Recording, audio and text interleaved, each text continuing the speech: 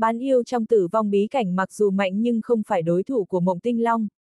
Huống chi mộng ra trừ mộng tinh long ra có mộng tinh ngân, đều là cực hạn thiên mệnh cảnh, sức chiến đấu trong thiên mệnh cảnh là vô địch. Thiên tài đẳng cấp sử thi đến sơ kỳ thiên mệnh đệ cửu trọng đã đánh đâu thắng đó, huống chi mộng tinh long, mộng tinh ngân là đỉnh thiên mệnh đệ cửu trọng, sức chiến đấu đánh ngang tay với chân nhân bình thường. Mộng tinh long lạnh lùng cười. Ta sẽ không giết người trong đấu chiến cung, nhưng phế tu vi của mấy bán yêu thì dễ như trở bàn tay. Lực lượng của mộng tinh long bị vẫn thiên linh thạch ức chế nhưng vẫn rất hung mãnh, chân dẫm đất chân vỡ một khối ngọc thạch, mộng tinh long như mãnh hổ lao ra, đấm vào đan điền của bán yêu trước mặt. Nắm đấm bắn ra ánh sáng trắng, bóng quyền càng lúc càng lớn như ngưng tụ thành khối thần thiết. Mộng tinh long, người khinh người quá đáng. Có tám cường giả trong bán yêu tu vi thiên mệnh đệ cửu trọng định đỡ mộng tinh long công kích. ầm, um, tám bán yêu tu vi thiên mệnh đệ cửu trọng cùng hộp máu, văng ra ngoài, không đỡ nổi cú đấm của mộng tinh long. Một đám con kiên, các ngươi không tưởng tượng nổi lực lượng của thiên tài đẳng cấp sử thi. Giáp cổ trên người mộng tinh long phát ra ánh sáng thánh mở nhạt, nắm đấm như ngôi sao, lực lượng càng đáng sợ hơn. Mấy tiền bối có mặt đều tuy HT lùi. Bán yêu đứng đối diện mộng tinh long sợ hãi mặt không còn chút máu, miễn cưỡng nổi lên can đảm muốn liều mạng với gã. Bỗng một thân hình tuấn tú tiêu sái đứng trước mặt mộng tinh long, đôi mắt đỏ nhạt, khí thế ngông cuồng, đôi tay sinh ra các đoàn lửa ngưng tụ thành áng mây đẩy ra ngoài.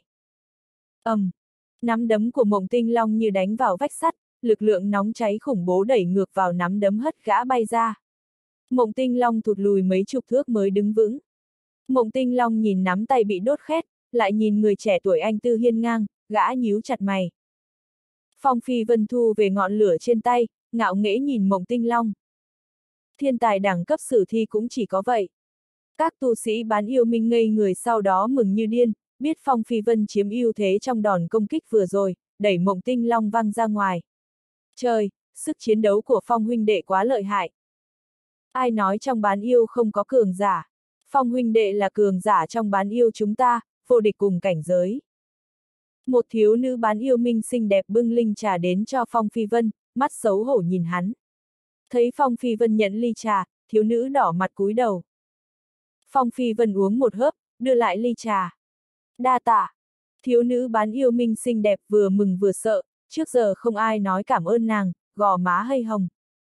Thiếu nữ bán yêu minh xinh đẹp ấp úng nói. Phải đánh bại đám thiên kiêu mộng gia. Trong mộng gia có rất nhiều bán yêu nô, có bị đưa vào mỏ. Nếu xinh đẹp sẽ bị đưa đi động điếm ti tiện, bị đối xử không bằng cả nô lệ. Người phải đánh bại họ, cho họ biết trong chúng ta có cường giả, không phải sinh vật ti tiện ai muốn nhục nhã cũng được. Mắt thiếu nữ ngấn lệ, nàng xem Phong Phi Vân là anh hùng trong lòng, nàng không hy vọng anh hùng thua vào tay đám thiên tài mộng ra. Các tu sĩ bán yêu minh im lặng, siết chặt nắm tay, nghiến răng, bọn họ xem như khá mạnh trong bán yêu, có thể tham gia bán yêu minh, sống tốt hơn. Còn rất nhiều bán yêu sống cảnh thê thảm hơn bọn họ gấp chục, trăm lần như sống trong địa ngục. Phong Phi Vân nghiêm túc nói. Các người yên tâm, trong cùng thế hệ chưa ai đánh bại được ta. Mộng Tinh Long hừ lạnh một tiếng. Thật cuồng vọng. Mộng Tinh Long con nắm tay, nói. Mới rồi ta thậm chí không dùng ba phần sức mạnh, nếu ta dốc hết sứ thì trong vòng 10 chiêu sẽ hoàn toàn đánh bại ngươi. Vậy sao, thế thì vào trong tử vong bí cảnh đấu đi. Phong Phi Vân không nhìn thẳng Mộng Tinh Long, hắn đến trước mặt mỹ nữ chấp sự của đấu chiến cung. Phong Phi Vân hỏi. Cô nương, bây giờ ta thắng được bao nhiêu linh thạch? Liên tục thắng 3 trận, tổng cộng 17 khối linh thạch. Trừ 10 khối linh thạch hai trận khác, cộng 10 khối linh thạch ngươi đặt cọc trong đấu chiến cung, nếu ngươi từ bỏ trận đấu tiếp theo thì được 60 khối linh thạch. Lam Uyển Tinh kín đáo khuyên Phong Phi Vân đừng đánh với Mộng Tinh Long, dù sao gã liên tục thắng 18 trận trong đấu chiến cung, thực lực siêu mạnh. Lam Uyển Tinh rằng Phong Phi Vân không đấu lại Mộng Tinh Long, hiếm có thiên kiêu nào liên tục thắng 18 trận trong đấu chiến cung. Phong Phi Vân bất mãn nói. Mới có một chút. Khuôn mặt Lam Uyển Tinh xinh đẹp lạnh lùng nói. Nếu ngươi thắng trận tiếp theo sẽ được 80 khối linh thạch ngay. Được rồi. Phong Phi Vân lại ký hiệp nghị sinh tử, đi vào tử vong bí cảnh. Mộng Tinh Long không sợ Phong Phi Vân, gã nhanh chóng ký hiệp nghị sinh tử. Đi vào tử vong bí cảnh không còn bị vẫn thiên linh thạch ức chế, người mộng tinh long dâng lên khí thế ngập trời như thần long xuất thế, bế nghệ bát phương. Sóng linh khí mắt thường trông thấy khuếch tán từ người mộng tinh long như vằn nước dao động trong hư không. Mộng tinh long vươn một ngón tay chỉ hư không, sóng kiếm thô một thước đâm vào phong phi vân. Mộng huyền kiếm ba. Đây là bảo quyết của mộng gia, uy lực rất lớn, do đại hiền giả mộng ra sáng tạo lúc về già. Vị đại hiền giả tu vi thông thiên, từng dùng một kiếm ba đánh nát sao băng vực ngoại. Phong phi vân thi triển luân hồi tật tốc biến thành lốc xoáy xuyên toa trong tử vong bí cảnh, mau đến mức chỉ còn cái bóng. Mộng tinh long cũng biến thành lốc xoáy, thi triển tốc độ. Trong lốc xoáy mộng tinh long lại chỉ một cái, mộng huyền kiếm ba bay ra tiếp. Phong Phi Vân lấy tay làm đao chém không khí, cuồng long màu vàng bay ra từ cánh tay hắn, khí thế xé rách tất cả đón đỡ mộng huyền kiếm ba. Hai bên va chạm, tử vong bí cảnh rung lắc dữ dội. Phật Pháp vô biên. Hai tay Phong Phi Vân chắp vào nhau, người phát ra ánh sáng vàng rực rỡ, chậm rãi đẩy ra Phật thủ ấn vàng đè mộng tinh long. Mộng tinh long cảm nhận lực lượng mạnh mẽ từ Phật thủ ấn, gã vội thúc giục giáp cổ gọi ra một chút hơi thở tu sĩ vũ hóa cảnh. Tuy mộng tinh long đỡ Phật ấn nhưng bị đánh bay ra xa mấy trăm dặm, đụng nát biết bao nhiêu tảng đá to. Nếu không nhờ giáp cổ thần dị trên người mộng tinh long thì một trưởng của Phong Phi Vân đủ giết gã. Ngưu sĩ phẩy quạt lông đứng sau lưng công tử áo tím mở miệng nói. Thần thông Phật Pháp thật mạnh, giáp cổ trên người mộng tinh long dính chút hơi thở vũ hóa cũng không ngăn được. Đây là thần thông vượt qua cả mộng huyền kiếm ba. Công tử áo tím ngồi trên ghế ngọc tử tinh điêu phượng, nhiều cường giả bảo vệ quanh người. Chỉ tính ngưu sĩ trí tuệ thâm sâu đã nhiều cỡ sáu người. Đám mưu sĩ toàn là nhân vật thông minh tuyệt đỉnh, nhìn thấu công tử áo tím có hứng thú cuộc chiến của bán yêu và đệ tử mộng ra nên lên tiếng thuyết minh.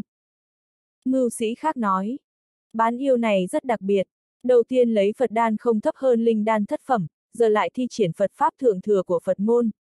Xem ra sau lưng hắn thật sự có một vị cửu phẩm đại luyện đan sư, còn là cao tăng Phật môn. Miếu cổ Phật môn trong quý vực khoảng một ngàn, xếp hạng cao chỉ có ngộ tâm cổ tháp do đại ngộ chân Phật sáng tạo từ 12 vạn năm chứa, vô thiền Phật viện có cửu phẩm Phật khí.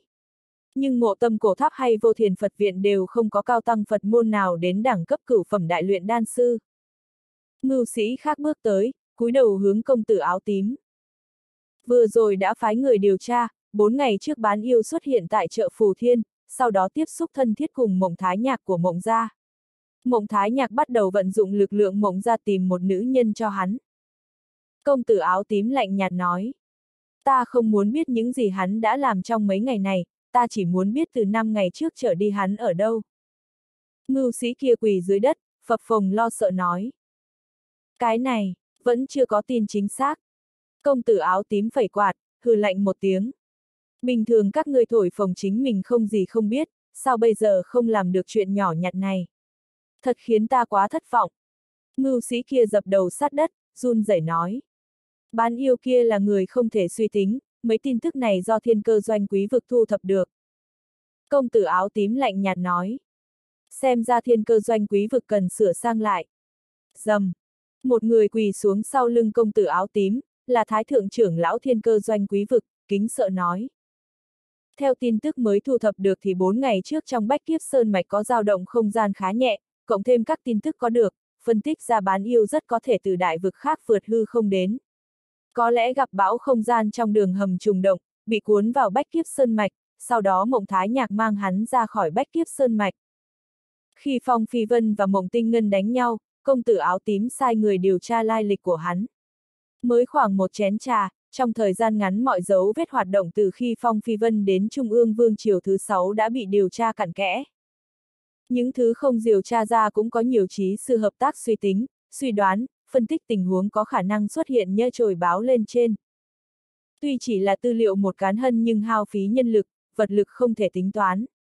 Từ đó thấy được công tử áo tím có thể điều động lực lượng rất khổng lồ. Công tử áo tím nói. Đứng lên hết đi. Đôi mắt sáng chấp lóe suy nghĩ. Ngưu sĩ kia, thái thượng trưởng lão thiên cơ doanh quý vực thở phào, chậm rãi đứng dậy. Thái thượng trưởng lão thiên cơ doanh quý vực mở miệng nói. Vừa rồi lại có tin truyền đến, nói nữ nhân mà bán yêu Phong Phi Vân tìm đã vượt cổ trận đài đến vực thành. Nữ nhân này cực kỳ xinh đẹp, tu vi bất phàm. Một vị đại trí sư của thiên cơ doanh suy tính nàng nhưng bị nàng tính ngược lại, sử dụng thiên cơ sát pháp đánh bị thương đại trí sư kia, trí lực bị phế. Công tử áo tím nổi hứng thú. a à, lợi hại vậy. Công tử áo tím mỉm cười nói. Bây giờ nữ nhân kia ở đâu? Thái thượng trưởng lão thiên cơ doanh quý vực lắc đầu, nói. Tạo nghệ trí sư của nàng rất cao, tu vi cực kỳ mạnh, không thể suy tính, không thể bám theo. Hừ, chỉ là một nữ nhân, để ta đấu với nàng một trận. Một mưu sĩ già cầm quạt lông đứng sau lưng công tử áo tím nhắm mắt lại, người tỏa sáng rực rỡ. Các quy tắc thiên cơ phát ra từ người mưu sĩ già, bao phủ nguyên vực thành. Đây là đại trí sư tu vi cường đại, từng tu luyện trong một tòa trí tuệ thần cung, nếu không chẳng có tư cách đứng sau lưng công tử áo tím. Một lúc sau, người mưu sĩ già run lên, miệng hồng máu. Phụt! Mưu sẽ già té cái bịch, đã xỉu. Mưu sĩ khác biểu tình cực kỳ khó xem, ánh mắt nghiêm túc nhìn lão nhân nằm dưới đất. Bị đối phương dùng thiên cơ sát pháp chém trúng thần hồn, không bao giờ mở mắt được nữa. Sắc mặt công tử áo tím từ đầu đến cuối luôn rất bình tĩnh nói. Thú vị, một bán yêu khác với mọi người, một nữ nhân tu vi cường đại. Công tử áo tím ngước nhìn Ngọc Bích, hỏi. Bọn họ đánh bao nhiêu hiệp rồi? Sắp 800 hiệp, bán yêu này rất mạnh. Trong tử vong bí cảnh, Phong Phi Vân không hay biết có kẻ đang điều tra thân phận của mình, hắn đang khổ chiến với Mộng Tinh Long. Khổ chiến chỉ là mặt ngoài, nếu Phong Phi Vân muốn đánh bại Mộng Tinh Long thì hai chiêu là xong. Phong Phi Vân đánh vất vả như thế là cho đám tu sĩ Mộng ra xem, nếu hắn biểu hiện quá mạnh sẽ hù sợ bọn họ, vậy thì mất vui. Kim Tàm Phật noãn. Cơ thể Phong Phi Vân biến thành chứng thần, Phật quang hoàn toàn bao phủ người hắn, thiên địa nhuộm sắc vàng, lực lượng mạnh mẽ chân áp Mộng Tinh Long. Thông qua đánh nhau Mộng Tinh Long biết Phật Pháp của Phong Phi Vân rất mạnh, gã không dám khinh địch, gọi ra một Mộng Tinh Long. Mộng Tinh Long dốc sức thúc đẩy uy lực linh khí, bộc phát ra lực công kích gấp 30 lần. Nên kết thúc. Một bàn tay Phong Phi Vân thò ra khỏi trứng hật, rực rỡ sắc vàng, các chữ Phật bay lượn trên bàn tay hắn. Mộng Tinh Long bị đập rớt xuống đất, Phong Phi Vân sải bước đến gần, đánh bay Mộng Tinh Long. Bùm! Mộng tinh long bị lực lượng mạnh mẽ trùng kích, giáp cổ lại tỏa sáng chặn lại đa số sức mạnh. Mộng tinh long hét to một tiếng. Ta là bất bại ầm, um. Phong Phi Vân đánh ra Phật ấn đập vào ngực mộng tinh long, làm gã hộc bãi máu, giáp cổ sắp vỡ. Bùm bùm bùm bùm bùm. Phong Phi Vân như đấu chiến thần Phật, ánh mắt ngạo nghễ liên tục vỗ năm Phật ấn đánh mộng tinh long liên tục thụt lùi, khó thể đỡ, giáp cổ nứt dạn.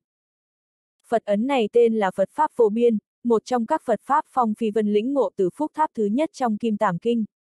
Phúc tháp thứ nhất có 3.000 loại biến đổi, tức là 3.000 Phật Pháp, mỗi loại đều là thần thông chấn thế. Phong Phi Vân thông qua tham ngộ cô động 3.000 loại Phật Pháp thành ba loại là Phật Pháp vô biên, Kim Tảm Phật Noãn, Phật Pháp Thiên Tượng. Phật Pháp vô biên là thần thông công kích. Kim Tàm Phật Noãn là thần thông phòng ngự. Phật Pháp thiên tượng ý chỉ Phong Phi Vân biến thân 3.000 loại hiện tượng. Hiện giờ Phong Phi Vân oanh kích Phật Pháp vô biên chỉ dùng hai tầng lực lượng, nếu không một trưởng đủ đập chết Mộng Tinh Long. Đại đạo nhất thụ, vô tận thâm uyên. Mộng Tinh Long chưa từng bị người đánh chật vật đến thế, tóc xóa tung, người dính đầy đất, loang lổ vết máu. Mộng Tinh Long sử dụng một chiêu bí thuật, một trong vài loại bí thuật mạnh nhất mộng ra. Có luồng lực lượng xuyên suốt bí cảnh bắn ra từ người Mộng Tinh Long. Tử vong bí cảnh bị mộng tinh long xé một vết nứt đen thui, các không gian chi khí tuôn ra. Nằm xuống cho ta. Phong Phi Vân lại vỗ ra một thủ ấn, Phật quang càng trói lòa như áng mây vàng đánh tan bí thuật của mộng tinh long. Mộng tinh long trúng đòn, giáp cổ vỡ thành mấy miếng sắt, ngực gã dính thủ ấn máu sắp hõm vào. Phong Phi Vân lại công kích, phá nát đan điền của mộng tinh long. Mộng tinh long há mồm hộc máu, tia sáng trong mắt phụt tắt, gã ỉu xìu nằm dưới đất. Phong Phi Vân kéo mắt cá chân mộng tinh long lết ra tử vong bí cảnh, ném vào chỗ đám tu sĩ mộng ra. Phong Phi Vân nói, thiên tài đẳng cấp sử thi thật là không có sức chịu đựng. Cá tu sĩ mộng ra mặt đen thui, tại sao bán yêu này mạnh quá vậy? Mộng tinh long cũng bị hắn đánh bại, còn ai đấu nổi? Lão nhân tóc bạc mặc áo đen cười nói. Ha ha ha ha ha ha lại một đẳng cấp sử thi của mộng gia bị phế. Một tu sĩ trẻ lưng cõng kiếm sắt đứng trong đám người, chiến ý rực cháy trong mắt, hăm hở muốn đại chiến cùng Phong Phi Vân. Mộng ra các người có được không? Nếu không được thì để ta ra tay giúp. Tu sĩ trẻ nói nghiêm túc, không hề trêu chọc mộng ra. Nhưng nghe vào tai các thiên chi kiêu tử mộng ra thì như cái gai đâm. Mộng tinh ngân tự tin nói.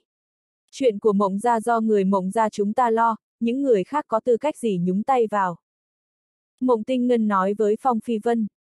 Tu vi của ngươi rất cao, nhưng ta đã nhìn thấu sâu cạn, đủ chân áp ngươi. Phong Phi Vân cười. a, à, ngươi tự tin vậy sao? Mộng tinh ngân mỉm cười nói. Nếu không có chút tự tin thì sao ta dễ dàng bước vào tử vong bí cảnh. Mộng tinh ngân không chỉ có tư chất xuất chúng còn giỏi về thôi diễn, tính toán, là trí sư phẩm cấp không thấp. Mộng tinh ngân làm việc luôn rất cẩn thận, không dễ thử chuyện gì không nắm chắc. Chính vì mộng tinh ngân cẩn thận trong mọi việc, tâm tư kín đáo nên được mộng gia bồi dưỡng theo kiểu người thừa kế gia chủ. Một đám tộc lão mộng gia chạy tới đấu chiến cung, toàn là lão nhân ngàn tuổi, ai nấy tỏa sáng như ngôi sao, như một đám tiên nhân bước ra từ mây mù. Tinh Ngân nói câu đó thì ta yên tâm rồi. Các tu sĩ nhường đường cho đám tộc lão mộng gia, thầm nghĩ bán yêu này giỏi gây chuyện thật, kinh động nhiều tộc lão mộng gia ra mặt. Có vài người sáng suốt nhìn ra manh mối, biết lý do nhiều mộng gia kéo nhiều tộc lão đến. Mặc kệ bán yêu Phong Phi Vân có thể đánh bại thiên kiêu mộng gia hay không, hôm nay hắn khó sống qua con trăng. Phong Phi Vân liên tục phế mấy thiên kiêu, mộng gia quyết giết hắn bằng được. Đây là kết cuộc của việc không có chỗ dựa, một khi lộ mũi nhọn sẽ bị tiêu diệt. Bán yêu minh quá yếu thế, chỉ có thể tranh thủ một ít tôn nghiêm cơ bản nhất, không thể đối kháng cùng đại tộc như mộng gia. Nhiều tu sĩ nảy ra lòng thương hại, cảm thấy bán yêu khó khăn lắm mới ra người trẻ tuổi không tệ nhưng tiếc rằng không sống qua hôm nay. Các tộc lão mộng ra khí độ siêu phàm, liếc phong phi vân, đứng bên ngoài tử vong bí cảnh. Một lão nhân đầu đội kim bồ quan, hai tay giấu trong ống tay áo, ung dung nói. Tinh ngân, nhớ thắng thật đẹp, để đám bán yêu thấy rõ phong độ của thiên kiêu thật sự. Chắc chắn sẽ thắng đẹp. Mộng tinh ngân thản nhiên, cực kỳ tự tin, cho rằng đã nhìn thấu phong phi vân, đủ sức chấn áp hắn. Mộng tinh ngân đi vào tử vong bí cảnh trước. Phong phi vân vào tử vong bí cảnh sau. Mộng tinh ngân không phải loại người bảo thủ cứng nhắc, ngay khi Phong Phi Vân vừa vào tử vong bí cảnh liền tấn công. Một luồng mộng huyền kiếm ba xuyên qua, ngừng tụ không khí thành thanh kiếm vô hình. Người Phong Phi Vân dâng lên vầng sáng vàng, biến thành chứng tầm bảo vệ cơ thể, ngăn lại sóng kiếm của mộng tinh ngân. Phật Pháp vô biên. Hai tay Phong Phi Vân đè hư không biến thành trưởng ấn vàng to lớn. Chân mộng tinh ngân đạp hư không, người toát ra các đoàn lửa màu trắng, cười nói. Đom đóm làm sao sánh bằng ánh sao. Xẹt xẹt xẹt xẹt xẹt. Một luồng sáng sao bay ra từ tay áo mộng tinh ngân, trong ánh sao bao bọc một thanh chiến binh hình thoa. Đuôi thoa có vật thể như đầu người tỏa ánh sáng đỏ nhạt. Huyết phương thoa. Mộng tinh ngân sử dụng chiến thoa xuyên thủng Phật thủ ấn, thế như trẻ che bao bọc phong phi vân trong ánh sáng đỏ. Đại khí huy hoàng bắn ra từ huyết phương thoa, đông lại tử vong bí cảnh. Vô số tảng đá trong bí cảnh bay hướng ánh sáng đỏ, có đá nặng trăm vạn cân, có đá dài cỡ ngọn núi. ầm ầm ầm ầm ầm. Mộng tinh ngân như thần linh điều khiển thiên địa này, vạn vật phải nghe theo gã khống chế. Lực lượng chiến thoa liên tục trướng lớn, huyết khí lấp đầy bí cảnh. Từng tia chớp bay ra khỏi huyết phương thoa biến thành lồng giam sấm chớp. Bên ngoài tử vong bí cảnh, một vị tộc lão mộng ra vuốt sâu cười nói. Đẹp tinh ngân không làm ta thất vọng. Chỉ là bán yêu mà gây ra sóng gió lớn như thế, làm mất uy nghiêm của mộng gia. Nhưng rốt cuộc vẫn bị giết, sau này không được gây ra trò cười như thế nữa. Tộc lão gia tộc đối lập với mộng gia cười khẩy nói. Lấy linh khí ngũ phẩm ra chấn áp một bán yêu, mộng gia vinh diệu thật. Mộng tinh ngân sử dụng huyết phương thoa là linh khí ngũ phẩm, do một vị thái thượng trưởng lão mộng gia lén giao cho gã. Thái thượng trưởng lão mộng ra đáp trả. Linh khí ngũ phẩm thì sao? Đường tu luyện không chỉ so tu vi, chiến binh cũng là thực lực. Lúc này hình ảnh trên ngọc bích chấn động mãnh liệt, một luồng sáng trắng bắn ra từ tia máu. Ánh sáng trắng chỉ to cỡ hạt cơm nhưng siêu nhanh, nhiều tộc lão mộng ra không thấy rõ ràng. Thiên tủy binh đàm. Luồng sáng trắng đâm thủng chán mộng tinh ngân bay ra sau gáy, lại như giọt nước quay về lòng bàn tay Phong Phi Vân, biến mất. ầm, um. Mộng tinh ngân té ngửa ra sau, lỗ thủng trên trán chảy máu. Linh khí ngũ phẩm huyết phương thoa lơ lửng trong tử vong bí cảnh mất điều khiển rơi vào tay Phong Phi Vân. Phong Phi Vân bước ra từ huyết phụ, người không dính một hạt bụi, tóc dài tung bay, áo bay phần phật. Phong Phi Vân thản nhiên vuốt huyết phương thoa, khen rằng. Thật là bảo bối tốt. Đám tộc lão mộng ra ngây ngốc, những cường giả động thiên, phúc địa đối đầu với mộng gia cũng ngạc nhiên. Mọi người cho rằng Phong Phi Vân bị mộng tinh ngân ăn chết, nhưng chỉ một giây tình huống đã đảo ngược. Tộc lão mộng gia nổi điên. Không thể nào, tuyệt đối không thể nào. Tộc lão mộng gia nhìn mộng tinh ngân phơi thây dưới đất, mắt tộc lão mộng gia đầy tơ máu, rất muốn lao vào tử vong bí cảnh xé xác Phong Phi Vân ra. Phong Phi Vân kéo xác mộng tinh ngân ra khỏi tử vong bí cảnh, tay cầm huyết phương thoa lấp lánh ánh sáng. Phong Phi Vân nói, còn thiên kiêu mộng gia nào đến chịu chết không? Đệ thất thái thượng trưởng lão mộng gia sông lên. Tiểu bối, người chết là ngươi. Đệ thất thái thượng trưởng lão mộng gia biến thành một chuỗi cái bóng vỗ xuống đầu Phong Phi Vân. Công tử áo tím cầm cây quạt đi ngang qua tử vong bí cảnh. Mộng gia mất mặt qua, thua mạng lại thua người. Khuôn mặt trắng nõn treo nụ cười châm biếm, công tử áo tím nói xong mang theo đám tùy tùng rời khỏi đấu chiến cung. Trong tùy tùng của công tử áo tím có một lão nhân đội mũ da xanh hơi khựng lại, khuôn mặt đầy nếp nhặt tràn đầy châm chọc, cách không vỗ thủ ấn đè đệ thất thái thượng trưởng lão mộng ra té xuống đất. Dầm! Một vị thái thượng trưởng lão nằm ngay đơ như con chó già té trước mặt Phong Phi Vân, bụi mù bốc lên. Phong Phi Vân ngạc nhiên nhìn tùy tùng của công tử áo tím. Đệ thất thái thượng trưởng lão mộng ra nhảy cẫng lên, mắt sáng rực bắn ra sát khí. Là ai, dám đối địch với mộng gia? Nhưng rồi đệ thất thái thượng trưởng lão mộng gia bình tĩnh lại, không tấn công tiếp. Bởi vì đối phương rất cường đại, có thể cách không đánh lão té xuống đất. Lão nhân đội mũ da xanh kéo vành nón xuống, che một nửa khuôn mặt, cười nói. Ta không đối địch với mộng gia, ta đang cứu mạng ngươi. Lão nhân đội mũ da xanh nói xong đi theo sau công tử áo tím rời khỏi đấu chiến cung. Đệ thất thái thượng trưởng lão mộng ra ngây người, giây sau tỉnh táo lại. Nơi này là đấu chiến cung, một khi đệ thất thái thượng trưởng lão mộng ra giết bán yêu này sẽ chịu trừng phạt. Đệ thất thái thượng trưởng lão mộng ra biết lão nhân kia không dễ chọc, thế là chút giận lên người phong phi vân. Hừ, tiểu tử, người có giỏi thì đừng rời khỏi đấu chiến cung. Người dám ra ngoài một bước chắc chắn lão phu sẽ băm vằm ngươi ra ngàn mảnh. Phong Phi Vân nhìn công tử áo tím nhẹ nhàng đi ra đấu chiến cung, thu về tầm mắt nhìn đệ thất thái thượng trưởng lão mộng ra.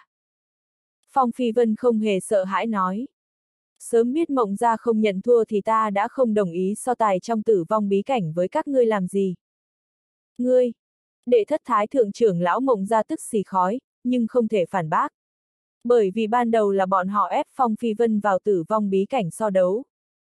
Phong Phi Vân nói, ta nghe nói sau khi ký hiệp nghị sinh tử, dù chết trong tử vong bí cảnh thì cũng là cam tâm tình nguyện. Núi trưởng bối gia tộc của đối phương đến trả thù ta, đấu chiến cung sẽ ra tay trấn áp giúp ta đúng không? Lão tổ mộng ra lạnh lùng cười. Thiếu niên, ngươi còn quá trẻ, chúng ta không làm gì ngươi được. Nhưng nếu ngươi không bó tay chịu trói thì e rằng những bán yêu này không ai sống sót. Mấy chục tu sĩ bán yêu minh bị tộc lão mộng ra trấn áp, không thể nhúc nhích. Mộng gia dám không kiêng nể gì uy hiếp Phong Phi Vân vì hắn là bán yêu, sẽ không ai bất bình cho bọn họ. Dù người bán yêu minh đến trả thù mộng gia cũng không sợ. Phong Phi Vân nét mặt xa sầm nói. Các ngươi quá vô sỉ. Đúng là cực kỳ vô sỉ. Chết trận trong tử vong bí cảnh chết trận vốn là ngươi tình ta nguyện, hiện tại lấy tu sĩ bán yêu minh ta uy hiếp một tiểu bối. Mộng gia có còn mặt mũi không? Một đám lão nhân bán yêu minh ùa vào đấu chiến cung. Các tu sĩ bán yêu minh chạy theo, có tu vi mạnh hoặc yếu nhưng mặt không biểu tình, bao vây nguyên đấu chiến cung. Người vừa nói chuyện là mộc trưởng lão của bán yêu minh. Phùng vãn hạ kéo Phong Phi Vân vào trận doanh bán yêu minh, thân thể nhỏ xinh chắn trước mặt hắn. Mắt Phùng vãn hạ bắn tia sáng lạnh, không hề sợ hãi nhìn thẳng tộc lão mộng ra. Phong huynh đệ, ta xin mộc ra ra đến cứu ngươi. Phùng vãn hạ nhìn đám đông rầm rộ trước mắt, không biết có bao nhiêu vạn tu sĩ bán yêu minh đến trợ giúp có tu vi chỉ thiên mệnh đệ nhất trọng, nhưng vẫn giúp chiến kiếm liều mạng vì phong phi vân. Có một số nữ nhân quần áo tả tơi, thân phận thấp hèn, áo rách quần manh. Nhưng các nàng vẫn chạy đến, đứng sau lưng Phong Phi Vân. Tuy tu sĩ bán yêu minh không đến thì Phong Phi Vân vẫn nắm chắc an toàn rút lui, nhưng bây giờ hắn rất cảm động. Mộc trưởng lão nhìn Phong Phi Vân, cười khen. Ngươi làm rất tốt, là tấm gương cho bán yêu chúng ta. Dù hôm nay tất cả chúng ta chết trận tại đây cũng quyết bảo vệ ngươi an toàn, tuyệt đối không cúi đầu trước mộng ra. Phong Phi Vân cười gật đầu, lòng bỗng nổi lên trực giác không may, bị người rình ngó.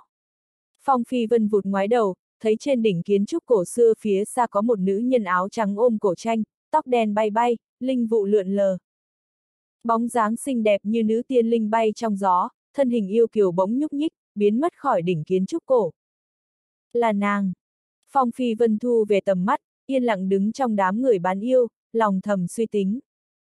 Phùng Vãn Hạ thấy biểu tình Phong Phi Vân khác lạ, quan tâm hỏi. Phong huynh đệ, sao vậy? Phong Phi Vân mỉm cười nói. Ta đang suy nghĩ mộng ra có thỏa hiệp không? Phùng Vãn Hạ cảm thấy ánh mắt Phong Phi Vân rất hút hồn, nàng không dám nhìn thẳng vào hắn, ngại ngùng cúi đầu. Phùng Vãn Hạ nhỏ giọng nói.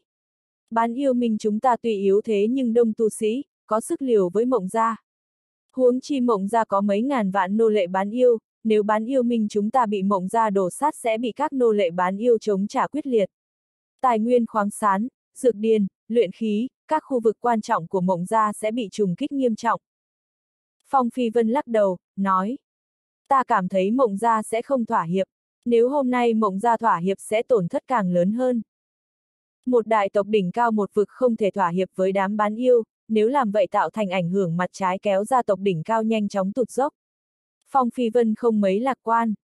Các tộc lão mộng ra mặt xa sầm, bọn họ không ngờ số lượng bán yêu nhiều như thế, ngang nhiên đối kháng với mộng gia. Lão tổ mộng gia lên tiếng. Cho rằng mộng gia chúng ta không làm gì được bán yêu minh các ngươi sao.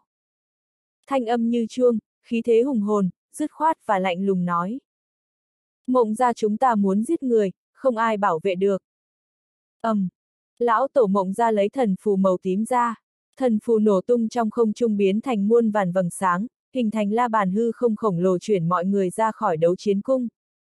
Đến bên ngoài đấu chiến cung là có thể đại khai sát giới.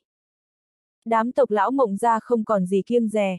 Một lão nhân mặc thần giáp đen lấy cổ trượng tím ra. Cổ trượng rộng xuống đất, nền đá nát, sóng khí thổi quét ra ngoài. Vừa đụng độ đã đánh tan mấy trăm bán yêu thành bãi máu. Bùm bùm bùm bùm bùm. Đầu người nổ như bong bóng, máu chảy ồ ạt. Lão tổ mộng ra ra lệnh. Mặc kệ đám bán yêu không quan trọng kia, lấy mạng phong phi vân đi.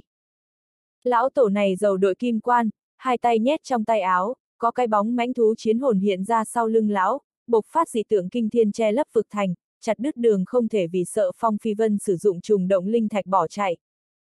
Mấy ngàn bán yêu bị một lão tổ mộng ra bám chặt, trong đó có Phong Phi Vân.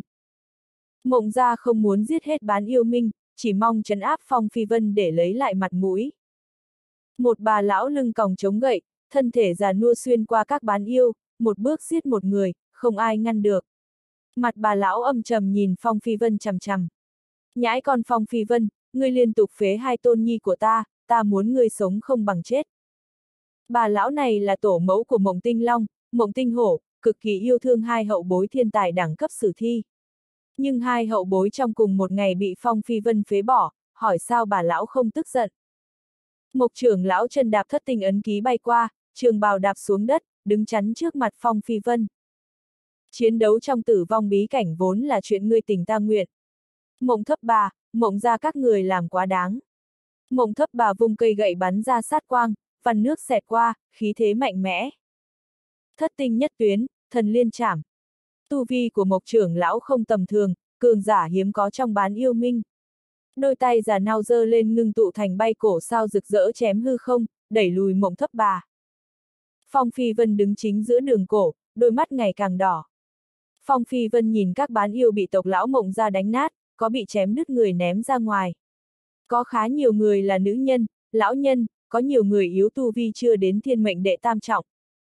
Những người này chết vì Phong Phi Vân, lúc chết vẻ mặt không chút sợ hãi. Mộng ra chết chắc rồi. Chiến. Phong Phi Vân chẳng hề sợ hãi, mắt đỏ như hai giọt máu. Phong Phi Vân khoác áo ra phượng vảy rồng lên, khí thế hùng hồn khuếch tán.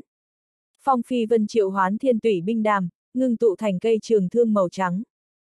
ầm, um, trường thương rộng xuống đất, ánh sáng trắng bắn ra, từng khí kình sắc bén sộc thẳng lên chín tầng mây. Người Phong Phi Vân phát ra sức mạnh hùng hồn kinh thiên động địa, một chân đạp vỡ một con đường cổ, chấn nhiếp nhiều người, nhất là tộc lão mộng gia. Phập, Phong Phi Vân đạp luân hồi tật tốc, tốc độ nhanh đến cực hạn.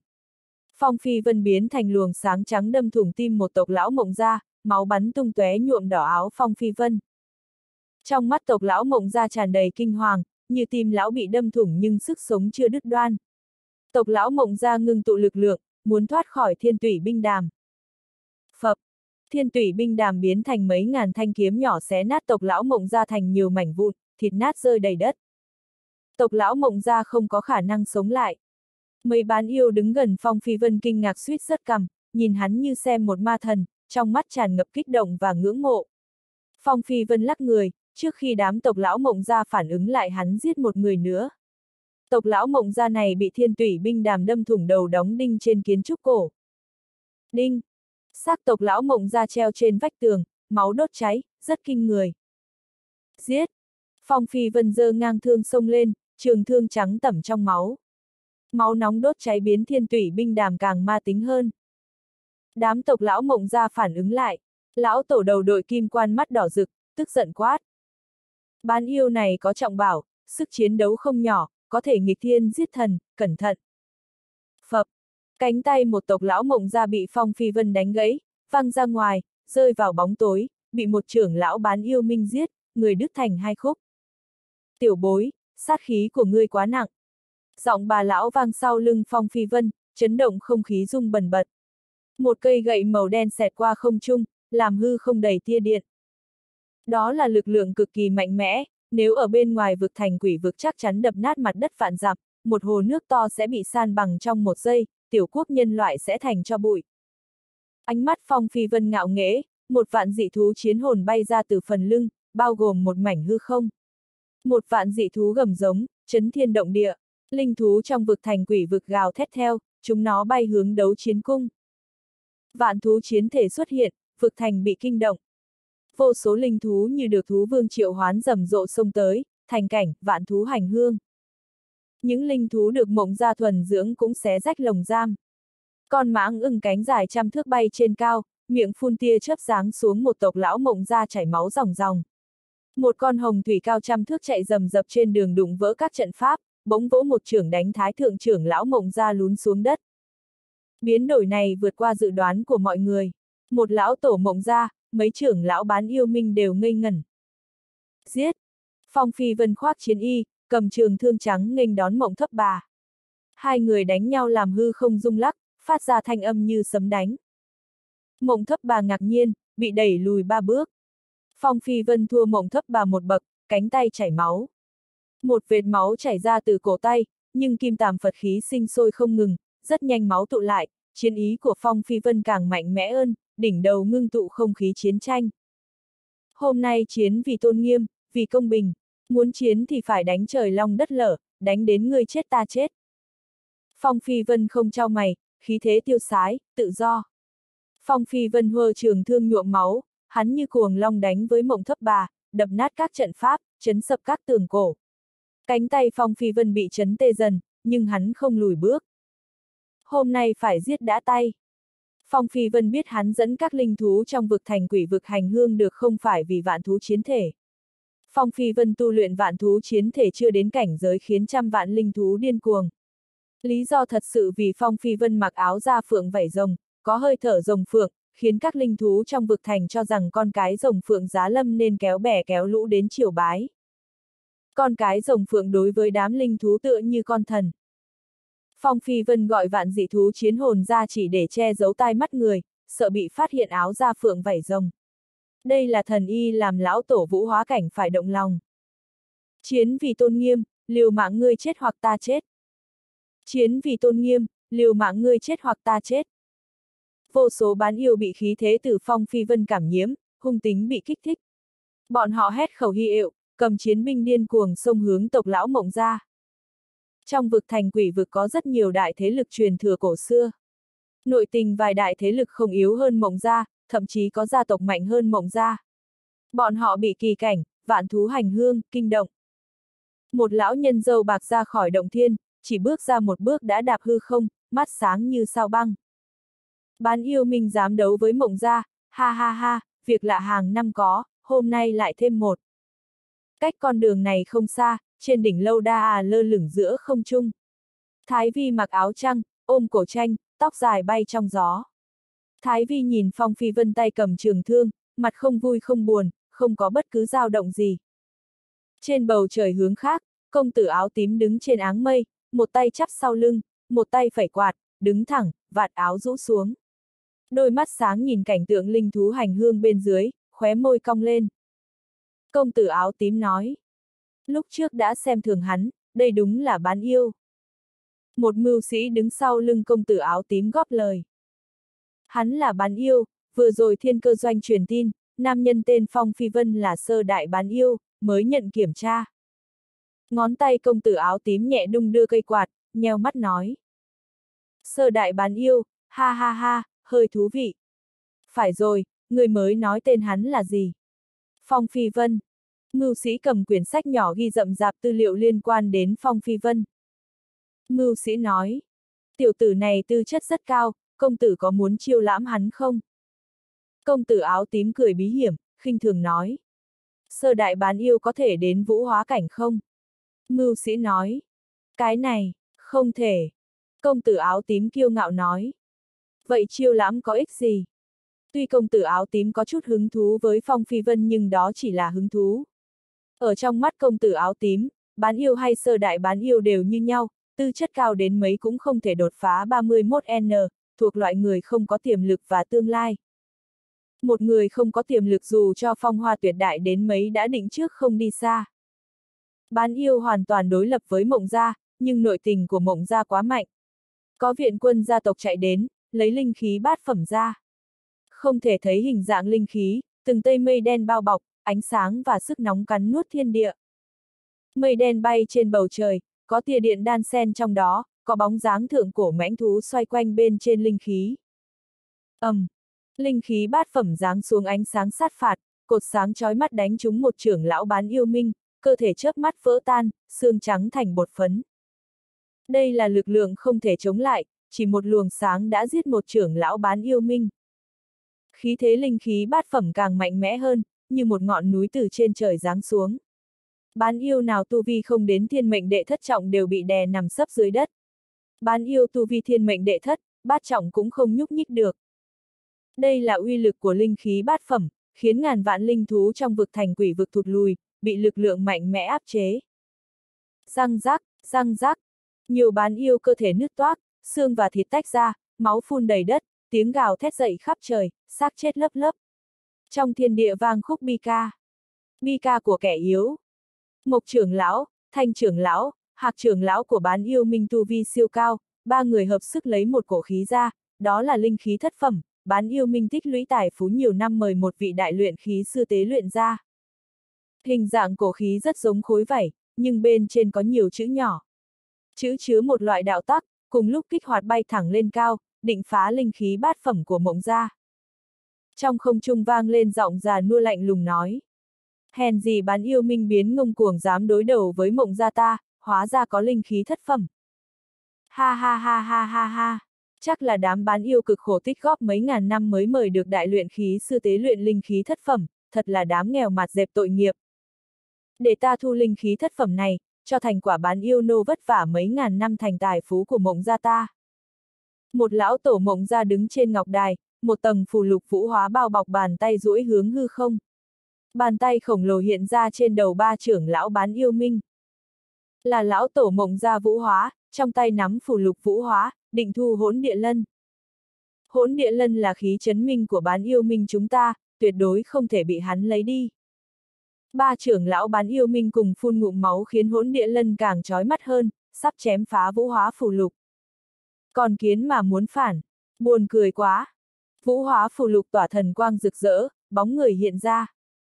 Đây là bóng dáng hiền giả mộng ra, vũ hóa phù lục do hiền giả tế luyện nên có một hơi thở động lại.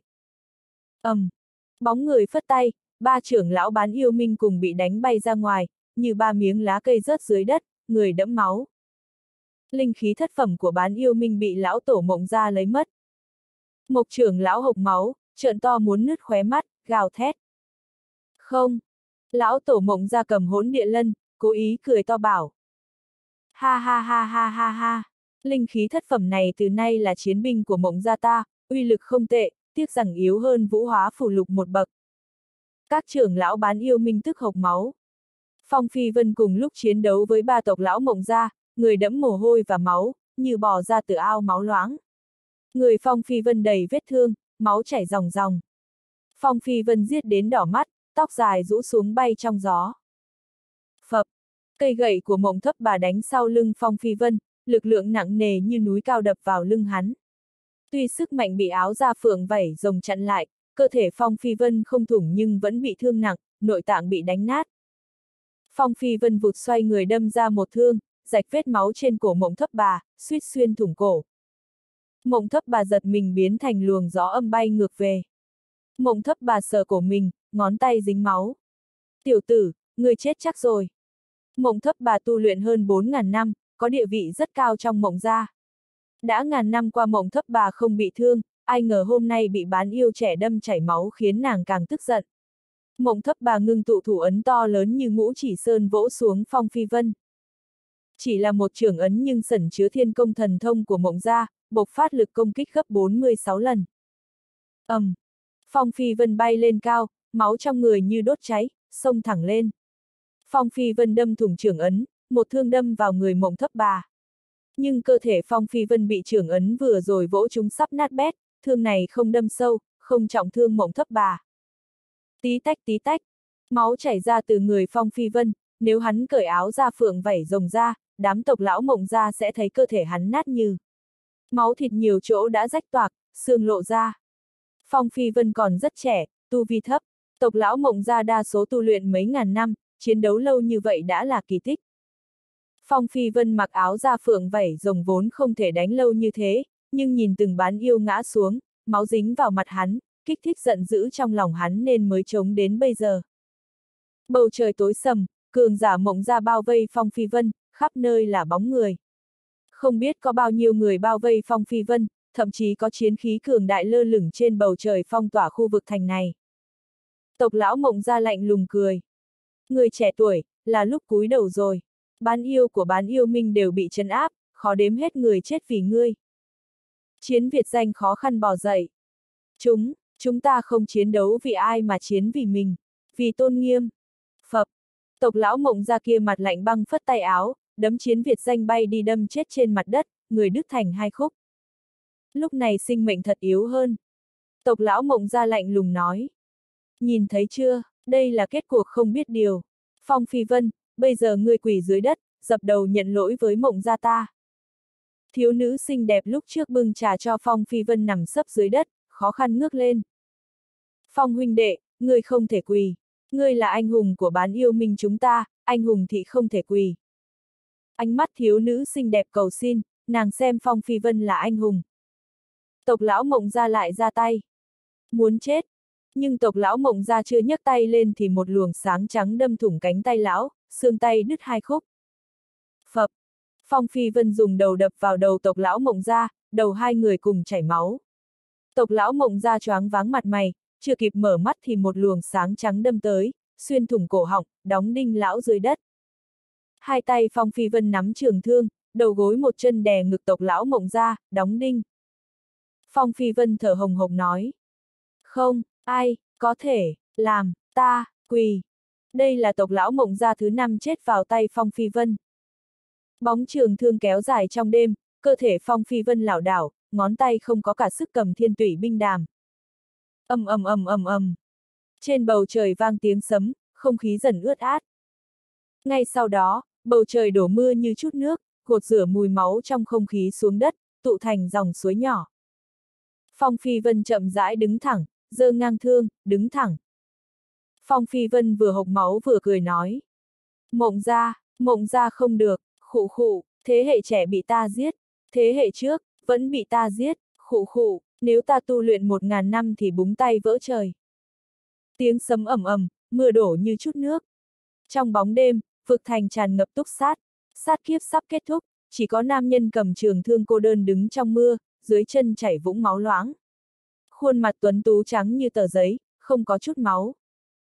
Lão tổ mộng ra đứng trong màn mưa, người tỏa ánh sáng nhạt, mưa rơi cách lão một thước tự động bắn ra. Nếu hắn không quỳ thì giết đi. Muốn giết ta, các ngươi chưa đủ tư cách. Trong đan điền Phong Phi Vân bay ra luồng sáng xanh, biến thành thanh đồng cổ thuyền. Phong Phi Vân cong người rồi bật ra, đứng trên thuyền cổ. 18 vải sắt buồm thần trên thanh đồng cổ thuyền chuyển động, phát ra tiếng ken két. Các khối màu xanh đồng tỏa sáng rực rỡ, Long Mã Hà Đồ hiện trên thân tàu phá tan kết giới không gian của mộng gia. Ánh sáng xanh chợt lóe, thanh đồng cổ thuyền xông ra ngoài, đâm thẳng tầng mây. Muốn trốn. Lão tổ mộng ra dẫn động lực lượng linh khí bát phẩm đánh vào luồng sáng trên bầu trời, muốn cách không chém rơi Phong Phi Vân. Phong Phi Vân đứng trên thanh đồng cổ thuyền, cất áo ra phượng vảy rồng, người thoáng chốc lùn hơn một nửa. Làn da rách toạc, nếu không phải người Phong Phi Vân có chín khối xương phượng liên kết thì hắn đã tan rã. ầm, um, một luồng sát quang từ sau lưng bắn tới, khí sông Vân Hà, ánh sáng rực rỡ còn hơn tia chớp trên bầu trời. Quan tài hoàng thạch tự động bay ra, mở nắp quan tài, bên trong tràn ra huyết khí vô cùng. Các xích sắt đan sen răng ngang trong quan tài chặn lại sát quang, phát ra tiếng chấn động dữ dội. Quan tài hoàng thạch tự nghênh địch, không được nhiều năng lượng gia cố, bị đánh bật về. Phụt! Phong Phi Vân bị lực phản chấn lại bị thương, người khét đen, da rẻ mất sức sống, con người tối sầm, sự sống điều này sói mòn. Thuyền cổ quá nhanh, đã bay ra vực thành. Lão tổ mộng ra thu về linh khí bát phẩm, đáp xuống đất.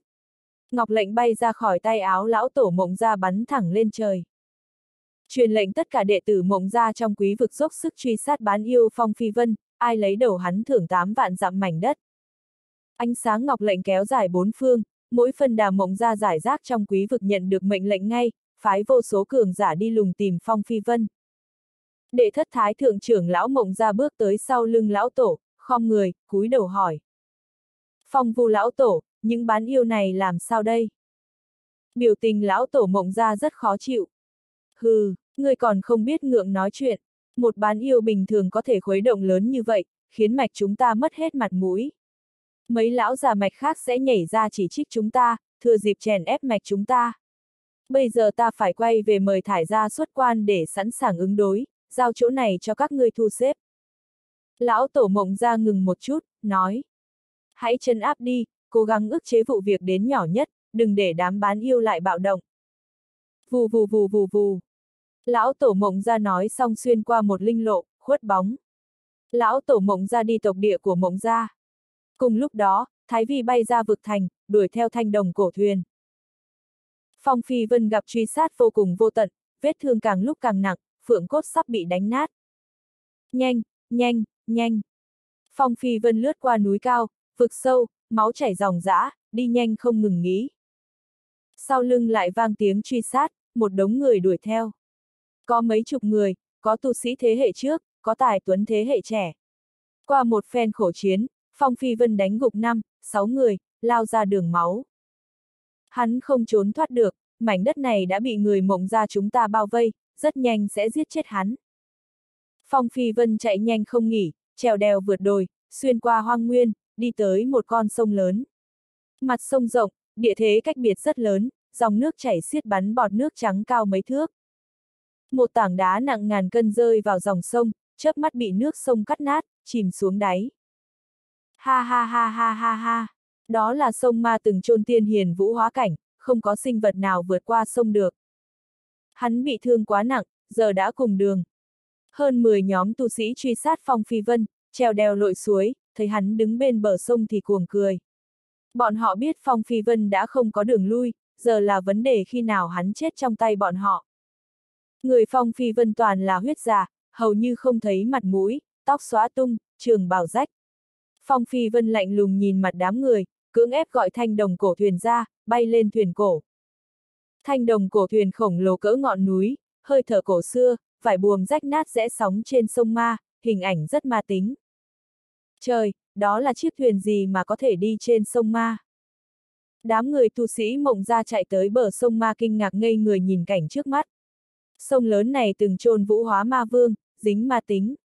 Mấy ngàn năm qua không ai vượt qua nó được, đó là lạch trời, đất ma khá nổi tiếng trong quý vực.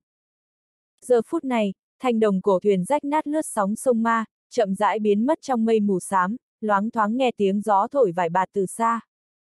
Có người ra lệnh, trở lại bẩm báo tộc lão, phong phi qua sông ma, đi bắc bộ quý vực.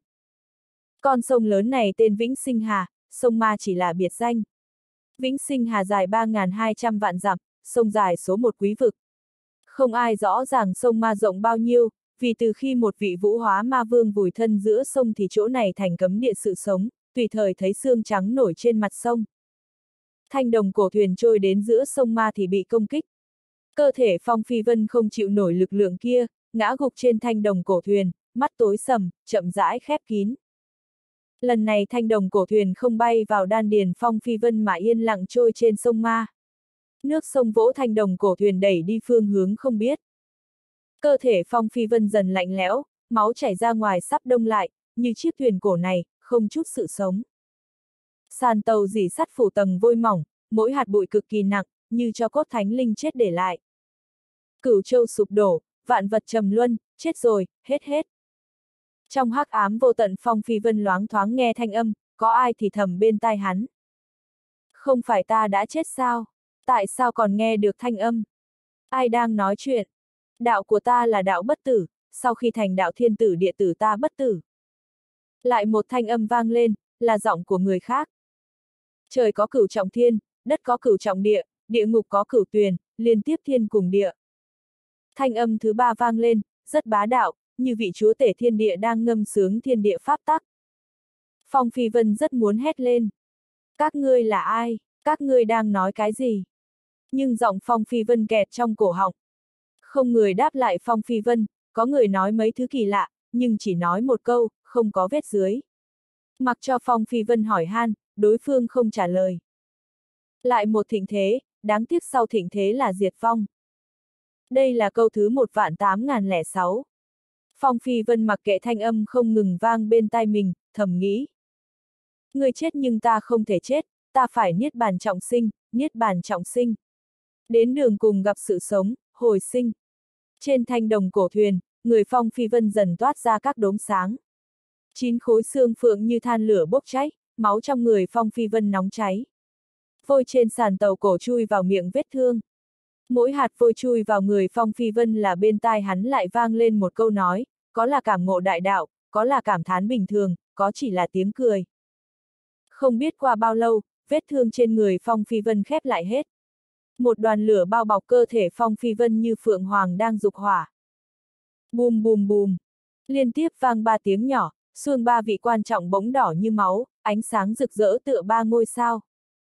Khối xương phượng thứ 10, 11, 12. Lại qua thật lâu.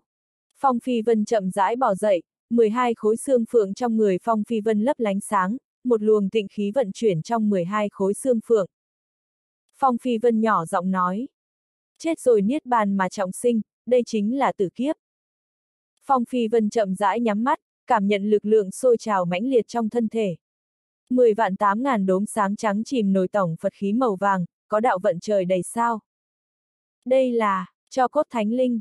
Phong Phi Vân cảm giác 10 vạn tám ngàn đốm sáng chứa hơi thở vượt qua lực lượng vũ hóa. Mỗi hạt cho chứa đạo tắc thái cổ thánh linh để lại. Lúc Phong Phi Vân hấp hối nghe 10 vạn 8 ngàn câu là di ngôn của thái cổ thánh linh, trong mỗi hạt cho chứa một câu nói. Cho cốt chui vào cơ thể Phong Phi Vân, những ý chí thánh linh chứa trong cho cốt truyền vào não Phong Phi Vân. Một hạt cho một câu nói. 10 vạn 8 ngàn câu chăn chối, 10 vạn 8 ngàn ý chí thánh linh. Thuở thái cổ trăm nhà đua tiếng, vạn tộc phồn thịnh, các tộc đều có thiên kiêu ngộ đạo, thành tựu thánh linh đại tôn. Nhưng đương thời không thấy bóng dáng thánh linh nữa. Có lẽ thánh linh thật sự tồn tại, chỉ số ít người được thấy. Dừng nói 10 vạn 8 ngàn thánh linh, được thấy một vị thánh linh đã là rất tuyệt. Chẳng lẽ thanh đồng cổ thuyền này từ tiên giới rớt xuống? Phong Phi Vân khó thể kiềm nén nỗi lòng rung động. 10 vạn 8 ngàn vị thánh linh nói chuyện trong cơ thể hắn, mỗi thanh âm cực kỳ xa xôi và thần thánh, cảnh tỉnh người, giải thích một số khó khăn trong đại đạo. Tiếp trước Phong Phi Vân chưa từng gặp thánh linh, hỏi sao hắn không giật mình. Dù thời Thái Cổ cũng không thể cùng lúc sinh ra 10 vạn 8 ngàn vị thánh linh. Trong đại thế văn điển cổ xưa ghi chép, một thời đại có mấy vị thánh linh xuất thế đã là thịnh thế.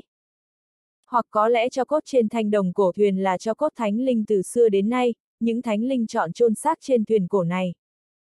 Từ xưa đến nay không biết bao nhiêu ức năm, không biết qua bao nhiêu thịnh thế, qua bao nhiêu văn minh. Nếu các thánh linh chọn chôn thân trên thanh đồng cổ thuyền, cộng lại khó thống kê số lượng chính xác. 10 vạn 8 ngàn ngôi sao lấp lánh trong cơ thể phong phi vân, ánh sáng chói mắt. Mỗi ngôi sao là một hạt cho thánh linh, nhưng những thánh linh chết quá lâu, cơ thể mục giữa không còn, thánh cốt thành cho, lực lượng sói mòn gần hết, chỉ để lại chút ý niệm mờ nhạt. Nếu là thời kỳ thánh linh đỉnh cao, một hạt cho đủ giết cường giả vũ hóa cảnh. Trong lòng Phong Phi Vân tiếc nuối, nhưng hắn cũng rất mừng. Mặc dù lực lượng thánh linh sói mòn hết, chỉ còn ý niệm sót trong hạt cho cũng đã rất quý giá. Một số nhân vật lão tổ rất thèm muốn, có thể tham ngộ đại đạo trong ý niệm, được ích lợi lớn cho việc lĩnh ngộ thánh linh đạo hữu. Phong Phi Vân vươn một ngón tay ra. Cảm giác 10 vạn 8 ngàn hạt cho dung nhập vào kim tàm Phật khí, khiến kim tàm Phật khí càng mạnh mẽ hơn. Đốm sáng vàng ngưng tụ trên đầu ngón tay Phong Phi Vân biến thành viên Phật đan. Phật đan tròn trịa, tràn ngập thần vận, một tia áp hật vàng nổi trên đan dược như có sự sống, hai tay chắp vào nhau, miệng niệm cổ văn kinh Phật. Phong Phi Vân nhếch mép. Linh đan cửa cổ thanh đồng. Phong Phi Vân đoán dược lực của kim tàm Phật khí hiện giờ ngang với Phật đan cửu phẩm. Cổ tộc như mộng ra chưa chắc lấy ra được vài viên Phật đan cửu phẩm, bây giờ Phong Phi Vân có thể tùy ý ngưng tụ ra đan dược như vậy, những luyện đan tông sư sẽ tức chết. Đương nhiên Phong Phi Vân ngưng tụ ra kim tàm Phật đan bị hạn chế hiệu quả, chỉ dùng để chữa thương, trừ độc, tẩy tủy. Luyện đan tông sư lại có thể tế luyện ra các loại linh đan, khống chế dược tính hơn hẳn Phong Phi Vân, nên hắn vẫn không thể so sánh với luyện đan tông sư. Phong Phi Vân sẽ không bỏ công vào luyện đan, sẽ chậm trễ tu hành. Đã hoàn toàn chuyển biến thành kim tàm Phật khí tầng thứ hai, có thể bắt đầu tham ngộ phúc tháp thứ ba. Trên thanh đồng cổ thuyền vẫn phủ lên lớp cho mỏng, mỗi hạt chứa một ý niệm thánh linh. Có 10 vạn 8 ngàn hạt cho chui vào cơ thể Phong Phi Vân, nhưng không bằng một phần ngàn vạn tổng số lượng cho cốt trong thanh đồng cổ thuyền.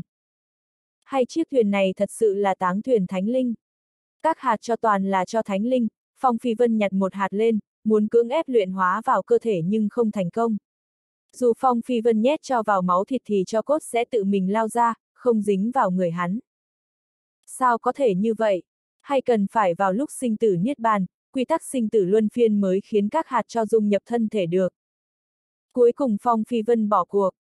Nếu thuyền cổ có 10 vạn 8 ngàn hạt cho thánh linh, có khi nào còn thánh vật khác không? Sau khi Phong Phi Vân đến Niết Bàn đệ nhất trọng thiên, tu vi tăng trưởng gấp vô số lần, có thể điều khiển thanh đồng cổ thuyền thời gian dài.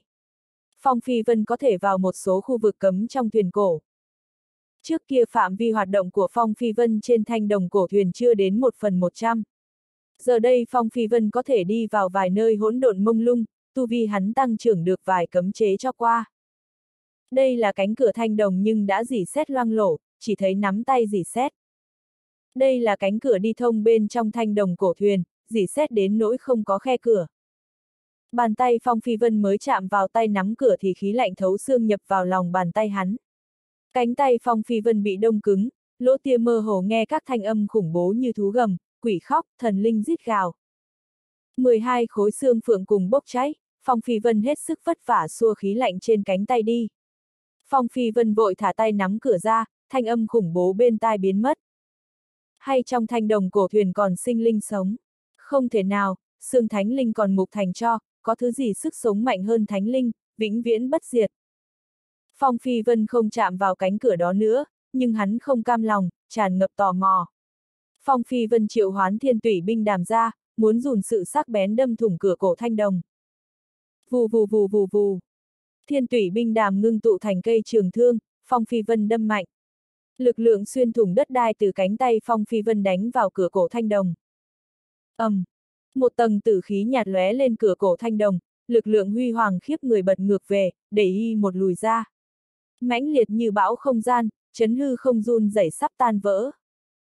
Phong Phi Vân thi triển luân hồi tật tốc lướt qua đầu bên kia thanh đồng cổ thuyền, né lực lượng trùng kích. Đây mới là lực lượng ẩn chứa trong một cánh cửa. Trên cửa có ấn ký thánh linh để lại, Phong Phi Vân bây giờ không mở ra được. Ta không tin ta, chắc vì thiên tủy binh đàm chưa đủ bén. Phong Phi Vân triệu hoán ba cổ khí ra khỏi giới linh thạch, hai cái là mộng tinh long, một cái là linh khí ngũ phẩm. Phong Phi Vân cướp chúng nó từ tay ba thiên tài đẳng cấp sử thi của mộng gia. Thiên tủy binh đàm biến thành thể lỏng hòa tan ba cổ khí, nuốt binh hồn trong đó. Nếu ai trông thấy Phong Phi Vân dùng mộng tinh long, ngũ phẩm, nuôi, thiên tủy binh đàm sẽ chửi hắn phá của. Phong Phi Vân không quan tâm, hắn lại lấy kình thiên côn đỉnh linh khí tam phẩm ra, dung nhập vào thiên tủy binh đàm. Bùm bùm bùm bùm bùm. Các linh khí cường đại nổ tung thành mấy khối sắt vụn rơi xuống đất thành bột phấn. Thiên tủy binh đàm tỏa sáng rực rỡ ngưng tụ thành trường thương càng nhọn, mũi thương như kiếm. Phong Phi Vân đâm một thương xé rách hư không, hắn suýt bị mũi thương sắc bén đâm bị thương. ầm, um, trường thương chỉ vào cửa cổ thanh đồng phát ra tiếng nổ sắt thép chói tai. Khí lạnh từ trong cửa cổ thanh đồng tuôn ra, Phong Phi Vân cảm nhận lực lượng sắp nghiền nát thần thức của hắn. Phong Phi Vân vội thả thiên tủy binh đàm ra, thụt lùi lại bay lên trời. Lực lượng kia tung ra, đóng băng 10 vạn dặm sông ma, ngôi sao trên 9 tầng trời bị chấn động rung bần bật. Phong Phi Vân từ trên cao nhìn xuống thanh đồng cổ thuyền, nỗi lòng rung động thật lâu. Lực lượng vừa rồi quá đáng sợ, may mắn chỉ là một hơi thở, nếu không thiên địa sẽ sụp đổ. Thiên tủy binh đàm đã bị đông thành khối băng nằm ngang trên cửa cổ thanh đồng, nhưng nó không để lại một dấu hằn nào trên cánh cửa. Mãi khi hơi thở kia lắng xuống, Phong Phi Vân lại đáp xuống thanh đồng cổ thuyền, rút thiên tủy binh đàm ra khối băng dày. Thiên tủy binh đàm bị khí lạnh trùng kích, khí lạnh xâm nhập binh hồn, không thể biến thành thể lỏng nữa. Thiên tủy binh đàm còn bị đông cứng, nếu vừa rồi ta dính vào chắc chắn thần thức cũng bị đông. Bây giờ không chạm vào cánh cửa này được. Phong Phi Vân đứng bên thanh đồng cổ thuyền nhìn sông lớn dưới chân, bờ sông xuyên qua núi đồi, tất cả bị băng giá bao trùm. Giống như mảnh đất này là thế giới băng. Động tĩnh lớn như vậy chắc chắn hấp dẫn đám cường giả quý vực đến, đi trước thì hơn. Phong Phi Vân vội thu thanh đồng cổ thuyền về, vá trường thương trắng hóa thành ánh sáng bay lên bờ, nhảy người một cái biến mất. Không lâu sau hai lão nhân bay lên trên sông Ma, người mặc đạo bào, tay cầm phất trần, tiên phong đạo cốt. Một lão nhân nói, khí thế thật mạnh, chẳng lẽ sát niệm của vị vũ hóa ma vương chưa diệt, sắp lao ra khỏi đáy sông. Chắc không đâu, 6.000 năm trước vực chủ dẫn dắt chúng ta phong kín con sông này. Dù vũ hóa ma vương còn sót lại một tia sát niệm cũng không thể lao ra khỏi đáy sông được. Trong khi hai lão nhân đến bên trên sông Ma thì Phong Phi Vân đã cách xa 10 vạn dặm. Quý vực kéo dài 9.000 vạn dặm, lãnh thổ bao la nhưng không đông người. Có nhiều chỗ hoang vắng, đôi khi vài trăm dặm không thấy thôn xóm, vạn dặm không gặp tòa thành. Phong Phi Vân sử dụng tiểu diễn thuật thôi diễn. Từ lúc Phong Phi Vân bị mộng gia truy sát đến bây giờ đã qua một tháng lẻ bảy ngày, đa số tu sĩ mộng gia cho rằng hắn chết trong sông ma. Nhưng vẫn có vài tu sĩ mộng gia dọc theo sông ma lần tìm dấu vết, dù sao đầu của Phong Phi Vân đáng giá 8 vạn dặm đất phong, chân nhân cũng sẽ động tâm. Người mộng gia không chết tâm. Phiêu lưu trên sông ma hơn một tháng giạt đến 300 vạn dặm, dòng nước sông ma chảy xiết thật. 300 vạn dặm không phải khoảng cách ngắn, trong tình huống không thể sử dụng không gian cổ trận đài, với tốc độ Phong Phi Vân bây giờ không dễ vượt qua. Phong Phi Vân không vội vã trở lại vực thành, cũng không tìm mộng ra trả thù. Phong Phi Vân tìm một góc bí ẩn, hắn định sửa lại đường thiên quốc. Kim Phật cao 99 thước hiện ra trước mặt Phong Phi Vân, vẫn ánh vàng rực rỡ, thần thánh trang nghiêm. Nhưng kim vật có nhiều vết nứt to như tùy thời vỡ thành mấy mảnh, đây là dấu vết bị tà khí Diêm Vương chém. Con đường nằm ở bụng kim Phật bị chém hỏng, dù Phong Phi Vân đặt kim tàm kinh vào đó cũng không thể mở cánh cửa thiên quốc. Bị hư hỏng quá nặng. Bàn tay Phong Phi Vân lóe ánh sáng vàng ấn vào kim Phật, sửa lại các trận pháp rách nát, khiến kim Phật từ từ phục hồi. Rất nhanh kim Phật cao 99 thước hoàn hảo như lúc ban đầu. Phong Phi Vân lại đặt kim tàm kinh vào bụng kim Phật, người kim Phật tỏa vầng sáng vàng nhạt, bụng tuôn ra Phật khí mông lung nhưng không mở con đường thiên quốc được. Phong Phi Vân nhíu mày nhỏ giọng nói. Chẳng lẽ con đường giữa kim Phật và thiên quốc bị phá hoại, muốn mở đường liên tiếp thiên quốc thì phải nối con đường. Phong Phi Vân ngồi xếp bằng trên kim Phật to cao 99 thước, vu ươn ngón tay vàng nhẹ điểm hư không, vẽ ra 40 văn ấn vàng chậm rãi rót vào bụng kim Phật số tiểu diễn là 40, sử dụng 37. Bây giờ ta lĩnh ngộ số tiểu diễn đã 36 trong 40, chắc 47 V kép dùng số tiểu diễn xếp đường không gian kết nối thiên quốc. Phong Phi Vân lấy hai viên linh thạch xanh lam cầm trong tay để cung cấp linh khí, dùng tiểu diễn thuật kết nối đường hư không. Thần thức dung nhập vào tiểu diễn thuật, tìm kiếm lối vào thiên quốc trong đường không gian tan vỡ. Chuyện này hao phí linh khí rất nhiều, dù sao đa số tu sĩ niết bàn đệ tam trọng thiên không thể nối cánh cửa bí cảnh cao cấp. Bây giờ Phong Phi Vân toàn dựa vào kinh nghiệm kiếp trước, tiểu diễn thuật thần kỳ để làm chuyện không tưởng này. Tìm được rồi. Trong hỗn độn minh mông Phong Phi Vân nhìn thấy lối vào thiên quốc, Phật quang nhu hỏa bắn ra ngoài. Phong Phi Vân đang định nối đường thì con đường tiểu diễn thuật xây dựng sụp đổ. Thần thức Phong Phi Vân vội lùi về cơ thể. Chưa hoàn toàn lĩnh ngộ tiểu diễn thuật có khiếm khuyết lớn, tìm thấy vị trí thiên quốc nhưng không cách nào kết nối. Phong Phi Vân ngồi xếp bằng trên mặt đất trầm ngâm. Có lẽ sau khi đột phá niết bàn đệ nhị trọng thiên mới có khả năng nối con đường lại. Phong Phi Vân còn một cách nữa là mời người có tạo nghệ trận pháp siêu cao nối con đường thiên quốc lại. Nhưng Phong Phi Vân không yên tâm người lạ, dù gì đây là bí cảnh cao cấp, bí cảnh cấp thấp và trung cấp thua xa, không thể đánh giá. Không sửa con đường thiên quốc được. Phong Phi Vân định đi vực thành quỷ vực, hắn muốn biết tình hình bán yêu minh bây giờ thế nào. Thiên tủy binh đàm tự sửa chữa, biến thành biến thành thể lỏng, một giọt nước hòa vào lòng bàn tay Phong Phi Vân. Phong Phi Vân không lấy thanh đồng cổ thuyền ra, chỉ dựa vào tốc độ hiện tại cũng đã rất khủng. Đặc biệt khi Phong Phi Vân thi triển luân hồi tật tốc, dù là nhân vật niết bàn đệ tam trọng thiên cũng không đuổi kịp hắn. Phong Phi Vân một mình bay trong tầng mây, ánh nắng ấm áp phản chiếu tầng mây ánh bạc. Đột nhiên trong không trung truyền đến dao động yếu ớt. Một luồng gió xẹt qua sau gáy Phong Phi Vân. Dao động không gian. Phong Phi Vân nổi lòng cảnh giác vội thụt lùi. Cùng lúc đó, hư không bên trên vỡ ra, một bóng người màu tím bị ném bay ra ngoài, kèm theo là nhiều mảnh xác chết, mưa máu. Suy nghĩ đầu tiên lóe lên trong đầu Phong Phi Vân là Có người chiến đấu trong đường hầm không gian, xé rách không gian trốn vào đây.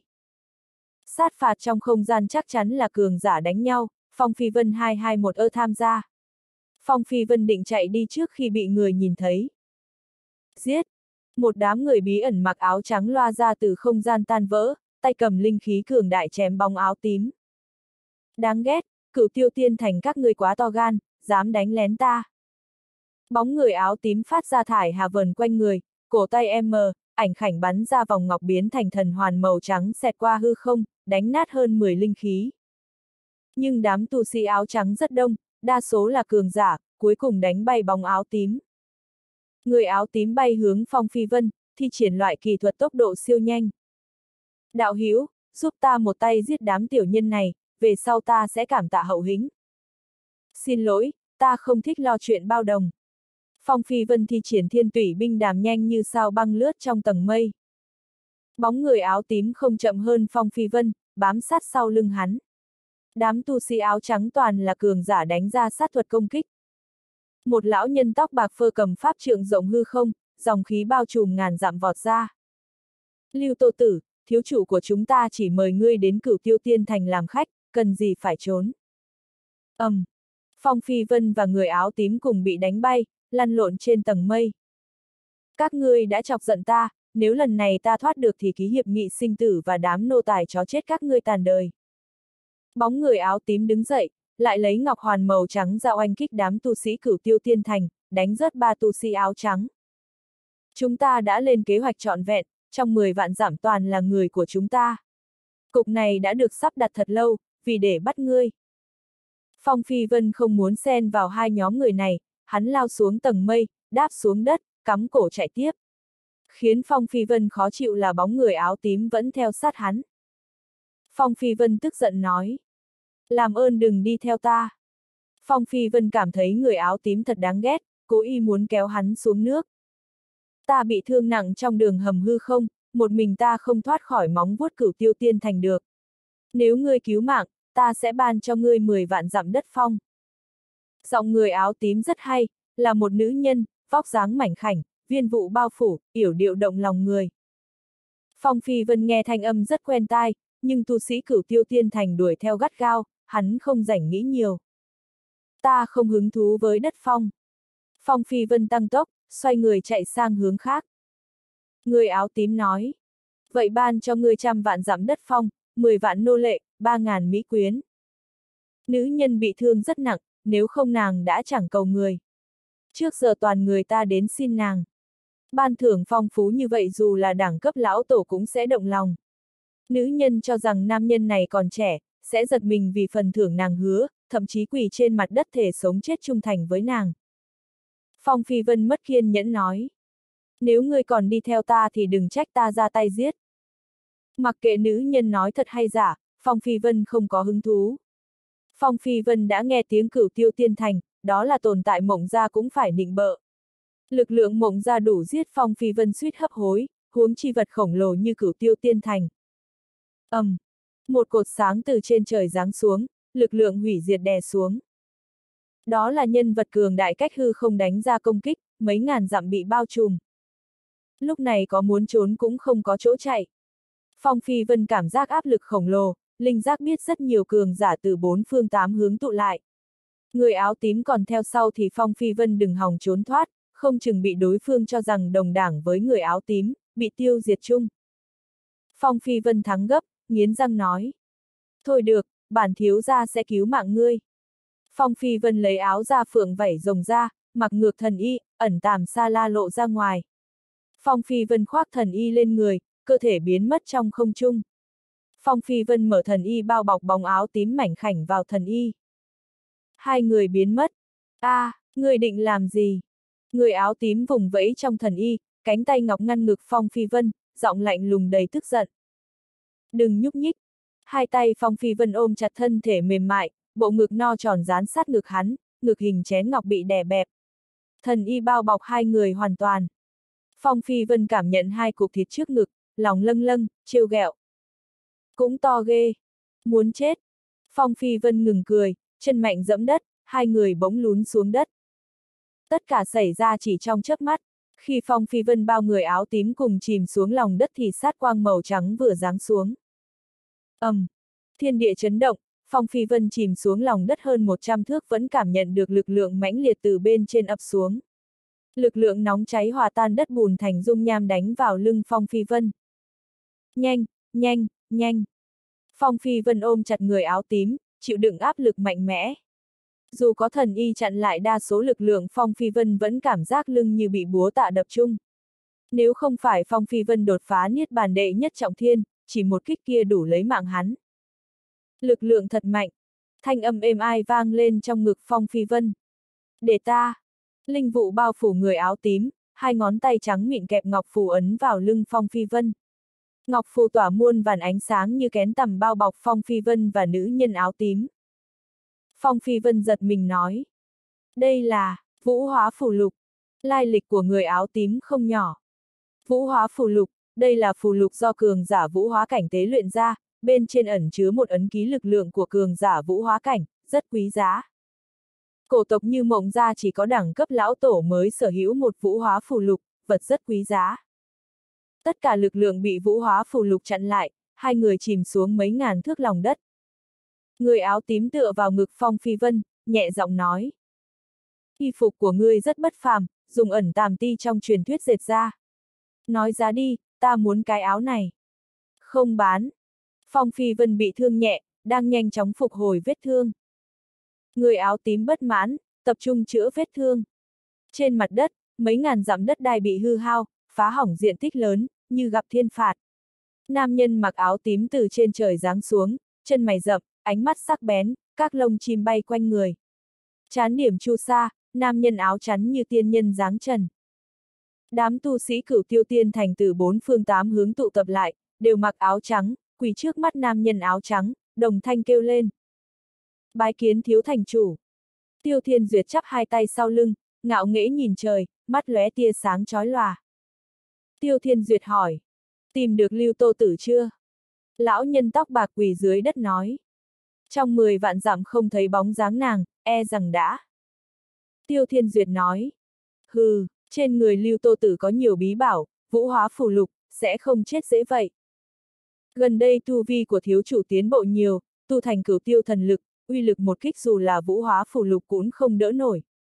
Lão Bộc cảm thấy Lưu Tô Tử bị thương trong đường hầm không gian, chúng ta truy sát làm nàng bị thương càng nặng hơn. Thiếu chủ cách không một kích đủ tiêu diệt nàng. Tiêu Thiên Duyệt từ từ nhắm mắt lại, khuếch tán thần thức phủ lên 10 vạn dặm.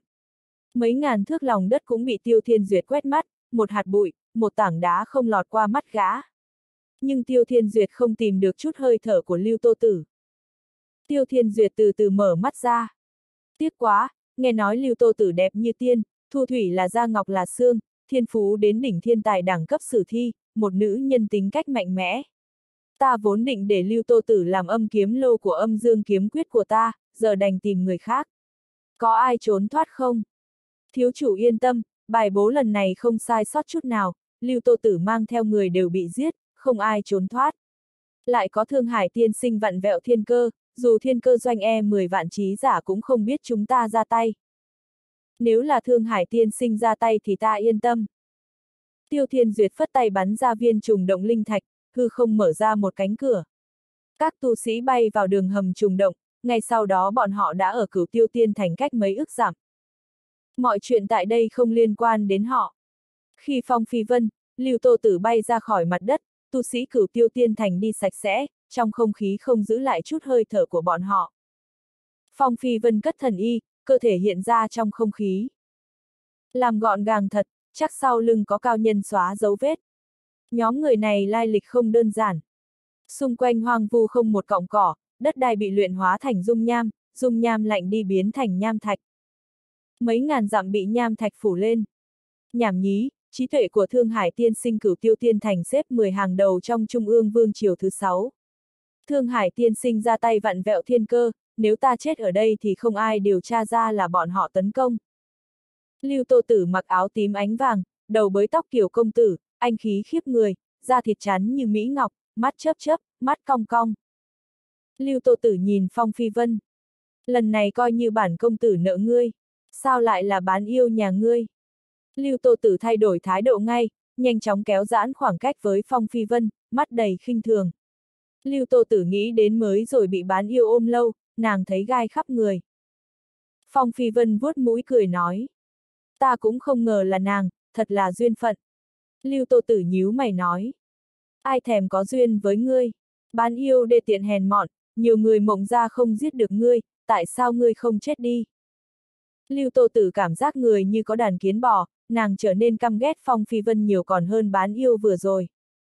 Phong Phi Vân không có nhiều hảo cảm với công tử áo tím, tự cho mình giỏi lắm, khinh thường người xuất thế hèn kém. Phong Phi Vân không muốn giao tiếp với loại người như thế. Sớm biết như vậy mới rồi không nên cứu nàng. Phong Phi Vân bỏ đi, tốc độ siêu nhanh, chân đạp núi sông như đi trên bản đồ lớn, bước ra một bước là hơn 10 dặm. Lưu Tô Tử biến thành luồng sáng tím đuổi theo Phong Phi Vân, tay cầm quạt bước trong không trung. Lưu Tô Tử phong độ phiên phiên. Này, ánh mắt đó là sao? Bản công tử là người có nguyên tắc, ta đã hứa cho ngươi trăm vạn dặm đất phong, 10 vạn nô lệ, ba ngàn mỹ quyến là sẽ không thiếu ngươi một cái. Ha ha ha, nếu nàng lợi hại như vậy sao lại bị người cửu tiêu tiên thành truy sát? Phong Phi Vân đi tuốt, hắn không thèm quan tâm Lưu Tô Tử. Lưu Tô Tử nghe vậy mắt lóe tia sáng lạnh. Đối phương có đại hiền giả vũ hóa cảnh chặt đứt đường hầm không gian, giết hết tu sĩ bảo vệ ta, lại là tỉ mỉ sắp đặt từ lâu nên ta mới lật thuyền trong mương. Ha ha ha, ta không chết thì thù này sẽ trả, lần sau ta sẽ thiết kế giết Tiêu Thiên Duyệt. Phong Phi Vân hỏi, Tiêu Thiên Duyệt là ai? Lưu Tô Tử cảm thấy thân phận Phong Phi Vân thấp hèn nên đi cách hắn xa thật xa, khinh thường liếc hắn. Tiêu Thiên Duyệt mà cũng không biết, hèn gì ngươi bị mộng ra hành thảm như vậy. Phong Phi Vân hờ hững nói. Nổi tiếng lắm sao? Lưu Tô Tử nói. Thiếu thành chủ cửu tiêu tiên thành, một trong sáu thiên kiêu 12 cảnh Tây Nam. Người đứng trên hư không công kích chúng ta chính là hắn, tu vi cực kỳ mạnh mẽ, có thể giết lão tổ. Dù ngươi tu luyện suốt đời cũng không bằng một phần mười tiêu thiên duyệt. Phong Phi Vân cười cười. Kẻ hù mạnh như vậy mà nàng dám trả thù sao? Lưu Tô Tử kiêu ngạo nói. Ai dám hại ta thì chỉ có con đường chết. Lưu Tô Tử không cho phép người ngoài xúc phạm nàng nửa phần. Như lúc Phong Phi Vân lần đầu tiên gặp Lưu Tô Tử, người mộng ra chỉ quấy giày hứng thú uống rượu của nàng đã bị giết sạch. Phong Phi Vân đột nhiên dừng bước. Ta không cần đất phong, nô lệ hay mỹ quyến. Nàng giúp ta một chuyện đi, nhìn bộ dạng vinh váo nhìn trời của nàng có vẻ rất lợi hại. Có lẽ chuyện này dễ như húp cháo với nàng. Lưu Tô Tử dừng bước, ngạo nghễ liếc Phong Phi Vân. Ngươi muốn ta xử lý mộng ra giúp ngươi. Nói thẳng cho ngươi biết, tuyệt đối không được. Phong Phi Vân hỏi. Tại sao? Lưu Tô Tử trả lời.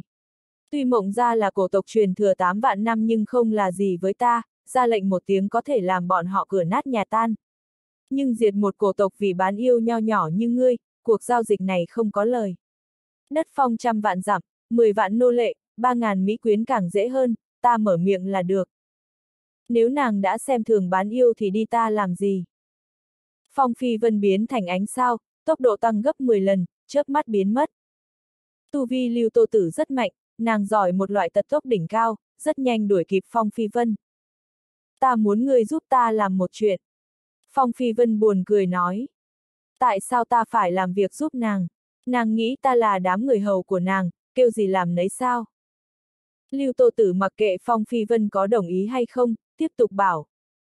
Mộng tinh thần, đệ nhất luyện khí tông sư của mộng gia có một nữ nhân tên là Mộng Lăng Yến, một trong sáu thiên tài đẳng cấp sử thi thế hệ này của mộng gia, bị Tiêu Thiên Duyệt nhìn chúng, sắp cười làm tiểu thiếp. Ngày thành thân vốn đặt ở một tháng trước, nhưng Tiêu Thiên Duyệt vì đặt bẫy phục kích ta nên hoãn lại hôn lễ. Người muốn trả thù mộng Gia đúng không? Bây giờ là cơ hội tốt nhất. Phong Phi Vân lòng máy động. Đôi mắt lưu tô tử tràn ngập tia sáng trí tuệ. Nếu ngày thành thân, Tiêu Thiên Duyệt phát hiện tiểu thiếp của mình sớm là nữ nhân của người ta thì hắn có điên không? Khi hắn nổi điên thì ai xui xẻo? Phong Phi Vân cười nói. Độc nhất là lòng nữ nhân. Đừng nói khó nghe như vậy, cái này gọi là mượn đao giết người. Lưu Tô Tử ngừng một lúc, nói tiếp. Ta chỉ nêu ý kiến cho ngươi, nếu để Tiêu Thiên Duyệt biết ngươi cướp đi tiểu thiếp chưa qua cửa của hắn, ngươi sẽ phải hứng chịu sự trả thù máu me. Ta nhắc trước một câu, ngươi hãy suy nghĩ kỹ đi, ha ha ha ha ha ha. Tử Hà lượn lờ quanh thân Lưu Tô Tử, cơ thể mảnh khảnh yêu kiều. Lưu Tô Tử cười dài, tốc độ tăng gấp đôi lao ra khỏi áng mây, biến mất phía cuối trời. Hay cho chiêu mượn đao giết người. Nàng mượn đao của ta đối phó Tiêu Thiên Duyệt, còn ta mượn đao Tiêu Thiên Duyệt giết mộng ra. Phong Phi Vân nhìn bóng lưng yểu điệu biến mất, lòng lên kế hoạch. Phong Phi Vân thay đổi khuôn mặt, biến thành người trẻ tuổi cao gầy lại đi vào vực thành quỷ vực. Phong Phi Vân xuyên qua các linh lộ, cảm nhận sự phồn hoa vạn năm. Một tháng trước mộng gia và bán yêu minh xung đột gây ra ảnh hưởng khá lớn, mãi đến bây giờ còn có người thảo luận. Đương nhiên trong đó không thiếu nhắc cái tên Phong Phi Vân. Bên dưới gốc cây ngàn năm trong vực thành quỷ vực, mấy người tu hành ngồi xếp bằng trên ngọc thạch vuông vức nói chuyện trên trời dưới đất. Mộng gia có linh khí cửu phẩm, lại liên nhân với cửu tiêu tiên thành, bây giờ đã vào thành một trong các gia tộc đỉnh cao nhất quý vực.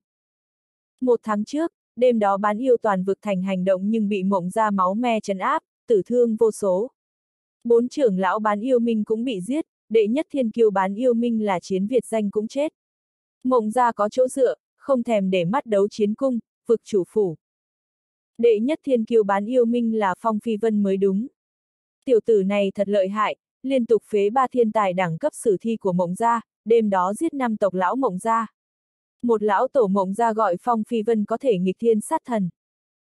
Giờ bán yêu toàn quý vực đều thảo luận về Phong Phi Vân, hắn là nhân vật linh hồn, tầng bốc hắn rất là kỳ diệu.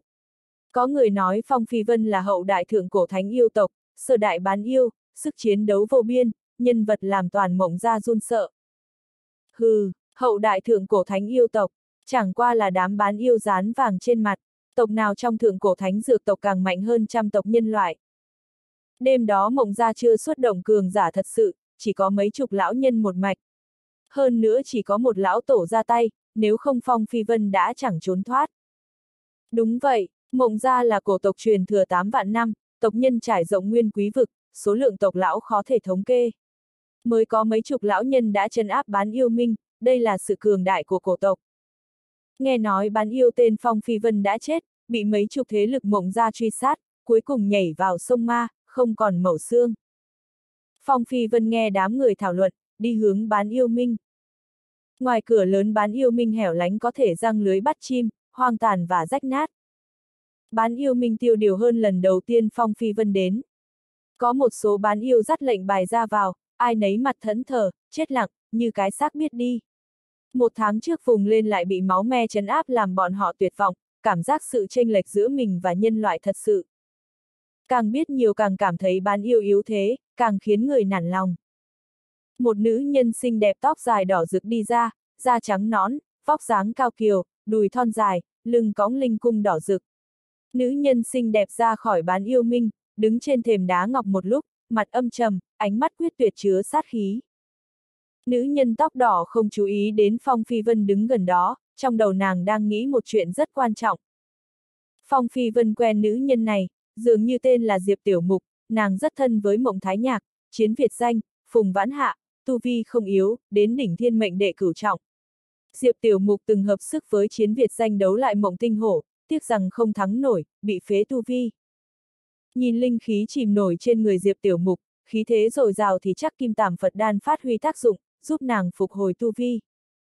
Diệp Tiểu Mục Diệp Tiểu Mục đi hướng vực thành chợt nghe sau lưng có người kêu tên mình, nàng xoay người lại. Đập vào mắt là nam nhân cao gầy, mỉm cười thân thiện, gật đầu với nàng. Vẻ mặt Diệp Tiểu Mục cảnh giác hỏi. Sao ngươi biết tên của ta? Ta cũng là bán yêu, trong đấu chiến cung thấy nàng và mộng tinh hổ đánh nhau. Rốt cuộc ngươi là ai? Chỗ này không phải nơi nói chuyện, đi theo ta. Phong Phi Vân không vào bán yêu minh, vì bên trong đông đúc tu sĩ, người nhiều vách có tai. Hơn nữa thân phận của Phong Phi Vân bị lộ nghĩa là có gian tế thế lực tiên môn lẫn vào bán yêu minh, không chừng mộng ra cũng có tai mắt trong đó. Phong Phi Vân không muốn lộ thân phận quá nhanh, càng không muốn để người mộng ra biết hắn còn sống. Núp trong bóng tối an toàn hơn đứng ngoài sáng. Diệp Tiểu Mục ngần ngừ dây lát, cuối cùng đi theo Phong Phi Vân. Trong vực thành quỷ vực, trên một tòa cung khuyết lơ lửng, mấy ngàn khối linh thạch bay vòng quanh cung khuyết như ngôi sao treo trên bầu trời. Đây là nơi tu sĩ Quỳnh Tương rượu ngon, có nhiều nữ tu sĩ trẻ tuổi xinh đẹp bán nghề, kiếm được số lớn linh thạch. Người thật sự là bán yêu. Diệp Tiểu Mục ngồi trên ghế điêu bằng tử tinh phát ngọc, trên bàn thanh đồng bầy đầy linh quả ngàn năm, rượu ngon quý hiếm. Ngồi chỗ này trên cao nhìn toàn bộ vực thành phồn hỏa. Các tòa cung các, cổ lâu trôi nổi, linh lộ uốn lượn, linh thú bay trên cao, các lão nhân tiên phong đạo cốt bay lượn. Lần đầu tiên Diệp Tiểu Mục thấy cảnh tượng này. Bán yêu như Diệp Tiểu Mục không vào nổi cung khuyết lơ lửng này, phí vào cổng là 300 khối linh thạch, làm nàng chùn bước. Nhưng nam nhân ngồi đối diện Diệp Tiểu Mục lây 300 khối linh thạch ra mà không chớp mắt cái nào, hắn thật sự là bán yêu sao? Từ khi nào bán yêu giàu như thế? Phong Phi Vân ngồi đối diện Diệp Tiểu Mục, cười tủm tìm. Cơ mặt Phong Phi Vân thay đổi, rất nhanh trở về bộ dạng cũ. Diệp Tiểu Mục mừng như điên. Phong huynh đệ. Diệp Tiểu Mục quá kích động, thân thể mỹ miều nhấp nhô đứng bật dậy. Diệp Tiểu Mục định báo tin tốt về bán yêu minh ngay nhưng bị Phong Phi Vân ngăn lại. Diệp Tiểu Mục rất cảm kích Phong Phi Vân, là hắn dùng viên Phật đan thất phẩm giúp nàng phục hồi tu vi, đây là ơn lớn, ân tình không cách nào trả lại. Diệp Tiểu Mục định quỳ xuống đất hành lễ nhưng bị Phong Phi Vân cản tiếp. Diệp Tiểu Mục chớp mắt, lộ vẻ yếu ớt. Hơn một tháng nay mộng ra nhiều lần cảnh cáo bán yêu minh nhưng chúng ta vẫn phái nhiều người tìm kiếm người thế nhưng bặt vô âm tín. Mộng ra tuyên truyền khắp nơi là phong huynh đệ nhảy vào sông ma, không còn mẩu xương. Nhưng tu sĩ bán yêu minh chúng ta không tin, chúng ta biết phong huynh đệ không phải người bình thường, chắc chắn sẽ trở về. Gò má Diệp Tiểu Mục ngấn lệ, trong thời gian này nàng chịu nhiều uất ức. Mộng ra chèn ép, sĩ khí bán yêu minh thấp, những tụ cột trong bán yêu thấy bất lực. Người phong phi vân vững vàng, đôi mắt kiên quyết, phát ra sức hấp dẫn nhân cách. Lần này ta quay về là để mộng ra trả giá. Phong Phi Vân nhìn đôi mắt hấp dẫn đầy yêu tính của Phong Phi Vân, cúi thấp đầu, tim đập nhanh, khuôn mặt trắng nõn ửng hồng. Diệp Tiểu Mục nhỏ giọng nói. Phong huynh đệ định làm sao? Ta sẽ giúp ngươi. Phong Phi Vân nói. Mới rồi ta thấy nàng đứng bên ngoài cửa bán yêu minh, phát ra chút sát khí. Nàng định làm gì? Ánh mắt Diệp Tiểu Mục lạnh băng nói. Mộng ra vì nịnh bợ cửu tiêu tiên thành định gả tiểu thư mộng lăng yến cho thiếu thành chủ cửu tiêu tiên thành làm tiểu thiếp. Nhưng mộng lăng yến và mộng đại ca mới là một đôi. Thiếu thành chủ cửu tiêu tiên thành thật đáng ghét, đã có nhiều thê thiếp mà vẫn tham lam, cưỡng ép chia rẽ. Đám tộc lão mộng gia không phải thứ tốt lành, vì ích lợi của gia tộc hy sinh một nữ nhân, loại gia tộc này không xứng là cổ tộc. Phong Phi Vân hỏi. Chắc không phải nàng muốn đi ám sát thiếu thành chủ cửu tiêu tiên thành đi. Ít nhất phải liều một phen. Diệp Tiểu Mục vụt ngẩng đầu. Chẳng phải chính Phong huynh đệ nói ra câu này sao? Liều vì địa vị bình đẳng, vì tôn nghiêm. Phong Phi Vân thầm nghĩ. Ta có nói câu này sao? Chắc các trưởng lão bán yêu minh vì khích lệ lòng người nên tạo ra tuyển tập lời Phong Phi Vân nói. Phong Phi Vân hắng giọng, trầm ngâm nói. Liều thì cũng phải xem có đáng giá hay không, có thể liều được không, lấy cái gì liều mạng. Tu vi của nàng quá yếu, đi ám sát tiêu thiên duyệt là thiêu thân lao đầu vào lửa, sẽ hại bản thân. Giao chuyện này cho ta, nàng đi bán yêu minh ngay bây giờ, mang thái nhạc tới đây. Diệp Tiểu Mục nhìn thẳng vào mắt. Ta có thể làm cái gì? Phong Phi Vân nhìn mắt Diệp Tiểu Mục, mãi đến khi nàng không chịu nổi chậm rãi cúi đầu, tim nhảy bùm bùm. Phong Phi Vân cười nói. Nàng không cần làm gì hết, báo tiếng bình an với Mộc trưởng lão, thuận tiện hỏi sau khi mộng ra cửa nát nhà tan thì có đổi lệnh bài bán yêu tứ giai cho ta không? Đêm hôm đó Phong Phi Vân khoác áo ra phượng vẩy rồng mang mộng thái nhạc vào tộc địa mộng ra, gặp nữ nhân thiên tài mộng lăng yến. Ta ở bên ngoài canh chừng, nhớ tốc chiến tốc thắng. Khụ khụ, được rồi, coi như ta không nói câu này. Phong Phi Vân ra khỏi khuê phòng của mộng lăng yến, đóng cửa lại. Phong Phi Vân bày trận pháp trên cửa, bao phủ gian phòng này lại tránh cho bị tộc lão mộng ra phát hiện. Chuyện tốt. Điều nên nói Phong Phi Vân đã nói với mộng thái nhạc. Tuy mộng thái nhạc sinh ra trong mộng gia nhưng rất ghét mộng gia, gã đồng ý phối hợp với Phong Phi Vân. Huống chi việc này có thể giúp mộng thái nhạc và người yêu bên ngoài. Gã ngu gì không làm. Hơn nữa nếu đêm nay mộng thái nhạc không đè mộng lăng yến, ngày mai trơ mắt nhìn nàng nằm trên giường tiêu thiên duyệt, bị gã giày vò. Cho nên mộng thái nhạc phải liều. Phong Phi Vân nói câu sau cùng là Làm người phải vì mình, hãy suy nghĩ kỹ rồi quyết định. Trăng treo trên cao, tầng mây xám đen, các linh vụ xẹt qua bầu trời vực thành. Một tòa vực thành là thánh địa tu tiên.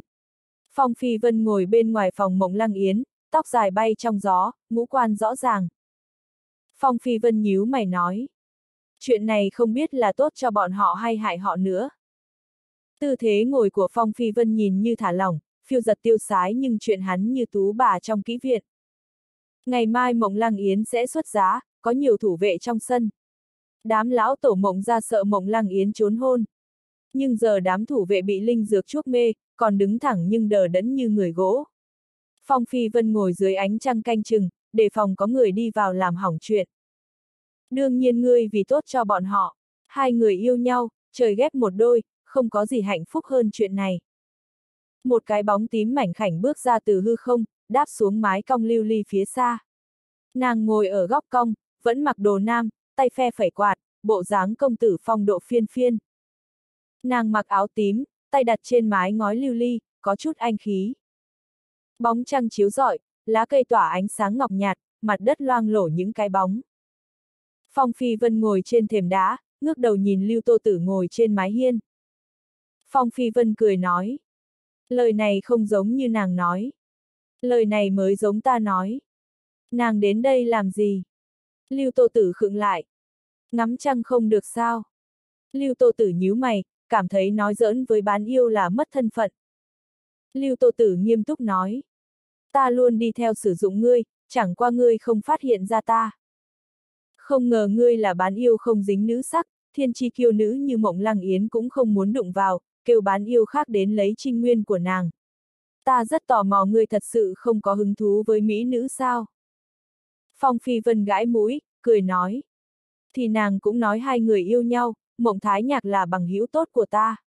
Cái gọi là thê tử của bằng hữu không thể đụng chạm. Ta không phải loại người đè thê tử của bằng hữu. Lưu Tô Tử mắt sáng răng trắng, ngũ quan tinh xảo, tóc dài cột sau đầu, cột dây tím bay nhẹ trong gió đêm. Lưu Tô Tử đứng trên cao nhìn xuống Phong Phi Vân. Còn tiểu mỹ nhân bán yêu minh thì sao? Phong Phi Vân nói. Bám theo người khác là thói quen xấu. Lưu Tô Tử lườm Phong Phi Vân. Xì, người tưởng ta thích bám theo bán yêu để tiện nhà ngươi sao? Chẳng qua ta sợ ngươi làm hỏng chuyện, ảnh hưởng bài bố ngày mai của ta. Mai là ngày thiếu thành chủ cửu tiêu tiên thành cưới tu sĩ bán yêu minh, đêm nay lấy trong trắng của mộng lăng yến chỉ là một khâu. Lưu Tô Tử còn sắp xếp khác, nàng muốn tiêu thiên duyệt bị nhục nhã trước mắt bao người, cho toàn thiên hạ biết vị hôn thê của gã bị người ngủ trước ngày cưới. Đây là cái tát tay sưng mặt.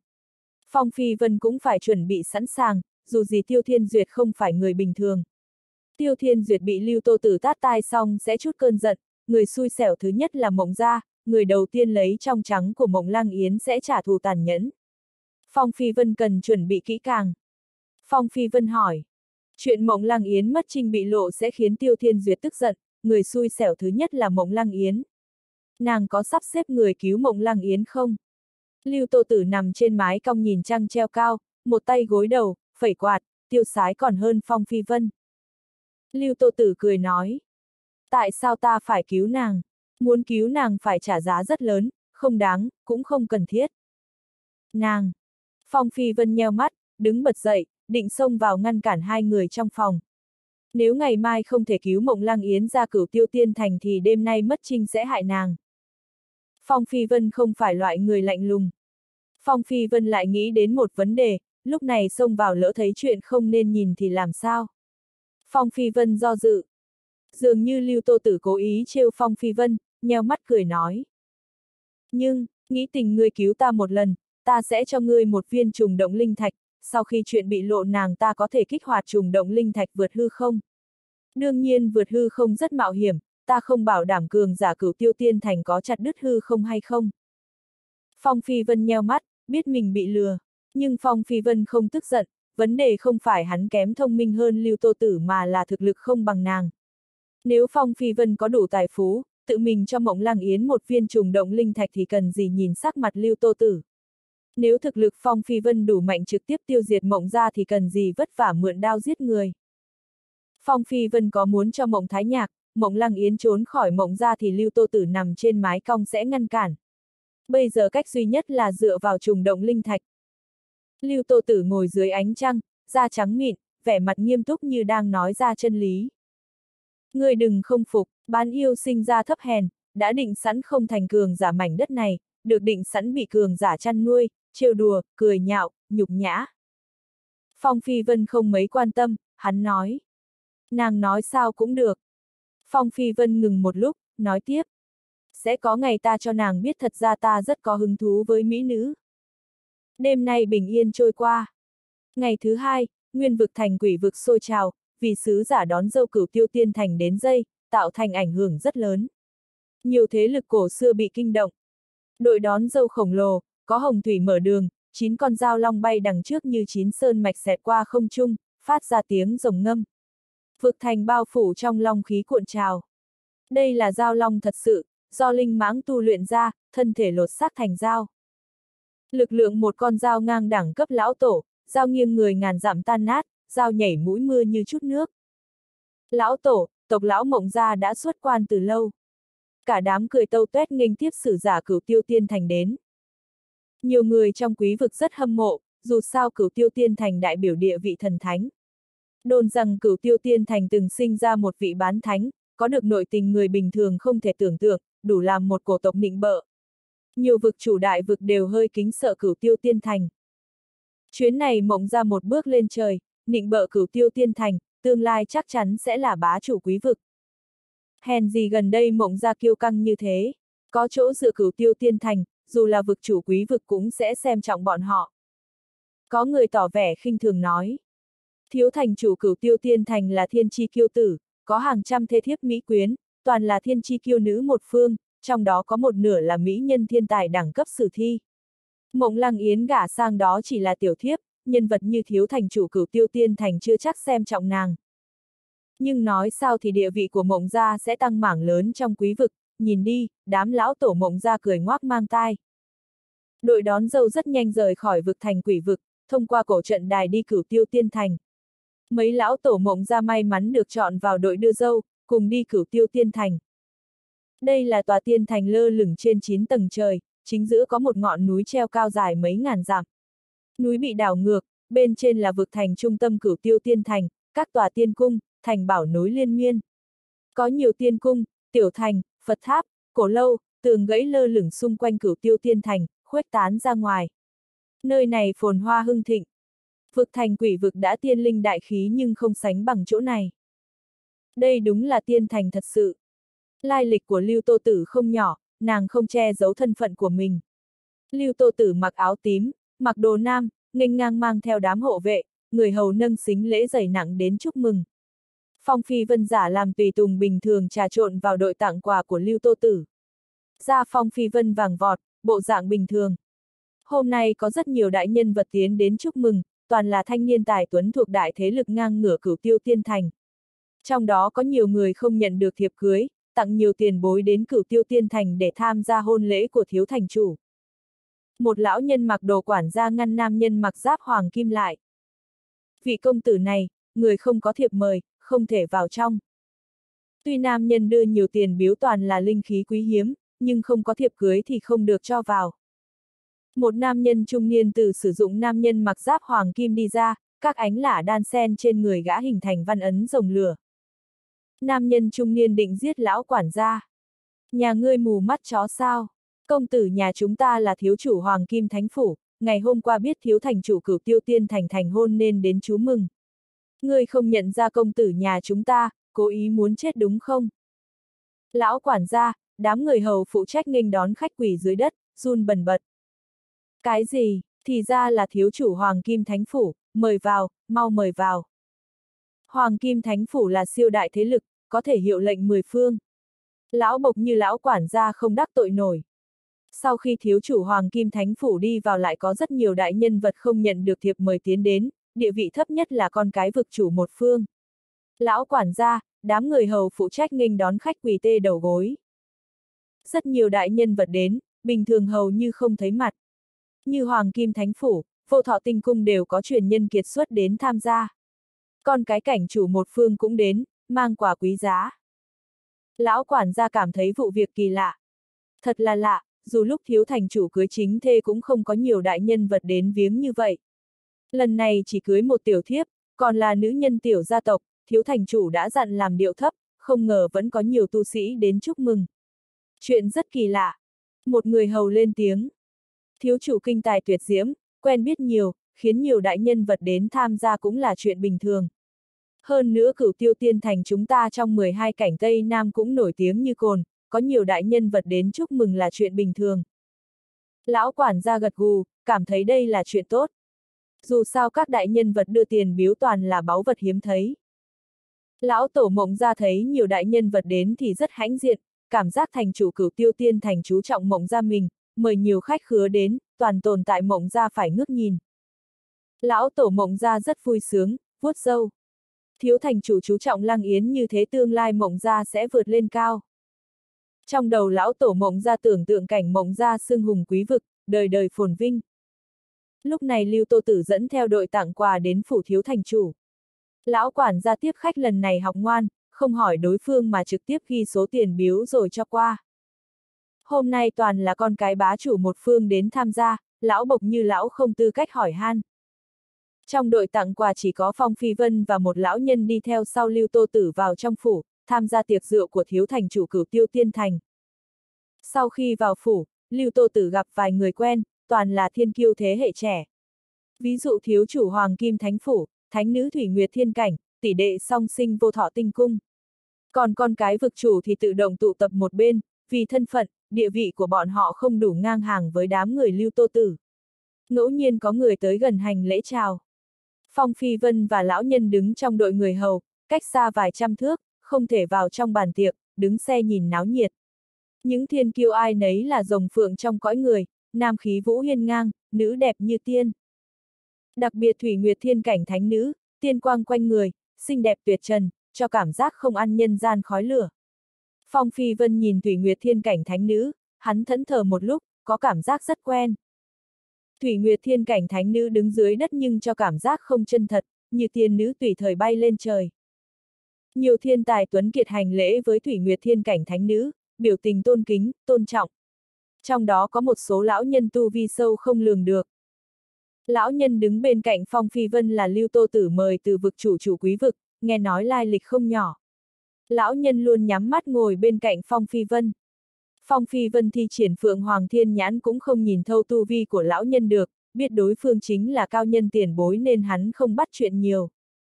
Lão nhân chợt mở mắt ra, nhìn Phong Phi Vân. Đó là thánh nữ của Thủy Nguyệt Thiên Cảnh. Phong Phi Vân hỏi lại. Thủy Nguyệt Thiên Cảnh. Đó là vô thượng thánh địa, do Thủy Nguyệt Tiên Nữ khai sáng. Chỉ mới sáng lập một vạn sáu ngàn năm nhưng địa vị Thủy Nguyệt Thiên Cảnh bây giờ ngang hàng với những nhân tổ động thiên truyền thừa ức vạn năm. Cá đời Thủy Nguyệt Thiên Cảnh Thánh Nữ có địa vị không tầm thường trong Trung ương Vương Triều thứ sáu, nhiều đại hiền giả vũ hóa cảnh cung kính với bọn họ. Thủy Nguyệt Tiên Nữ, Thủy Nguyệt Tiên Nữ. Phong Phi Vân thẫn thờ như hồn lìa khỏi xác, miệng lầm bầm cái tên này. Tim Phong Phi Vân đau nhói, nhớ đến ký ức đau khổ. Tâm lý một người mạnh cách mấy luôn có vài thứ đánh gục được họ. Lão bộc kia liếc Phong Phi Vân, cảm thấy phản ứng của hắn thế là bình thường. Dù sao tu vi, địa vị của Thủy Nguyệt Tiên Nữ như thần linh, mọi người ngước nhìn, rất nhiều đại hiền giả vũ hóa cảnh mỗi ngày vái lại tượng đá của nàng. Một người trẻ tuổi nghe danh hiệu Thủy Nguyệt Tiên Nữ kích động đến run rẩy là rất bình thường. Hai tay Phong Phi Vân siết chặt, móng tay đâm vào da thịt. Phong Phi Vân nhìn chằm chằm Thủy Nguyệt Thiên Cảnh Thánh Nữ, cuối cùng đã hiểu tại sao khi nhìn nàng hắn thấy rất quen. Bởi vì Thủy Nguyệt Thiên Cảnh Thánh Nữ tu luyện chung công pháp với Thủy Nguyệt Đình, tâm ngự tính tâm kiếm điển. Thủy Nguyệt Thiên Cảnh Thánh Nữ băng tâm thánh cốt, xinh đẹp rực rỡ, khí chất thần thánh như ở trên trời. Nhiều thiên kiêu cúi đầu trước mặt nàng, xem nàng như thần. Thiếu chủ Hoàng Kim Thánh Phủ, thiên kiêu vô thọ tinh cung vây quanh Thủy Nguyệt Thiên Cảnh Thánh Nữ, rất cung kính với nàng, ngăn cách nhiều tu sĩ địa thị hơi thấp, sợ bọn họ làm phiền thánh nữ. Thủy Nguyệt Thiên Cảnh Thánh Nữ vốn đến cửu tiêu tiên thành du lịch, luận đạo với một vị vũ hóa tiên hiền. Thủy Nguyệt Thiên Cảnh Thánh Nữ biết thiếu thành chủ thành thân, nàng đến chúc mừng. Lưu Tô Tử rất thân với Thủy Nguyệt Thiên Cảnh Thánh Nữ, nói chuyện vui vẻ. Phong Phi Vân đè nén cảm xúc, sắc mặt dần tự nhiên hơn.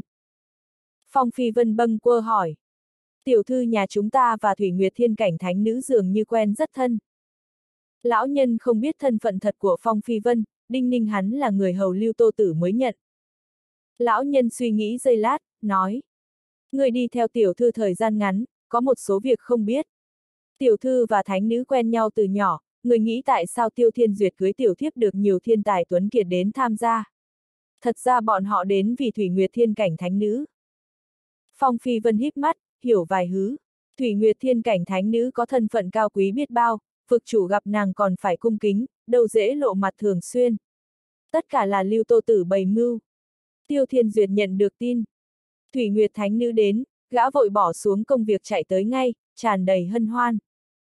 Thánh Nữ Giáng Lâm là rất hãnh diện, hôn lễ ngày hôm nay sẽ là giai thoại. Thủy Nguyệt Thánh Nữ đứng trong áng mây, các đoà tiên vụ vòng quanh người, làm thiên cung này càng thiên linh hơn. Lưu Tô Tử cầm quạt, một tay chắp sau lưng, phong độ phiên phiên bước ra. Lưu Tô Tử cười nói. Thiếu thành chủ cưới tiểu thiếp thứ 104, nên phạt uống 104 ly mới được. Tiêu Thiên Duyệt nhìn thấy Lưu Tô Tử đi ra thì ly ngọc bên môi khựng lại. Sao nàng chưa chết, Tiêu Thiên Duyệt rất bất ngờ, lòng nổi lên cảm giác không may. Xem ra người đến gây chuyện. Tiêu Thiên Duyệt ngạc nhiên thấy Lưu Tô Tử xuất hiện nhưng gã không sợ, dù sao gã bài bố bắt nàng không để lại dấu vết. Dù Lưu Tô Tử nói ra trước mặt mọi người thì không có chứng cứ gì, không ai tin tưởng, Tiêu Thiên Duyệt có thể chối bay chối biến. Tiêu Thiên Duyệt là rồng phương trong cõi người, trí tuệ thâm sâu, bề ngoài không thay đổi. Tiêu Thiên Duyệt cười nói. Thủy Nguyệt Thánh Nữ Đại Giá Quang Lâm, đừng nói là phạt 104 ly, phạt 104 vỏ thì ta cũng phải uống. Ha ha! Lưu Tô Tử cũng cười, nói tiếp. Ngày tốt thế này chỉ uống rượu thì không vui. Có người hùa theo. Đúng, đúng, ta nghe nói thiếu thành chủ tu thành cửu tiêu thần lực, trở thành thiên kiêu thứ bảy của cửu tiêu tiên thành từ xưa đến nay thành công tu luyện cửu tiêu thần lực. Sớm muốn lĩnh giáo một phen. Người khiêu chiến là thiêu kiêu vô thọ tinh cung. Thiên kiêu tuổi còn trẻ nhưng huyết khí rất mạnh mẽ, chán mở thiên nhãn, lưng mọc đôi cánh ánh sáng, tạo cảm giác vô cùng thần thánh. Tiểu tước giá đến từ bổ thiên nhân tước phủ nói. Hôm nay là ngày thiếu thành chủ đại hôn, khiêu chiến so tài gì chờ sau đi. Lưu Tô Tử đổ dầu. Đã lâu 12 cảnh Tây Nam không gặp thịnh thế này, hiếm khi có nhiều thiên kiêu tụ tập lại. Ngày tốt thế này nếu không luận bàn e rằng sau này quần hùng khó có thời gian tụ họp như thế. Người thiếu chủ Hoàng Kim Thánh Phủ rực rỡ sắc vàng, lưng hiện ảo ảnh cổ thú Hoàng Kim, chiến ý hừng hực. Thiếu chủ Hoàng Kim Thánh Phủ nói. Đúng vậy, Thủy Nguyệt Thánh Nữ du lịch khắp thiên hạ, sau ngày hôm nay e rằng khó gặp. Thịnh thế này hiếm có lần thứ hai, nếu không đánh sảng khá oi thì sau này không còn cơ hội. Nhiều thiên tài tuấn kiệt muốn khoe tài trước mặt Thủy Nguyệt Thánh Nữ, hy vọng sẽ được Thánh Nữ yêu ái. Tiêu Thiên Duyệt cũng động tâm, thân phận, địa vị Thủy Nguyệt Thánh Nữ cao, hiền giả vũ hóa cảnh chưa chắc gặp được nàng. Cơ hội này rất hiếm có, suốt đời khó gặp một, hai lần. Có người cẩn thận nói. Các thiên kiêu tài tuấn ở đây tu vi quá cao, nếu đánh nhau khó thu tay về, sẽ tổn thương hỏa khí. Thiếu thành chủ tân hôn đại cát, không ai muốn thấy có gì bất chắc xảy ra. Ta đề nghị đừng đánh nhau. Tiêu Thiên Duyệt nổi cảnh giác, liếc hướng Lưu Tô Tử. Nữ nhân này đến không có ý tốt, lỡ con cái đại nhân vật nào gặp chuyện trong cửu tiêu tiên thành thì sẽ tính sổ cửu tiêu tiên thành. Linh Giác nói cho Tiêu Thiên Duyệt biết chuyện hôm nay rất quái dị, phải cẩn thận ứng đối. Tiêu Thiên Duyệt cười nói. Ta thấy dạ thường huynh nói đúng, hôm nay xảy ra chuyện gì bất chắc thì rắc rối to, so tài khiêu chiến gì thì chờ sau đi. Chủ nhà đã lên tiếng, những người khác không ngang bướng đòi khiêu chiến nữa. Mọi chuyện diễn ra trật tự chỉnh chu, không có gì rắc rối xảy ra. Tiêu Thiên Duyệt thở phào nhẹ nhõm. Đinh! Tiếng chuông vang lên ngay giữa cửu tiêu tiên thành, tiếng chuông du dương truyền khắp bầu trời. Giờ lành đã đến. Đám người hầu đưa tân nương vào, mấy lão tổ mộng ra có mặt trong đó. Bọn họ mặc áo đỏ, mặt hồng hào, sáng lạn. Ba lão nhân cửu tiêu tiên thành chạy đến, thuộc hàng tổ phụ của tiêu thiên duyệt. Bọn họ nhận được tin tiêu thiên duyệt báo, hành lễ với Thủy Nguyệt Thánh Nữ xong ngồi trên ghế cao nhất trong phủ. Mỗi người tỏa ánh sáng tiên trói mặt, tu vi rất sâu, chấn nhiếp toàn trường. Đây là bá chủ thật sự, tuy không phải thành chủ cửu tiêu tiên thành nhưng có địa vị rất cao trong này. Phong Phi Vân bắt đầu chuẩn bị, hắn biết Lưu Tô Tử sắp làm khó dễ. Phong Phi Vân kiếm cỡ đi ra, nhanh chóng mặc ngược áo ra phượng vảy rồng, biến mất trong không khí. Phong Phi Vân đã hứa với Mộng Thái Nhạc là sẽ cướp Mộng Lăng Yến về. Trông chờ Lưu Tô Tử từ bi là không thực tế, Phong Phi Vân chỉ có thể dựa vào mình. Lưu Tô Tử đứng sâu trong phủ, tiền vụ bao quanh. Phong Phi Vân liếc hướng đám người hầu, thấy Phong Phi Vân đã biến mất. Đám lão tổ mộng ra hộ tống tân nương đến trước mặt các tu sĩ, chuẩn bị bái đường. Khóe môi lưu tô tử cong lên, tay búng cái bóp. Trong đám người vang lên tiếng giống. Ha ha ha ha ha ha. Nghe nói tân nương đã có người yêu nhưng bị thiếu thành chủ cưỡng bức bá chiếm, không biết chuyện có thật không? Thanh âm đột ngột làm phủ thiếu thành chủ im lặng. Mọi người nhìn nhau, biểu tình quái dị, tìm kiếm người vừa ra tiếng. Đám người cười thầm trọng bụng. Ai mà không biết tốt xấu, nói câu đó trong ngày thành hôn của người ta. Chẳng khác hòa cố ý làm tiêu thiên duyệt bẽ mặt. Trưởng bối cửu tiêu tiên thành đứng dậy, mắt tỏa thần quang, thấy rõ hư không, suy tính càn khôn. Trưởng bối cửu tiêu tiên thành nhìn chằm chằm mỗi người có mặt, tìm kiếm người mới nói bậy bạ. Vừa rồi là ai nói chuyện? Trưởng tử vực chủ xích mộc vực khó chịu nói. Nhìn ta làm chi, ta là bằng hữu tốt của thiếu thành chủ, sao có thể nói câu đó? Tiêu Thiên Duyệt lắc đầu, gã cảm thấy không phải trưởng tử vực chủ xích mộc vực. Trưởng tử vực chủ xích mộc vực cũng rất bực mình, câu vừa rồi như vang bên tai nhưng gã quay đầu lại không thấy ai, lòng thầm bực mình.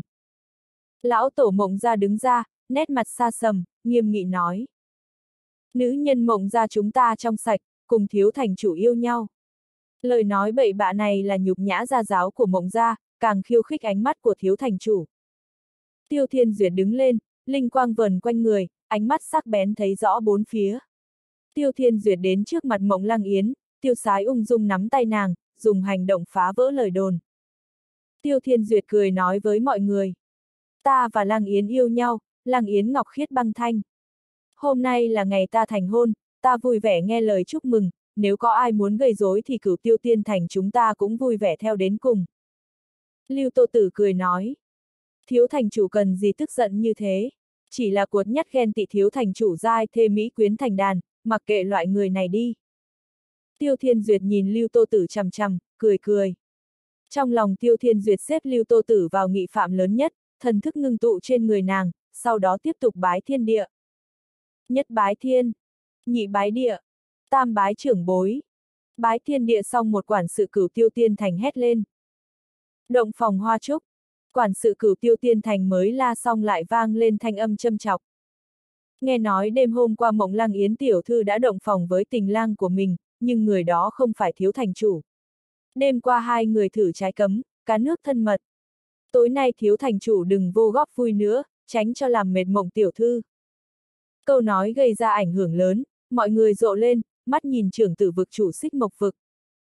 Tiêu thiên duyệt sắc mặt âm trầm, sát ý lóe qua con ngươi. Trưởng tử vực chủ xích mộc vực chỉ miệng mình, biểu tình biểu tình cực kỳ khó xem, sắp khóc. Trưởng tử vực chủ xích mộc vực lắp bắp. Không, không phải, ta, là, là tên khốn nào. Câu này rất quá đáng, đây là tát mặt tiêu thiên duyệt. Hôm nay toàn là con cái hào hùng tham gia hôn lễ, giờ ra tiếng xấu dữ dội, dù tu vi tiêu thiên duyệt cao sâu cũng không kiềm được mặt xanh mét, đầu sắp bốc khói. Ba lão nhân cửu tiêu tiên thành rất tức giận, cảm thấy có người đang khiêu khích. Mặc kệ chuyện này là thật hay giả, nhưng câu này vang lên trong buổi thành hôn đã thành tiếng xấu, sau này sẽ gây ra sóng to gió lớn. Tu sĩ 12 cảnh Tây Nam sẽ cười rụng răng, tiêu thiên duyệt đội mũ nào ra ngoài đường cũng bị mọi người xem là nón xanh. Cửu tiêu tiên thành cũng trở thành trò cười. Mấy lão tổ mộng ra sợ hãi mặt trắng bệch, nếu mộng lang yến không còn thân hoàn bích mà giờ bái thiên địa với thiếu thành chủ cửu tiêu tiên thành, vậy tội của mộng ra cực lớn. Giống như hoàng đế tuyển phi phát hiện phi tử đưa vào cung không còn trong trắng, vậy phi tử và gia tộc của nàng sẽ bị xét nhà diệt tộc. Đối với mộng gia, thân phận của tiêu thiên duyệt đáng sợ hơn hoàng đế, khi gã nổi giận thì mộng gia sẽ gặp họa lớn. Lão nhân cửu tiêu tiên thành hét chói tai. To gan, Mạc Thái Tuấn, người đang nói bậy bạ cái gì? Lão nhân cửu tiêu tiên thành rất tức giận, hôm nay không chỉ có mặt tài Tuấn đỉnh cao nhất 12 cảnh Tây Nam, Thủy Nguyệt Thánh Nữ cũng đến. Loại tiếng xấu này đủ để cửu tiêu tiên thành xấu hổ mấy trăm năm. Trường tử vực chủ xích mộc vực tên là Mạc Thái Tuấn, gã sốt ruột không nói nên lời. Chuyện này rất lạ, thanh âm phát ra từ sau lưng Mạc Thái Tuấn, nhưng đằng sau gã không có ai, giống như có hồn ma bám vào người gã. Mặt Mạc Thái Tuấn tím lịm, lắp bắp. Không phải, không phải ta, rốt cuộc là ai, đừng phá ta. Trong mây mù, Thủy Nguyệt Thánh Nữ đứng trên bầu trời, Thánh Châu lơ lửng trên đầu, thanh âm khuynh thành tuyệt lệ. Thủy Nguyệt Thánh Nữ nhìn sau lưng Mạc Thái Tuấn, nói. Không phải hắn. Lời Thủy Nguyệt Thánh Nữ có quyền uy tuyệt đối, không ai dám nghi ngờ lời của nàng. Một trưởng bối cửu tiêu tiên thành lấy thần kiếm ra, làm bằng đất đá, được hiền giả vũ hóa cảnh khai quang. Thần kiếm chỉ một cái, nguyên cửu tiêu tiên thành cảm nhận uy thế khiếp người. Đám thiên kiêu đại thế lực nghiêm túc hơn, biết nội tình cửu tiêu tiên thành thâm sâu định lấy thần binh lôi kẻ dở trò quy ra. Thanh niên Tuấn Kiệt kinh kêu.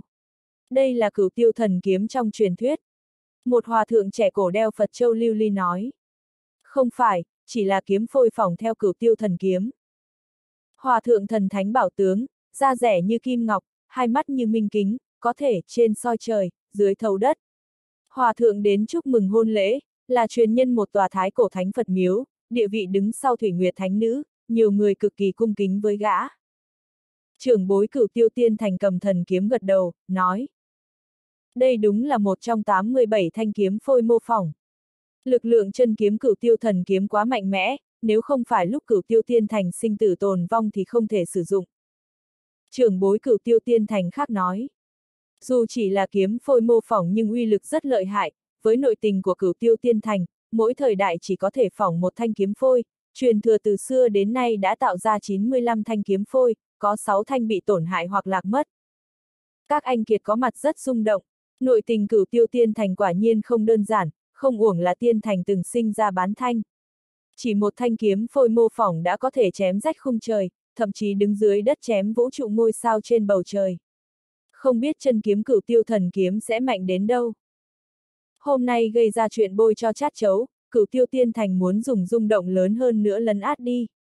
Cửu tiêu thần kiếm đủ tạo thành rung động cho mọi người, nhất là tin 87 thanh kiếm phôi mô phỏng truyền ra sẽ làm cả mảnh đất run rẩy. Ầm. Um, trưởng bối cửu tiêu tiên thành dẫn động lực lượng thần kiếm, kiếm khí mãnh liệt bao phủ tiên thành. Tu sĩ nào núp trong bóng tối đều bị ép ra, có mười mấy người bị kiếm khí chém chết. Một đám chuột nhát kiếm khí của thần kiếm đủ để các ngươi không còn chỗ ẩn ná mu. Trong tu sĩ ẩn núp có người tu vi tuyệt đỉnh, đám người này không có ý phá hoại hôn lễ mà vì mục đích khác, nhưng tất cả bị lôi ra. Chết tiệt, cửu tiêu tiên thành canh phòng quá nghiêm ngặt. Một lão ăn mày người đầy mảnh vá chui ra khỏi thần đài, đi chân đất, vai vác gậy gỗ, một cái túi rách căng phồng quấn trên cây gậy. Lão ăn mày co giò bỏ chạy. Lão ăn mày vốn núp rất kỹ, không ai phát hiện, thu tiền biếu báu vật của các thiên kiêu đưa tới vào túi rách.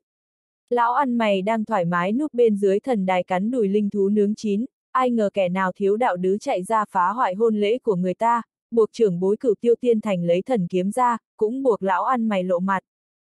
Lão ăn mày thầm chửi thề, lão thấy mình rất vô tội. Lão ăn mày chạy rất nhanh, đôi chân như hai bánh xe lửa nhanh như chớp lao ra khỏi vực thành cửu tiêu tiên thành, chui vào tầng mây. Lão quản gia vội vàng đi tới đại điện bay, phập phồng lo sợ quỳ dưới đất, tay áo lau mồ hôi. Bẩm báo thiếu thành chủ, quả biếu hôn lễ đã bị người cướp sạch. Những thiên tài tuấn kiệt cười thầm, cảm thấy hôm nay tiêu thiên duyệt quá xui xẻo. Trưởng bối cửu tiêu tiên thành thật tình, ai đã xem ngày hoàng đạo. Hôm nay không tiện kết hôn. Trưởng bối cửu tiêu tiên thành cầm thần kiếm chém không chung. Dám ăn trộm trong cửu tiêu tiên thành, muốn chết. Kiếm khí bay lướt qua biến thành thiên hà quét nửa bầu trời. Phụt! Một vệt máu bắn trên không trung. Trưởng bối cửu tiêu tiên thành rút thần kiếm về. Hừ, đây là kết cuộc khiêu khích cửu tiêu tiên thành. Trưởng bối cửu tiêu tiên thành đứng thẳng, thần y dán sát người, uy hiếp đương trường. Lão ăn mày bò ra từ bãi máu, người dính đầy lông chim. Má ơi, hết hồn. Hóa ra trưởng bối cửu tiêu tiên thành chỉ chém chúng một con linh điểu bay ngang qua. Lão ăn mày đội linh điểu trên đầu trốn thoát một kiếp, tóc hao dâm dính đầy lông chim. Lão ăn mày co giò chạy như bay, lần này biến mất thật. Tu sĩ cửu tiêu tiên thành tức ngứa răng, sử dụng kiếm phôi cửu tiêu thần kiếm vậy mà không thể chém chết tên trộm già, trơ mắt nhìn lão vác đống của cải trốn đi. Phong Phi Vân khoác áo ra phượng vảy rồng, giấu kín hơi thở. Phong Phi Vân đứng trong đại điện bay, không ai nhìn thấy hắn. Phong Phi Vân nhìn lão ăn mày chạy trốn, thầm buồn cười. Lão ăn mày dám trộm đồ cửu tiêu tiên thành, nếu không phải Phong Phi Vân phá rối thì không ai phát hiện được lão. Mọi người dám nhịn cười, cảm thấy hôm nay đến là rất đáng giá, thấy kịch vui. Tu sĩ cửu tiêu tiên thành, mấy lão tổ mộng ra biểu tình cực kỳ khó xem. Thiếu thành chủ tiêu thiên duyệt dù môi còn treo nụ cười nhưng nụ cười cứng ngắc. Lưu Tô Tử cười sáng lạn, phẩy quạt nói. Những người này ác thật, hôm nay là ngày vui của thiếu thành chủ thế mà cứ nói bậy bạ, mất vui. Nhiều người nhìn tân nương đứng chính giữa, cười bí hiểm. Trường tử vực chủ xích mộc vực Mạc Thái Tuấn đứng ra nịnh hót. Đúng là mất vui thật, thiếu thành chủ làm người đường đường chính chính, mộng cô nương càng là ngọc khiết băng thanh, vàng thật không sợ lửa. Thanh niên tài tuấn vô thọ tinh cung còn trẻ nên nói chuyện không kiêng dè. Chuyện hôm nay đã xảy ra, danh dự của mộng cô nương bị phá xấu, nếu không nghiệm chứng rõ ràng sợ là thiếu thành chủ sẽ bị người ta nói. Một số người không biết sự thật nói lung tung, vậy thì không tốt. Thiên kiêu quen thân với tiêu thiên duyệt nói. Thế thì không tốt, không tôn trọng mộng cô nương, dù sao hôm nay là ngày nàng và thiếu thành chủ thành hôn. Mộng lăng yến luôn im lặng nay lên tiếng. Mọi người đừng nói nữa, ta và thiếu thành chủ không có tình cảm, người ta thích không phải thiếu thành chủ. Đêm qua, hắn tìm ta, nhưng ta không đồng ý cho hắn. Đêm qua Phong Phi Vân đưa Mộng Thái Nhạc vào phòng Mộng Lăng Yến, nhưng nàng không cùng gã gạo nấu thành cơm. Mộng Lăng Yến biết nếu mình mất trinh thì Mộng gia sẽ gặp tai hạo ngập đầu, tình lang yêu nhiều cỡ nào cũng không thể bỏ mặc mạng sống toàn gia tộc. Khi Mộng Lăng Yến nói câu này, không khí lặng yên. Mặt tiêu thiên duyệt xa sầm, các lão tổ mộng ra chân run run, sợ suýt quỷ dưới đất. Lưu Tô Tử cười càng tươi, chậm rãi đến bên cạnh Mộng Lăng Yến, đôi mắt sáng nhìn chằm chằm nữ nhân trước mặt mình. Lưu Tô Tử hỏi, đêm qua, hắn là ai? Mộng Lăng Yến không chịu nổi Lưu Tô Tử tạo áp lực khổng lồ, quỳ dưới đất nói. Xin lỗi, các vị lão tổ, Lăng Yến thật sự không thể gả cho thiếu thành chủ, ta. Ta thích thái nhạc. Xẹt xẹt xẹt xẹt xẹt. Lão tổ mộng ra tức hộc máu, mặt xanh mét, lòng muốn một trưởng đập chết mộng lăng yến. Tại sao mộng gia sinh ra nữ nhân ngu ngốc như vậy? Nói trước mắt bao người, dù Mộng Lăng Yến không làm chuyện bậy bạ với gia nô kia thì thiếu thành chủ khó leo xuống bậc thang. Thiếu thành chủ cửu tiêu tiên thành không xuống cầu thang được, mộng ra tàn đời. Ba trưởng bối cửu tiêu tiên thành khí lạnh khiếp người, bọn họ ngồi trên ghế, tay run run. Nếu không phải nhiều thiên kiêu, đại nhân vật có mặt thì bọn họ đã giết hết mộng ra. Hôm nay cửu tiêu tiên thành mất hết mặt mũi. Lưu Tô Tử vuốt gò má, nâng mộng lăng yến dậy, cười nói. Mộng cô nương không uổng là tấm gương trong nữ nhân, có gan theo đuổi tình yêu trong lòng, làm người ta khâm phục. Xin mọi người nghe ta nói một câu, theo ta thấy chuyện này thiếu thành chủ không có sai. Thiếu thành chủ không hay biết gì, không biết mộng cô nương đã có người trong lòng. Chỉ trách các trưởng bối mộng ra muốn trèo cao cửu tiêu tiên thành, ép mộng cô nương gả cho thiếu thành chủ. Bùm bùm bùm bùm bùm. Mấy lão tổ mộng ra mất hết sức lực quỳ dưới đất, mặt xám xịt. Tiêu Thiên Duyệt có bậc thang leo xuống, nói ngay. Mộng ra các người thật đáng giận, ta bị các người lừa. Tuy Tiêu Thiên Duyệt ta cưới hơn trăm thê tử nhưng mỗi người đều tự nguyện gả cho ta, chưa từng gặp chuyện như vậy. Mấy lão tổ mộng ra khủng hoảng nói. Chúng ta sai, chuyện này là lỗi của chúng ta. Thiên tài trẻ vô thọ tinh cung lên tiếng. Không đúng, lúc trước thiếu thành chủ nắm tay mộng cô nương nói hai người yêu nhau, đã yêu nhau thì nên có tình cảm sâu sắc, hiểu rõ về nhau mới đúng. Tại sao thiếu thành chủ không biết chuyện mộng cô nương có người trong lòng? Tiêu Thiên Duyệt biến sắc mặt, hóa đá tại chỗ. Tiêu Thiên Duyệt phản ứng lại, gã biết đã bị Lưu Tô Tử gài bẫy, giờ nói gì cũng muộn. Tu sĩ đến tham gia bữa tiệc toàn là thiên kiêu một phương, toàn là người thông minh, hiểu ngay cong cong quấn quấn trong đó. Bọn họ nhịn cười, sắc mặt mất tự nhiên, ánh mắt nhìn Tiêu Thiên Duyệt như ngó tên ngốc. Tiêu Thiên Duyệt chưa từng hận ai như thế này, gã hung tợn chừng lưu tô tử, thầm nghĩ. Mụ đàn bà chết tiệt, quá đáng, đây là buộc ta đến thân bại danh liệt. Lưu tô tử chỉ đứng nhìn, nhoẻn miệng cười, phẩy quạt, bộ dáng ung dung chuyện không liên quan mình. Tiêu Thiên Duyệt không ngốc, gã đoán được chuyện hôm nay là Lưu Tô Tử dở trò sau lưng.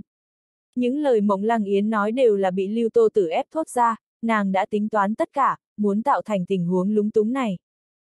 Lão nhân cửu tiêu tiên thành đứng ra giải vây giúp tiêu thiên duyệt, lạnh lùng nói. Thiếu thành chủ mệt mỏi, hãy đi xuống nghỉ ngơi. Người đâu, kéo mây tên xấu xa mộng ra lên thí thần đài chém đi. Đám lão tổ mộng ra sợ té ngồi dưới đất, dập đầu xin tha nhưng vẫn bị người kéo đi. Có hai tu sĩ mặc áo trắng định kéo mộng lăng yến xuống. Lúc này quanh người mộng lăng yến truyền dao động không gian, trùng động mở ra trước mặt nàng. Mộng lăng yến nhảy vào trùng động. Cùng lúc đó, Phong Phi Vân núp trong đại điện lao nhanh vào trùng động. Tình hình xảy ra đột ngột, nhưng có mặt khá nhiều cường giả nhanh chóng ra tay định đánh nát trùng động. Muốn trốn. Tiêu Thiên Duyệt hận mộng lăng yến thấu xương, tiện nhân này làm gã mất hết mặt mũi trước các tu sĩ, nếu để nàng trốn chẳng phải là cho nàng gặp nam nhân khác sao. Tiêu Thiên Duyệt hành động ngay, vỗ một trường, trên trường ấn có bóng núi cao và sông lớn, tựa như thiên địa đè xuống. Phong Phi Vân cười to bảo. Thiếu thành chủ khỏi tiễn. Một trường thương đâm ra từ không gian trùng động, mũi thương như kiếm, cực kỳ sắc bén đâm vào tay của Tiêu Thiên Duyệt. ầm, um, Tiêu Thiên Duyệt đẩy lùi trường thương nhưng tay áo bị mũi thương cắt rách một khối rơi xuống đất. Bùm! Cửa trùng động khép kín. Các ngươi không trốn thoát.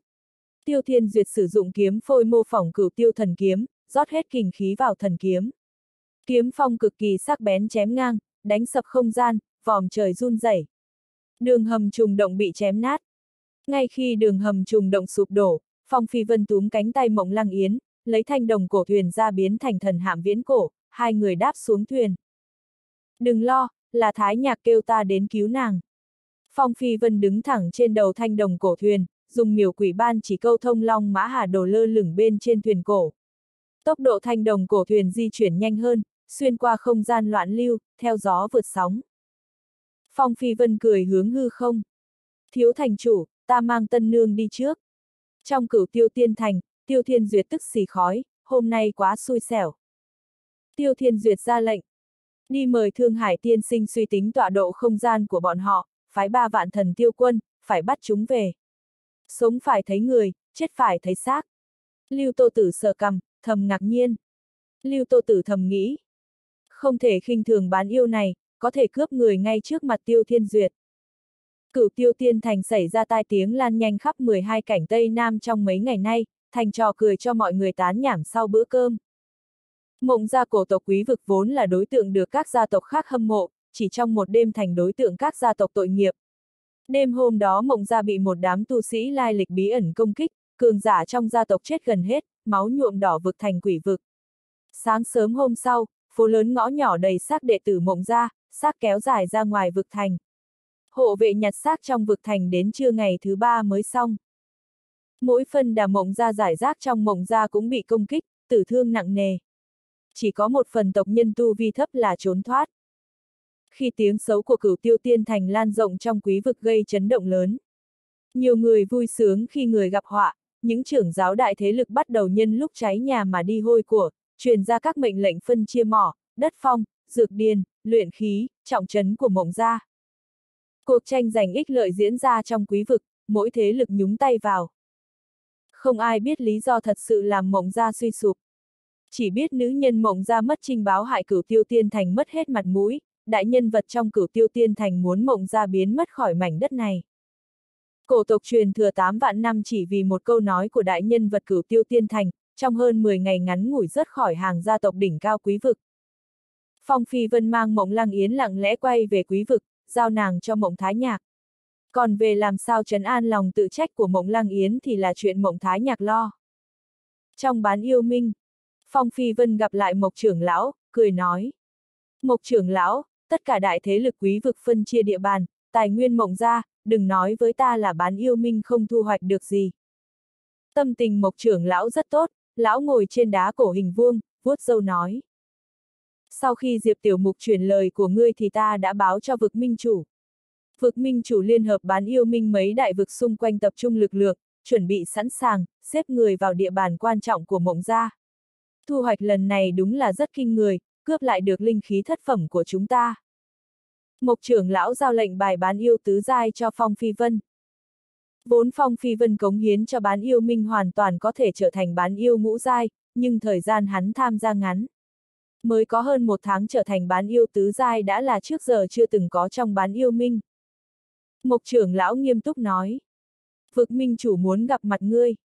Phong Phi Vân cất lệnh bài bán yêu tứ giai, tuy thứ này không đáng giá tiền nhưng ở chỗ nào có bán yêu minh thì nó đem lại chút tác dụng. Dù sao số lượng bán yêu nhiều hơn tiên phủ, cổ tộc nào trong thiên hạ. Tính nhân số thì bán yêu minh là đại minh số một thiên hạ. Phong Phi Vân hỏi. Vì chuyện huyết mạch trong người ta. Mộc trưởng lão gật đầu. Mục trưởng lão dẫn Phong Phi Vân vào động thiên khác trong bán yêu minh, bên bờ tiên chỉ lượn lờ linh yên gặp vực minh chủ bán yêu minh. Đây là một lão nhân rất hiền hòa, sau khi gặp Phong Phi Vân càng tỏ rõ vui sướng. Vực minh chủ khen ngợi cống hiến Phong Phi Vân đã làm với bán yêu minh. Lần trước người viết mật quyển dấu yêu khí đã được đưa đi bán yêu tổng minh, cấp trên rất xem trọng nó. Vực minh chủ đưa viên giới linh thạch cho Phong Phi Vân. Bên trong chứa 50 vạn khối linh thạch, xem như bán yêu minh thưởng cho ngươi. 50 vạn khối linh thạch đối với bán yêu trong bán yêu minh là tài sản cách xù, nhưng Phong Phi Vân thì không vừa mắt. Phong Phi Vân không nhận linh thạch, cười nói. Vực minh chủ có gì thì cứ nói thẳng đừng ngại, ta có nhiều linh thạch, 50 linh thạch này hãy chia cho các tu sĩ bán yêu minh. Vực minh chủ không dài dòng, lão lấy một hộp ngọc ra, bên trong chứa một viên yêu châu, trên yêu châu dính một giọt máu, máu lấp lánh bảy sắc kỳ lạ. Đây là giọt máu của Phong Phi Vân. Biểu tình vực minh chủ nghiêm túc nhìn thẳng vào mắt Phong Phi Vân. Lão Phu rất muốn biết mẫu thân của ngươi là tu sĩ yêu tộc nào. Vực minh chủ rất chú trọng chuyện này. Phong Phi Vân ngồi đối diện vực minh chủ, gật đầu, hỏi. Bán yêu minh không thể điều tra yêu khí trong đó. Vực minh chủ khẽ thở dài. Ta đưa giọt máu này đi đại doanh bán yêu minh Diệp Hồng Cảnh, sử dụng yêu châu phẩm cấp cao cũng không thể kiểm tra ra máu yêu bên trong thuộc về ai. Nhưng một lão tiền bối phát hiện trong giọt máu không chỉ có máu yêu còn có máu ma. Phong Phi Vân nhíu mày suy tư. Vực minh chủ cười nói. Ngươi đừng nghĩ nhiều, không kiểm tra ra cũng không có gì ghê gớm, tương lai có cơ hội đi tổng minh bán yêu minh kiểm tra đi. Giờ ta có chuyện càng quan trọng hơn cần nói với ngươi, đây là chuyện tốt cho ngươi cũng là khiêu chiến lớn lao. Bán yêu minh quý vực chúng ta chỉ có 5 danh ngạch. Phong Phi Vân hỏi. Khiêu chiến gì? Vực minh chủ bí hiểm. Có nghe nói về chiến trường vạn tộc chưa? Sao Phong Phi Vân có thể chưa từng nghe về chiến trường vạn tộc? Phong Phi Vân hỏi. Bán yêu cũng có tư cách vào chiến trường vạn tộc. Vực minh chủ nói. Trước kia không có tư cách vào chiến trường vạn tộc, nhưng bên tổng minh cố gắng hết sức rốt cuộc tranh thủ nhiều danh ngạch cho bán yêu. Thiên tài tuấn kiệt đỉnh cao nhất trong bán yêu có thể vào chiến trường vạn tộc rèn luyện. Chiến trường vạn tộc không phải thánh địa tu luyện, nơi đó tràn ngập giết chóc, cạnh tranh khắc nghiệt. Vài chiến trường vị diện có tỷ lệ tử vong cao khoảng 70%. Đương nhiên nguy hiểm và kỳ ngộ song song, người trở về từ chiến trường vạn tộc được nhân loại coi là anh hùng. Làm lính trong chiến trường vạn tộc càng lâu quay về Trung ương Vương Triều thứ 6 càng nhận được nhiều vinh dự. Muốn được công nhận trong Trung ương Vương Triều thứ 6 thì phải đi chiến trường vạn tộc tích lũy quân công. Chỉ khi nào có quân công trong chiến trường vạn tộc mới chứng minh giá trị của một người. Thế lực vật khổng lồ như Hoàng Kim Thánh Phủ, cửu tiêu tiên thành mỗi năm sẽ đưa thiên tài tuấn kiệt đỉnh cao nhất đến chiến trường vạn tộc. Thiên tài sống sót trở về từ chiến trường vạn tộc mới được trưởng bối công nhận, tích lũy nhiều quân công càng nhận được sự tôn kính. Như sáu thiên kiêu 12 cảnh Tây Nam hầu như mỗi năm đi chiến trường vạn tộc rèn luyện một tháng, bọn họ được gọi là sáu thiên kiêu vì tích lũy quân công xếp sáu hàng đầu trong thế hệ trẻ, hơn xa mấy thiên tài trẻ khác. Chiến trường vạn tộc bình thường được đắt trong một số đại thiên vị diện cổ xưa, sinh ra ở thái cổ tiểu thiên thế giới, đó là chiến trường lớn. Có một số chiến trường nhỏ trong bí cảnh cao cấp, không chỉ có trăm tộc nhân loại, yêu tộc, dị tộc, quỷ tộc, hễ là chủng tộc nào trên đại lục này đều sẽ đi chiến trường vạn tộc chiến đấu, giành cương vực cho chủng tộc sinh tồn. Sau khi Phong Phi Vân đột phá niết bàn đệ nhất trọng thiên, hắn rất muốn đi chiến trường vạn tộc luyện hóa, nhưng nghĩ rằng thân phận bán yêu không thể vào nên từ bỏ ý định đó. Bây giờ cơ hội bày trước mắt, không đi sao được. Phong Phi Vân hỏi. Danh ngạch của ta xem như cố định trước. Vực Minh Chủ lắc đầu, nói. Trong năm danh ngạch quý vực chắc chắn có tên ngươi, nhưng chưa chắc ngươi vượt qua thử thách Diệp Hồng Cảnh. Danh ngạch bán yêu rất ít, một cảnh chỉ có 500 bán yêu được vào chiến trường vạn tộc. Một cảnh chỉ có 500 bán yêu có tư cách vào chiến trường vạn tộc. Diệp Hồng Cảnh có 8.654 vực, mỗi vực chọn 5 thiên tài bán yêu đưa đi đại doanh bán yêu minh Diệp Hồng Cảnh. Vậy tức là tổng số lượng thiên tài bán yêu 8.654 vực là 4 vạn 3.270 người. Sàng lọc trong 4 vạn 3.270 người, cuối cùng chỉ có 500 bán yêu đủ tư KCHV ảo chiến trường vạn tộc, liều đấu với dị tộc, yêu tộc, giành cương vực cho nhân loại, gà anh vinh dự cho bán yêu, để người ta thấy bán yêu cống hiến cho nhân tộc, lấy được nhiều tôn kính và địa vị hơn. Năm danh ngạch quý vực rất nhanh được quyết định. Đại biểu thiên mệnh đệ cửu trọng, Diệp Tiểu Mục, Lý Lang. Đại biểu niết bàn đệ nhất trọng thiên, Phong Phi Vân. Đại biểu niết bàn đệ nhị trọng thiên, Chiến Sư Đạo. Đây là bán yêu ngũ sai, sức chiến đấu siêu phàm, nghe đồn là thúc phụ của chiến Việt danh từng là thiên tài số một bán yêu minh quý vực. Đại biểu niết bàn đệ tam trọng thiên, Mộc trưởng lão. Mức độ nguy hiểm trong chiến trường vạn tộc khác nhau nên chia đẳng cấp chiến trường. Bán yêu không thể đột phá vũ hóa cảnh, đa số thiên kiêu suốt đời kẹt ở niết bàn đệ nhất trọng thiên, nhị trọng, tam trọng. Bán yêu có thể đột phá niết bàn đệ tam trọng thiên hiếm như lông phượng sừng lần, được chú trọng bảo vệ. Phong Phi Vân nhìn năm danh ngạch bán yêu minh quý vực tuyển ra, hiểu rằng tiểu đội bán yêu chỉ có thể đi chiến trường cấp thấp. Cảnh giới Niết Bàn là một cảnh giới rất đặc biệt, muốn đột phá cảnh giới phải dồn mình vào chỗ chết rồi sống lại. Nên cảnh giới Niết Bàn muốn đột phá nhanh thì cách tốt nhất là tham gia chiến đấu sống chết, vào phút chỉ mảnh treo chuông kích phát tiềm năng cơ thể. Nơi cung cấp sân chơi như thế chỉ có chiến trường vạn tộc. Nên bán yêu được chọn tu vi thấp nhất toàn là thiên mệnh đệ cửu trọng. Còn ba ngày là đến lúc đi đại bản doanh bán yêu minh diệp hồng cảnh. Phong Phi Vân định tận dụng ba ngày này củng cố tu vi vừa tăng lên. Cảnh giới Niết Bàn là một cảnh giới không cân nguy hiểm, sơ sẩy một cái là sẽ thành cho vì cảnh giới không ổn định. Phong Phi Vân ngồi xếp bằng trong một động phủ ở bán yêu minh, hắn mới tu luyện không lâu thì bên ngoài có người xông vào. Ngư ra nhảy ra. Ta nhớ mẫu thân của ngươi là ai rồi, mẫu thân ngươi thật sự từng đến nhà ta ăn cơm. Ngư ra điên khùng kéo tay Phong Phi Vân ra ngoài bán yêu minh. Lão già định kéo ta đi đâu? Phong Phi Vân suýt bị ngư ra kéo té, lão gài này sức lực lớn vô cùng, tuy điên khùng nhưng mạnh như trâu. Phong Phi Vân không chống cự nổi, cơ thể bị ngư ra kiềm chặt. Sức quá mạnh, chắc không phải lão già này giả ngây giả dại đi. Ngư ra chạy rất nhanh, hầu như kéo bay Phong Phi Vân. Cuối cùng ngư ra kéo Phong Phi Vân đến bên ngoài một căn nhà cũ. Đây là nơi vắng vẻ trong quý vực, xung quanh hoang vu, nhiều phế tích sụp đổ, gạch vụn đầy đất, đổ nát thê lương. Chỉ có một căn nhà nâu xanh rách nát đứng trong phế tích, có nhánh cây khô trên nóc nhà, hơi tiêu điều.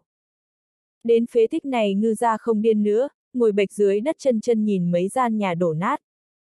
Kỳ lạ, trong vực thành trấn ních tu sĩ, có tu sĩ ngồi xếp bằng ven đường, nhưng tại sao chỗ này hoang vu như thế? Không thấy một bóng người. Trong vực thành có có vẫn thiên linh thạch gia cố, là nơi tu luyện tuyệt vời.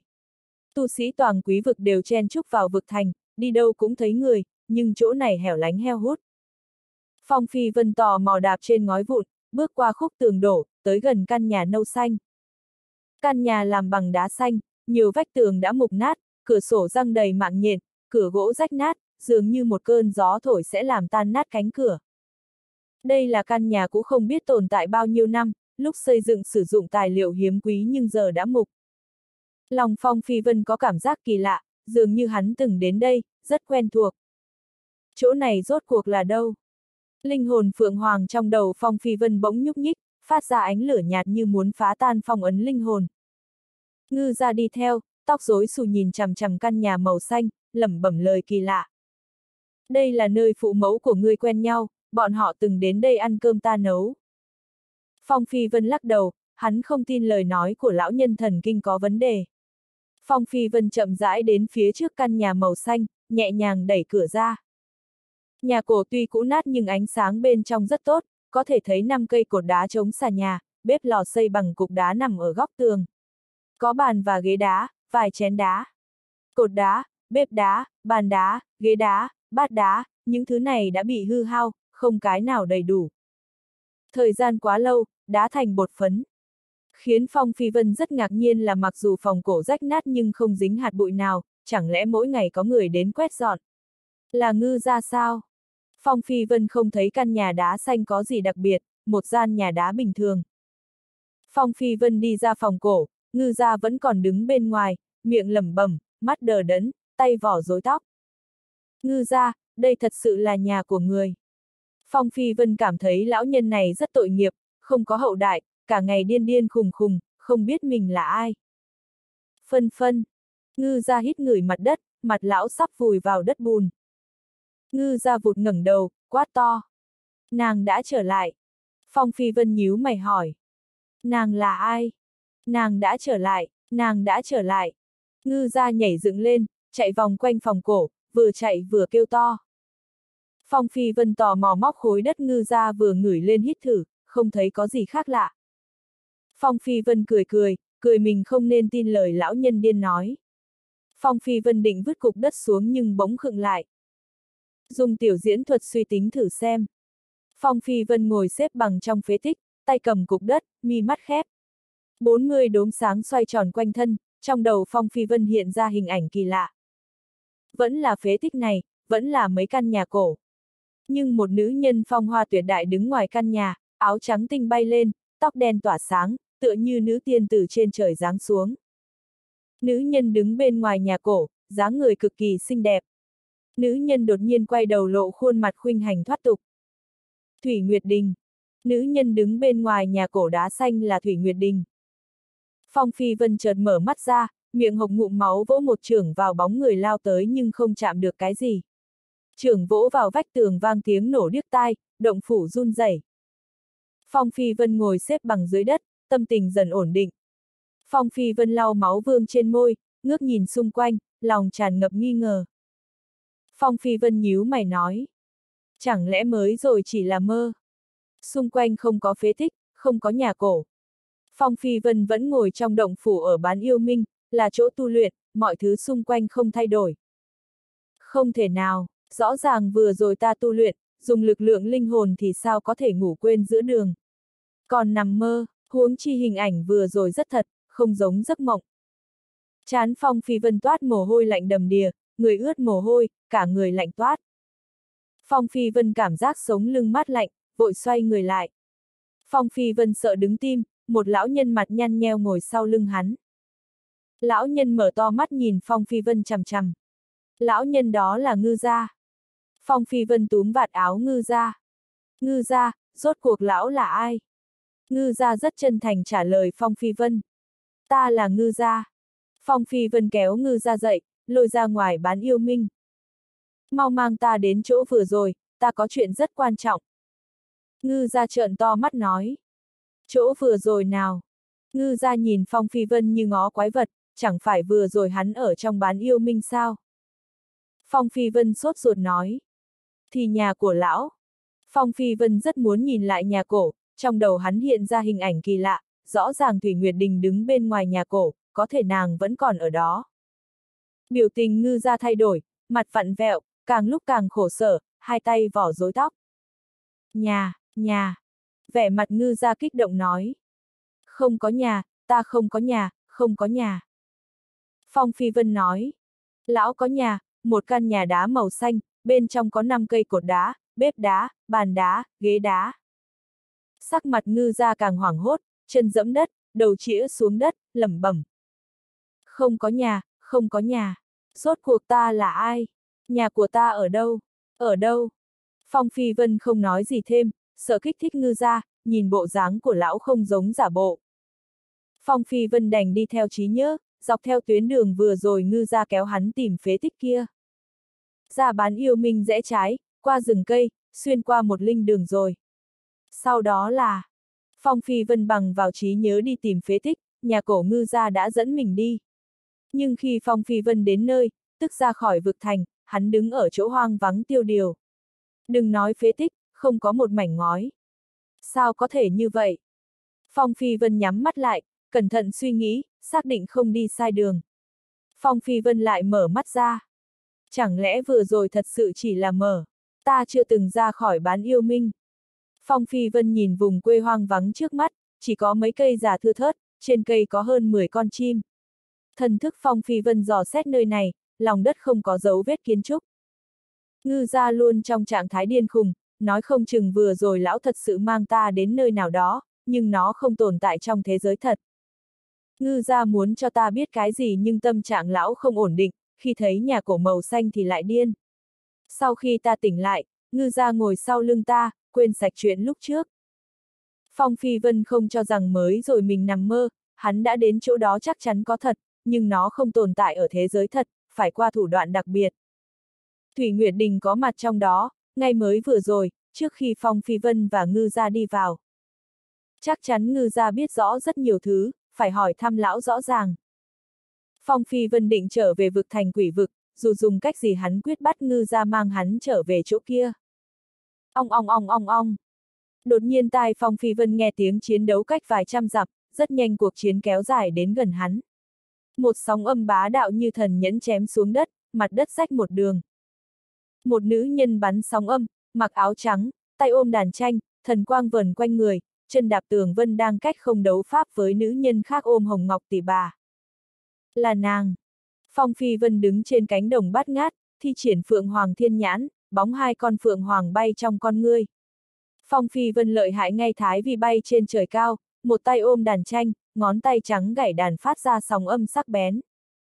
Khuôn mặt thái vì đẹp khuynh thành, đẹp thánh khiết, mỗi động tác tràn đầy mỹ cảm, ngón tay nhẹ nhàng gảy, một giải đất vỡ vụn thành khe nứt. Người đánh nhau với Thái Vi là nữ nhân áo trắng. Mặt nữ nhân che lụa mỏng màu trắng, linh quang vần quanh người, tay ôm tỷ bà hồng ngọc bay là đà. Nữ nhân áo trắng vừa bay vừa đàn tỷ bà phát ra sóng âm mạnh mẽ. Phong Phi Vân nhìn nữ nhân áo trắng, kinh ngạc nói. Đông Phương Kính Nguyệt.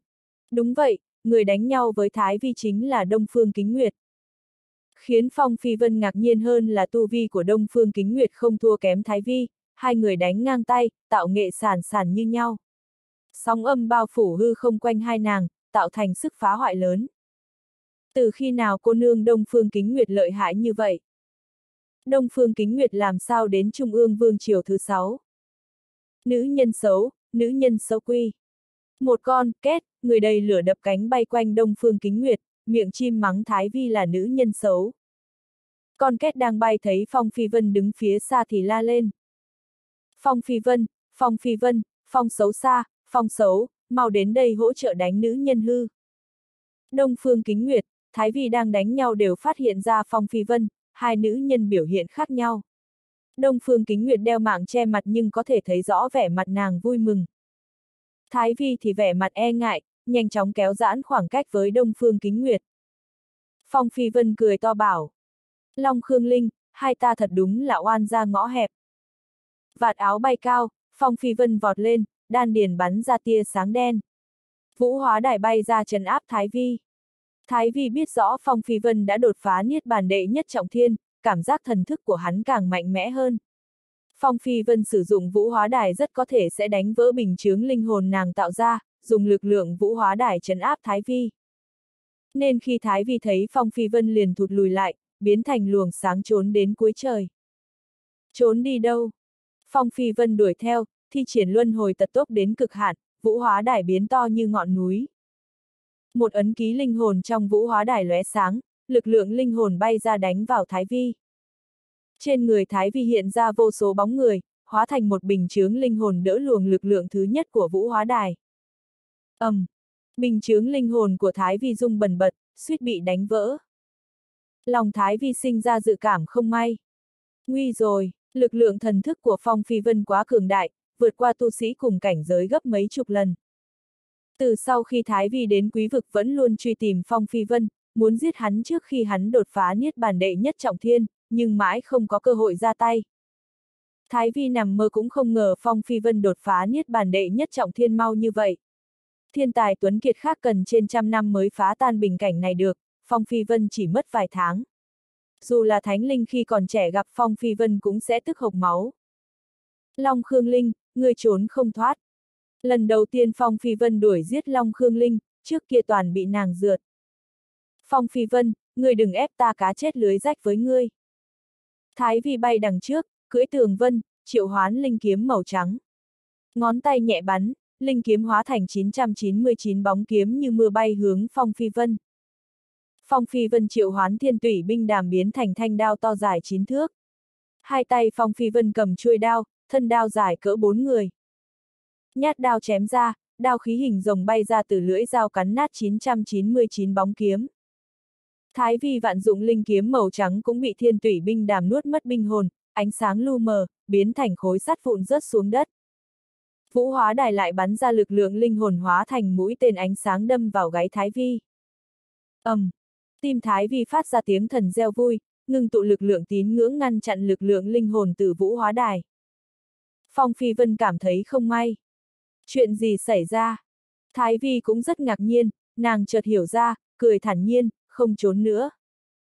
Thái Vi nói, ta hiểu rồi, lực lượng tín ngưỡng đến từ luyện lực linh hồn chúng sinh, từ lực lượng linh hồn lại cao hơn hẳn lực lượng linh hồn. Lực lượng tín ngưỡng của chúng sinh có thể ngăn cản vũ hóa đài áp chế vũ hóa đài. Ha ha ha ha ha ha. Phong Phi Vân, để ta xem bây giờ ngươi làm gì được ta. Long Khương Linh tu luyện đạo tâm trùng thần, dùng thần hồn thái vi nữ thần làm thần trùng, cướp thần cơ, cướp tất cả lực lượng tín ngưỡng của thái vi nữ thần. Phong Phi Vân lại dẫn động lực lượng vũ hóa đài đánh ra lực lượng linh hồn mạnh mẽ hơn, gần như ngưng tụ thành bóng dáng Long Khương Linh. Nhưng Thái Vi là hóa thân của tà thần, như thần nữ từ tiên giới dáng trần, vô số lực lượng tín ngưỡng quay quanh nàng đánh tan lực lượng linh hồn Phong Phi Vân công kích. Phong Phi Vân, trừ phi tu vi của ngươi cao hơn ta, nếu không ngươi tuyệt đối không công phá lực lượng tín ngưỡng của ta được. Mặt thái vi giống y nam cung hồng nhan nhưng bây giờ linh hồn là nữ đế Long Khương Linh, chỉ muốn giết Phong Phi Vân, chấm dứt tai họa ngầm. Thái vi không kiêng rẻ gì nữa, vung tay lên, bóng rồng trắng bay ra, khoảng trên trăm con. Mỗi bóng rồng có lực lượng vỡ trời nát đất. ầm, um, một sóng âm bay tới chặt đứt đám rồng trắng. Đông Phương Kính Nguyệt đeo khăn che mặt trắng, lưng mọc đôi cánh ánh sáng, đôi mắt đưa tình. Đông Phương Kính Nguyệt như tiên nữ bước ra từ trong tranh, áo trắng, tì bà đỏ, bay là đà đáp xuống cạnh Phong Phi Vân, xinh đẹp thánh khiết. Sóng âm vừa rồi là Đông Phương Kính Nguyệt khải đàn. Phong Phi Vân không nhìn Đông Phương Kính Nguyệt, hắn mặc áo da phượng vảy rồng, người phát ra khí phách hùng hồn như có rồng phượng bám thân, huyết khí bốc hơi. Phong Phi Vân tấn công nhanh. Không cần vũ hóa đài ta cũng chấn áp được ngươi. ầm, um, chân Phong Phi Vân dẫm đất, bùn đất bỗng chốc cháy đen biến thành mặt kính. Phong Phi Vân vọt lên cao, hai tay cầm đao dơ cao chém. Đao quang bay ra từ lưỡi đao thổi quét thiên địa. Tu vi của Thái Vi đến niết bàn đệ tam trọng thiên nhưng không dám đỡ nhát đao, vội triệu hoán trận pháp xếp bằng đá to bảo vệ mình. Đây là trận pháp do cường giả vũ hóa cảnh bày ra. Dù chỉ được một nửa trận pháp nhưng lực phòng ngự hết sức kinh người, ngăn chặn nhát đao của Phong Phi Vân. ầm ầm ầm ầm ầm. Đao khí mạnh mẽ hất trận pháp và Thái Vi bay ra ngoài. Phong Phi Vân đột phá niết bàn đệ nhất trọng thiên, lại mặc áo da phượng vảy rồng phát huy ra lực lượng dư sức chèn ép Thái Vi, không sợ nàng. Giọng Thái Vi giống y như Nam Cung Hồng Nhan. Phong Phi Vân, giữa chúng ta vẫn chưa xong, chờ ta tu luyện đạo tâm trùng thần đến đại thừa chắc chắn sẽ giết được ngươi. Ngươi không có cơ hội đó. Thiên tủy binh đàm biến thành 18 thanh kiếm nhỏ vây quanh 18 hướng phong kín đường lui của Thái Vi. Phong Phi Vân tay không bay lên, bàn tay đỏ rực, tàng mảnh lông chim hiện ra trên cánh tay thành hình vuốt phượng chộp hướng Thái Vi. Phượng Hoàng Liệt Thiên Đây là thần thông tự động sinh ra sau khi tu luyện bất tử Phượng Hoàng thân đến niết bàn đệ nhất trọng thiên, có thể làm một tay phong phi vân sắc bén như vuốt thần Phượng Hoàng, phát huy lực công kích năm, sáu chục lần. Móng vuốt cào một cái là tu sĩ niết bàn đệ tam trọng thiên sẽ nát thành mấy mảnh. ầm, um, trận pháp phòng ngự do tu sĩ vũ hóa cảnh bầy bố bị Phượng Hoàng Liệt Thiên đánh nát một góc. Long Khương Linh núp trong trận pháp bị đập trúng, thân thể thụt lùi ra sau. ầm, um, cánh tay Phong Phi Vân lại biến thành vuốt Phượng Hoàng xé rách một tảng đá lớn trong trận pháp phòng ngự, thế như trẻ tre xông vào trong. Phong Phi Vân, người quá coi thường ta. Thái Vi triệu hoán một miếng phù lục bạch ngọc, bàn tay phải nắm chặt, phù lục hòa tan thành vầng sáng trắng bao phủ cánh tay mảnh khảnh. Trên cánh tay có vô số lực lượng quy tắc lượn lờ như tay nữ thần diêu bằng thần ngọc.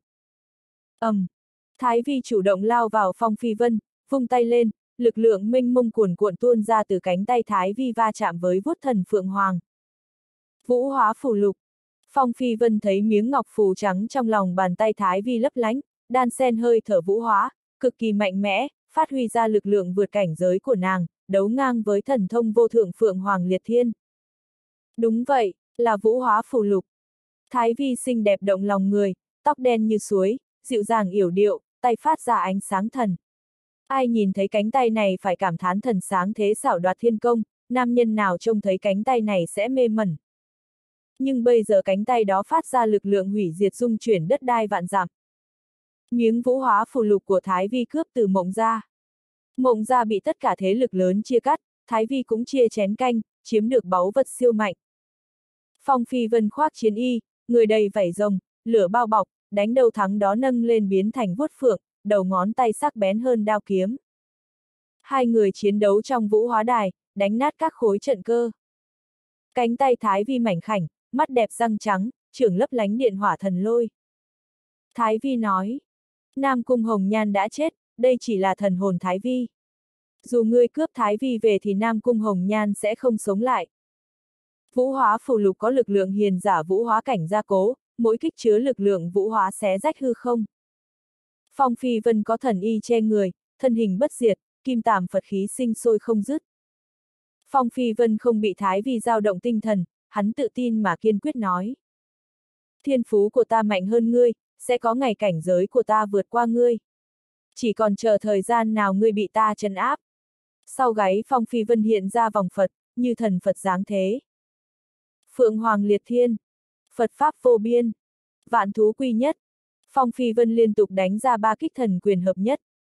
Phượng Hoàng, Phật Đà, Vạn Thú, ba lực lượng mạnh mẽ hợp thành một, hình thành thần vân đại ấn.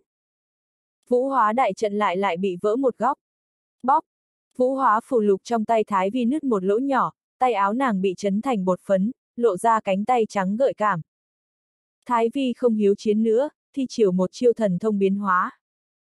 Thiên Long biến. Cơ thể Thái Vi biến thành thiên long trắng dài trăm trượng bay lên trời. Đi đâu? Phong Phi Vân định dựa theo nhưng bị Mộng Lăng Yến đại trận ngăn cản, mất ba giây mới lao ra, đánh nát trận pháp, đá vụn bay tứ tán. Vũ hóa đại trận ngăn Phong Phi Vân ba giây, Thái Vi đã chạy trốn không còn bóng dáng. Phong Phi Vân đứng trên tầng mây nhìn phương xa, trầm giọng nói. Ngươi trốn đi, ta chờ xem ngươi có thể chạy trốn tới năm nào tháng nào. Phong Phi Vân cởi thần y, đạp xuống đất, liếc nhìn Đông Phương Kính Nguyệt. Đông Phương Kính Nguyệt đứng gần đó, mắt mông lung, yêu kiều mảnh khảnh, áo trắng bay bay. Khăn che mặt che mất sắc đẹp tuyệt trần. Vân cáp đậu trên vai Đông Phương Kính Nguyệt, nhìn Phong Phi Vân. Phong Phi Vân thu về tầm mắt, xoay người bỏ đi. Phong Phi Vân. Đông Phương Kính Nguyệt không ngờ Phong Phi Vân lạnh lùng như thế, không muốn nói một câu với nàng. Chẳng lẽ nàng làm người ta chán ghét vậy sao? Phong Phi Vân thẳng sống lưng, ngừng bước nhưng không quay lại, không lên tiếng. Đông Phương Kính Nguyệt yêu kiều, áo trắng bay lên, váy dài như cánh Nga. Đông Phương Kính Nguyệt nói. Chẳng lẽ ngươi không muốn biết tại sao ta đến Trung ương Vương Triều thứ sáu? Phong Phi Vân không đi, nói. Không mấy hứng thú. Bàn tay ôm tỷ bà siết chặt, Đông Phương Kính Nguyệt gục đầu xuống. Vân Cáp la lên. Phong Phi Vân xấu xa, Phong Phi Vân xấu xa, Phong Phi Vân siêu xấu xa. Bóp. Đông Phương Kính Nguyệt búng tay buộc Vân Cáp im miệng, lại nói. Người có biết tại sao Thái Vi đánh với ta không? Phong Phi Vân hỏi. Tại sao? Thấy Phong Phi Vân chịu nói chuyện, khuôn mặt xinh đẹp tuyệt trần mỉm cười nói. Bởi vì ta đến quý vực vì tìm ngươi. Tìm ta. Phong Phi Vân nhíu mày hỏi. Sao nàng biết ta ở quý vực? Đông Phương Kính Nguyệt đáp. Tà Hồng Liên nói ngươi ở đây, gây rắc rối lớn nên ta chạy tới trước. Tà Hồng Liên, vị hôn thê của Tất Ninh Soái. Đông Phương Kính Nguyệt trả lời. Nàng không chỉ là vị hôn thê của Tất Ninh Soái còn là tôn nữ cốc chủ thứ ba phần tà cốc, đệ tử tinh anh bạch doanh chữ thiên của chiến địa tước phủ. Rốt cuộc Phong Phi Vân rung động rung động, hắn xoay người nhìn Đông Phương Kính Nguyệt chằm chằm. Nàng đi theo Tà Hồng Liên đến Trung ương Vương Triều thứ sáu. Tất Ninh Soái là người Trung ương Vương Triều thứ sáu, rèn luyện 10 năm trong thần tấn Vương Triều, trên người có mang trùng động linh thạch. Tà Hồng Liên là vị hôn thê của Tất Ninh Soái nên đương nhiên cũng là người của Trung ương Vương Triều thứ sáu, chắc chắn sở hữu trùng động linh thạch, đi thẳng đến chiến địa tước phủ. Đông Phương Kính Nguyệt thấy Phong Phi Vân nghiêng đầu thì nhếch môi, gật đầu nói. Bây giờ ta cũng tham gia chiến địa tước phủ, thuộc đệ tử trung tâm xích doanh chữ địa. Phong Phi Vân trầm ngâm nói. Còn ai đến Trung ương Vương Triều thứ sáu nữa? Đông Phương Kính Nguyệt trả lời. Có mấy người quen, người đi chiến địa tước phủ sẽ gặp mặt. Phong Phi Vân hỏi. Tất Ninh Soái và Đồng Lô Sơn đã trở về chiến địa tước phủ chưa? Khi bọn họ xuyên qua trùng động gặp bão không gian, Tất Ninh Soái, Mao Ô Quy, Long La Phủ nhảy ra không gian trước nên chắc chung nhóm. Đông Phương Kính Nguyệt trả lời. Một tháng trước ta gặp bọn họ, khi đó người bị người mộng ra truy sát, có tin đồn ngươi nhảy vào sông Ma. Phong Phi Vân lộ vẻ vui mừng hỏi. Bây giờ bọn họ ở đâu? Đông Phương Kính Nguyệt đáp. Sơ đại bán yêu. Phong Phi Vân hỏi. Tại sao nàng xuất hiện tại đây? Còn gặp Thái Vi? Đông Phương Kính Nguyệt im lặng. Vân Cáp không nhịn được nói. Phong Phi Vân ngốc, tên khốn. Tiểu Nguyệt Nhi quan tâm ngươi, tìm ngươi cả tháng trời ở bờ sông Ma, còn mạo hiểm vào trong sông Ma. Vân Cáp, không được nói bậy. Ánh mắt Đông Phương Kính Nguyệt lạnh băng làm Vân Cáp sợ hãi vội ngậm miệng, nhưng vẫn lẩm bẩm. Nếu không thì sao gặp nữ nhân xấu xa kia? Phong Phi Vân nhìn Đông Phương Kính Nguyệt, nàng quá giống Thủy Nguyệt Đình, khí chất y như đúc, làm hắn không kiềm được nghĩ đến cảnh trước nhà đá xanh. Thủy Nguyệt Đình, Đông Phương Kính Nguyệt, hai người có liên quan gì nhau? Phong Phi Vân lắc đầu, bình tĩnh nói. Đưa ta đi gặp bọn họ. Đông Phương Kính Nguyệt dẫn đường, hai người lại vào vực thành quỷ vực, đi khu vực phồn hoa. Đó chẳng phải là bán yêu Phong Phi Vân sao? Hắn chưa chết. Chẳng phải hắn nhảy vào sông ma sao? Sông ma không trôn xác hắn. Các ngươi nhìn kìa, nữ nhân đi bên cạnh hắn đẹp quá, tựa như tiên, chẳng lẽ là nữ nhi phủ chủ tiên phủ nào? Tu vi của nữ nhân đó rất mạnh, ngang ngửa tộc lão cổ tộc. Có lẽ là nữ chủ nhân của bán yêu Phong Phi Vân. Hai bên giường cổ, nhiều tu sĩ mở mắt ra, giật mình vì sắc đẹp của Đông Phương Kính Nguyệt. Dù Đông Phương Kính Nguyệt đã đeo khăn che nhưng khó thể giấu tiên vân thanh tú thoát tục, làm nhiều tu sĩ điên cuồng. Sắc đẹp của một người gây ra náo động. Phong Phi Vân không quan tâm lời đám tu sĩ nói, đi theo sau lưng Đông Phương Kính Nguyệt. Phong Phi Vân hỏi, rốt cuộc bọn họ ở đâu? Đông Phương Kính Nguyệt cũng rất bình tĩnh, khuôn mặt trắng nõn không chút cảm xúc. Người đi thì biết. Một đoàn tu sĩ chặn đường, một tài tuấn cổ tộc mặc linh bào tơ vàng bước ra. Tài tuấn cổ tộc hơi mập, nhìn Đông Phương Kính Nguyệt chằm chằm muốn rất trong mắt, thè lưỡi liếm môi. Gã vái chào Đông Phương Kính Nguyệt, cười nói. Tại hạ là đệ tử trực hệ đời thứ 12 của Lý Gia, Lý Thiên Nhị, xin chào cô nương. Lý Gia là cổ tộc truyền thừa hơn 10 vạn năm, nội tình thâm sâu hơn mộng gia, là vật khổng lồ trong quý vực. Đám tu sĩ nghe tài tuấn cổ tộc báo tên thì e ngại thụt lùi. Quan tài Hoàng Thạch là công tử ca cổ tộc nổi tiếng xấu, biệt danh, ngân thương tiểu bá vương quý vực. Cái gọi là, ngân thương tiểu bá vương, không phải thành tựu tu vi của gã lợi hại cỡ nào, ý chỉ, ngân thương, nửa người dưới của gã. Nghe đồn nữ nhân nào lọt vào mắt công tử ca lý thiên nhị hì khó tránh khỏi móng vuốt, bị gã chơi chán rồi giao cho tùy tùng chơi tiếp, tùy tùng chơi chán thì đưa đi úy an doanh nô lệ, cho đám nô lệ chơi. Bởi vì Lý Gia là cổ tộc, phụ thân của Lý Thiên Nhị là đại nhân vật trong Diệp Hồng Cảnh, nhiều mỹ nữ bị gã tàn phá nhưng người bị hại chỉ có thể nuốt hận vào bụng. Nghe đồn Lý Thiên Nhị có một ca ca càng lợi hại, được gọi là ngân thương đại bá vương quý vực. Tiêu rồi, nữ nhân sinh như tiên kia bị Lý Thiên Nhị thấy, chắc chắn không thoát khỏi móng vuốt. Hết cách, thế lực Lý gia trong quý vực quá lớn, ai dám đối đầu với bọn họ. Nhiều người thấy tội cho Đông Phương Kính Nguyệt. Phong Phi Vân rất phản cảm Lý Thiên Nhị, tai họa là ánh mắt xấu xa gã nhìn Đông Phương Kính Nguyệt, rất càn rỡ. Phong Phi Vân quen thuộc ánh mắt này, vì hắn cũng từng nhìn nhiều thiếu nữ con nhà đàng hoàng như vậy, sau đó cướp các nàng về phong ra rồi. Rồi thiếu nữ biến thành nữ nhân. Không hiểu sao khi Lý Thiên Nhị nhìn Đông Phương Kính Nguyệt bằng ánh mắt đó thì Phong Phi Vân rất khó chịu, ngọn lửa bốc lên. Phong Phi Vân trầm giọng nói. Cút đi. Lý Thiên Nhị liếc Phong Phi Vân, khinh thường nói. Ngươi là ai? Ngươi biết lão tử là ai không? Dám kêu ta cút, ngươi có giỏi thì nói lại xem. Phong Phi Vân lặp lại. Cút. Cơ mặt Lý Thiên Nhị cứng ngắc, hai tay vung, ra lệnh. Làm thịt tiểu tử ngáng đường này cho a. Hai lão bộc đi ra từ sau lưng Lý Thiên Nhị, đôi mắt lạnh băng, cười khùng khục. Tà lực xám đen vần quanh người hai lão bộc, có mấy chục tinh hồn nữ nhân trần chuồng bay ra từ lưng bọn họ. Các nữ nhân hơi đẹp, người yểu điệu, đường cong mỹ miều, tóc đen dài, mắt ngơ ngác, khuôn mặt xinh đẹp tràn đầy đau buồn. Đám nữ nhân xinh đẹp bị hai lão bộc thải bổ đến chết, luyện tinh hồn thành âm binh. Tạo nghiệt quá, các nàng là thiên kim tiểu thư một số gia tộc giàu có trong quý vực nhưng bị Lý Thiên Nhị cướp đi, phá thân, lại giao cho hai lão già kia chơi đến chết, luyện thành âm binh. Có người nhận ra thân phận một tinh hồn, vẻ mặt thương tiếc nói. Đó là một mỹ nhân chi thứ của Lý gia, không ngờ Lý Thiên Nhị không tha cho tộc nhân của mình. Hai lão bộc âm trầm ngây người vì sắc đẹp của Đông Phương Kính Nguyệt, đây là một nữ nhân không nên tồn tại dưới trần gian. Hai lão bộc nhe răng sún, cười khàn khàn. Bọn họ định làm thịt Phong Phi Vân rồi bắt cóc Đông Phương Kính Nguyệt về Lý gia. Người ta không dám giết người cổ tộc nhưng ta thì dám. Phong Phi Vân triệu hoán thiên tủy binh đàm ngưng tụ thành thanh đao dài chín thước, chém nhát đao đánh bay một lão bộc. Cơ thể già nua đứt thành hai khúc văng ra hơn 10 trượng. Máu dính lên mặt Lý Thiên Nhị. Hai lão bộc là chân nhân niết bàn đệ nhất trọng thiên nhưng không đỡ nổi một đao của Phong Phi Vân. Đao khí dâng trào, vẫn thiên linh thạch trong vực thành cũng bị nó áp chế. Lão bộc khác sợ hết hồn, vội xua mấy chục âm binh sau lưng ra. Âm binh biến thành gió âm vô hình, các sát khí còn tồn tại xoay quanh Phong Phi Vân. Phật quang phổ chiếu. Người Phong Phi Vân phát ra ánh sáng vàng rực rỡ, Phật khí phóng lên cao, tịnh hóa mấy chục âm binh tan biến. Bùm! Phong Phi Vân chém một nhát đánh bay lão bộc kia, cơ thể bị đao khí cắt nát mấy mảnh. Phong Phi Vân sải bước sông hướng Lý Thiên Nhị, sát khí dâng lên cao.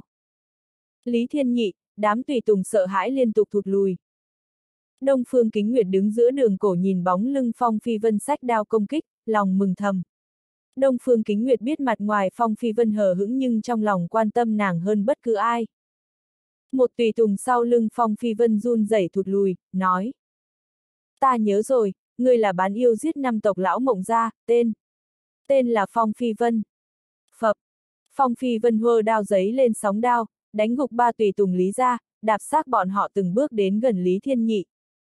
Lý Thiên Nhị không chịu nổi khí thế trên người Phong Phi Vân, chân run lập cập ngồi phịch dưới đất, lắp bắp nói. Ngươi, ngươi, ngươi muốn làm gì? Phụ thân của ta tên Lý Đại Giang. Nếu, nếu ngươi dám động ta thì, thì phụ thân của ta sẽ không, không tha cho ngươi. Phong Phi Vân đứng trên cao nhìn xuống Lý Thiên Nhị, đao nhỏ máu tí tách. Ta không giết ngươi. Lý Thiên Nhị thở phào. Phập. Phong Phi Vân giơ đao chém xuống, chặt Lý Thiên Nhị thành hai khúc, nửa người bay hai bên. Ta không giết ngươi chẳng lẽ chờ ngươi giết ta. Phong Phi Vân vẩy máu dính trên sống dao, cất thiên tủy binh đàm. Phong Phi Vân nhìn Đông Phương Kính Nguyệt. Đi. Đôi mắt Đông Phương Kính Nguyệt trong suốt nhìn Phong Phi Vân chằm chằm, đi tiếp. Đông Phương Kính Nguyệt dẫn Phong Phi Vân đến trước cánh cửa hao lệ tinh xảo, nơi này bạch ngọc trải đất, cửa đúc bằng linh thạch, rất xa hoa. Tấm biển trên cửa viết ba chữ to, đấu chiến cung. Phong Phi Vân kinh ngạc hỏi. Bọn họ ở trong đấu chiến cung. Đông Phương Kính Nguyệt đã đi vào đấu chiến cung, xuyên qua các đài chiến đấu, tử vong bí cảnh, đến khu vực khác. Nơi này đầy dãy lâu đài, tiên cung lơ lửng, thị nữ xinh đẹp tới lui. Đi qua một đường linh lộ, đến Ngọc Điện Quỳnh lâu tựa tiên cảnh. Là ngươi.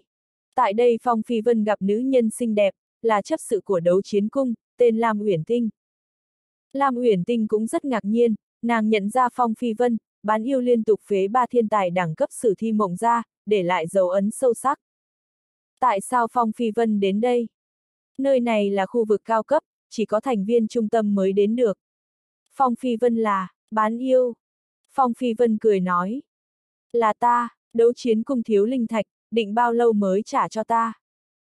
Phong Phi Vân thắng 5 trận trong tử vong bí cảnh, được mấy trăm khối linh thạch. Lam Uyển Tinh hơi đẹp, da trắng nõn, mắt sáng hỏi.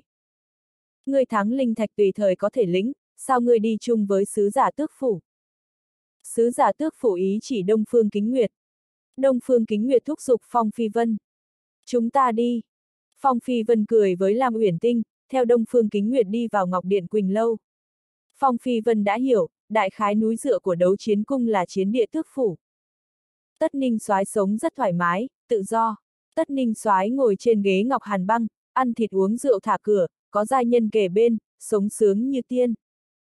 Đám cao tầng đấu chiến cung toàn là cường giả cảnh giới niết bàn, bá chủ nổi tiếng trong quý vực, nhưng giờ kính rượu cho Tất Ninh soái, nịnh hót gã. Tất Ninh soái cười híp mắt. Mãi khi Phong Phi Vân đi theo Đông Phương Kính Nguyệt bước đến. Phong địa bán yêu, nhiều người mộng ra truy sát mà ngươi còn chưa chết. Tất ninh soái ôm hai thiếu nữ xinh đẹp ngồi trong đại điện uống rượu ngon, tay sờ soạng thân thể mỹ miều. Hơn 10 cao tầng đấu chiến cung ngồi ghế dưới. Một lão nhân tóc hao dâm đầu đội vũ quan trông thấy Phong Phi Vân thì rất ngạc nhiên. Tại sao bán yêu này đến đây? Phong Phi Vân liên tục phế ba thiên tài đẳng cấp sử thi trong đấu chiến cung, làm một số cao tầng nhớ tên bán yêu to gan này. Mộng gia truy sát Phong Phi Vân, đấu chiến cung nên xen vào điều đình, thậm chí cảnh cáo mộng gia. Nhưng khi ấy mộng gia ôm đùi cửu tiêu tiên thành, đấu chiến cung phải suy tính kỹ càng, vì vậy khoanh tay đứng nhìn. Một bên là bán yêu, một bên là cửu tiêu tiên thành. Bên nào nhẹ bên nào nặng, đám cao tầng đấu chiến cung tinh danh biết lựa chọn thế nào, nên bọn họ không ra mặt điều đình. Dù sao địa vị của bán yêu rất thấp, làm bọn họ bất ngờ là bán yêu này quen sứ giả tước phủ. Các cao tầng đấu chiến cung đứng ngồi không yên, nụ cười trên mặt cứng ngắc, liếc trộm sắc mặt tất ninh soái. Phong Phi Vân liếc đám lão nhân trong đại điện, nói thẳng. Long La Phù ở đâu? Tất ninh soái mắc nghẹn cục thịt, nốc một ly rượu, cười nói. Mới đến đã hỏi nữ nhân khác, người không sợ đông phương cô nương ghen sao? Phong Phi Vân nói nếu tà Hồng Liên ở đây chắc ai đó sẽ khóc. Tất ninh soái nghe cái tên tà Hồng Liên thì người co giật, cánh tay ôm hai thiếu nữ bớt cản rỡ hơn. Tất ninh soái nói, sao không mau dọn chỗ cho phong công tử, không biết phong công tử là bằng hữu của bản công tử sao? Đám cao tầng đấu chiến cung sợ hết hồn, ai nấy vội nhường chỗ cho phong phi vân. Thì ra phong công tử là bằng hữu của tất sứ giả, thật là có mắt mà không thấy thái sơn. Một lão nhân đấu chiến cung đứng dậy nhường chỗ cho Phong Phi Vân, phập phồng sợ thầm nghĩ. Hỏng rồi, bán yêu này quen tất sứ giả, đông phương sứ giả, nếu bán yêu truy cứu chuyện hôm đó thì nên làm sao đây? Mấy lão nhân khác cũng biến sắc mặt, lòng căng thẳng. Phong Phi Vân biết trong lòng đám lão nhân đấu chiến cung nghĩ gì, hắn cười cười, không khách sáo ngồi phịch xuống. Phong Phi Vân nói, ta có chuyện quan trọng muốn bàn với ngươi, kêu những người không liên quan xuống đi. Tất ninh soái nhìn đám lão nhân đấu chiến cung, lại xem mỹ nhân trong ngực, cảm thấy Phong Phi Vân không biết tình thú là gì. Tất ninh soái buông hai thiếu nữ, ra lệnh, mọi người đều rời khỏi đại điện. Có gì cứ nói đi. Trong đại điện chỉ còn lại Đông Phương Kính Nguyệt, Phong Phi Vân, Tất Ninh soái. Phong Phi Vân nói, thế lực cửu tiêu tiên thành lớn cỡ nào? Tất Ninh soái nhíu mày, trợn to mắt nói. Cái tên tai họa nhà ngươi chắc không phải đã ngủ vị tiên cô nào của cửu tiêu tiên thành đi. Phong Phi Vân không nói nhảm với Tất Ninh soái, hắn nghiêm túc nói. Ngươi thấy bộ dạng của ta giống đang giỡn không? Tất Ninh soái hắng giọng, không cười giỡn nữa. Cửu tiêu tiên thành xem như địa thế lực đỉnh cao, truyền thừa 300 vạn năm, nội tình rất kinh người. Trong lịch sử cửu tiêu tiên thành từng sinh ra một vị bán thánh, để lại một số di vật bán thánh. Cửu tiêu tiên thành tùy tiện lấy một món ra có thể uy chấn mười phương, hiệu lệnh bát phương. Đặc biệt ở thiên nam cảnh, sức ảnh hưởng, địa vị cả cửu tiêu tiên thành xếp năm hàng đầu. Vực chủ mấy chục đại vực quanh cửu tiêu tiên thành hầu như nghe theo lệnh cửu tiêu tiên thành, sức ảnh hưởng lớn lao.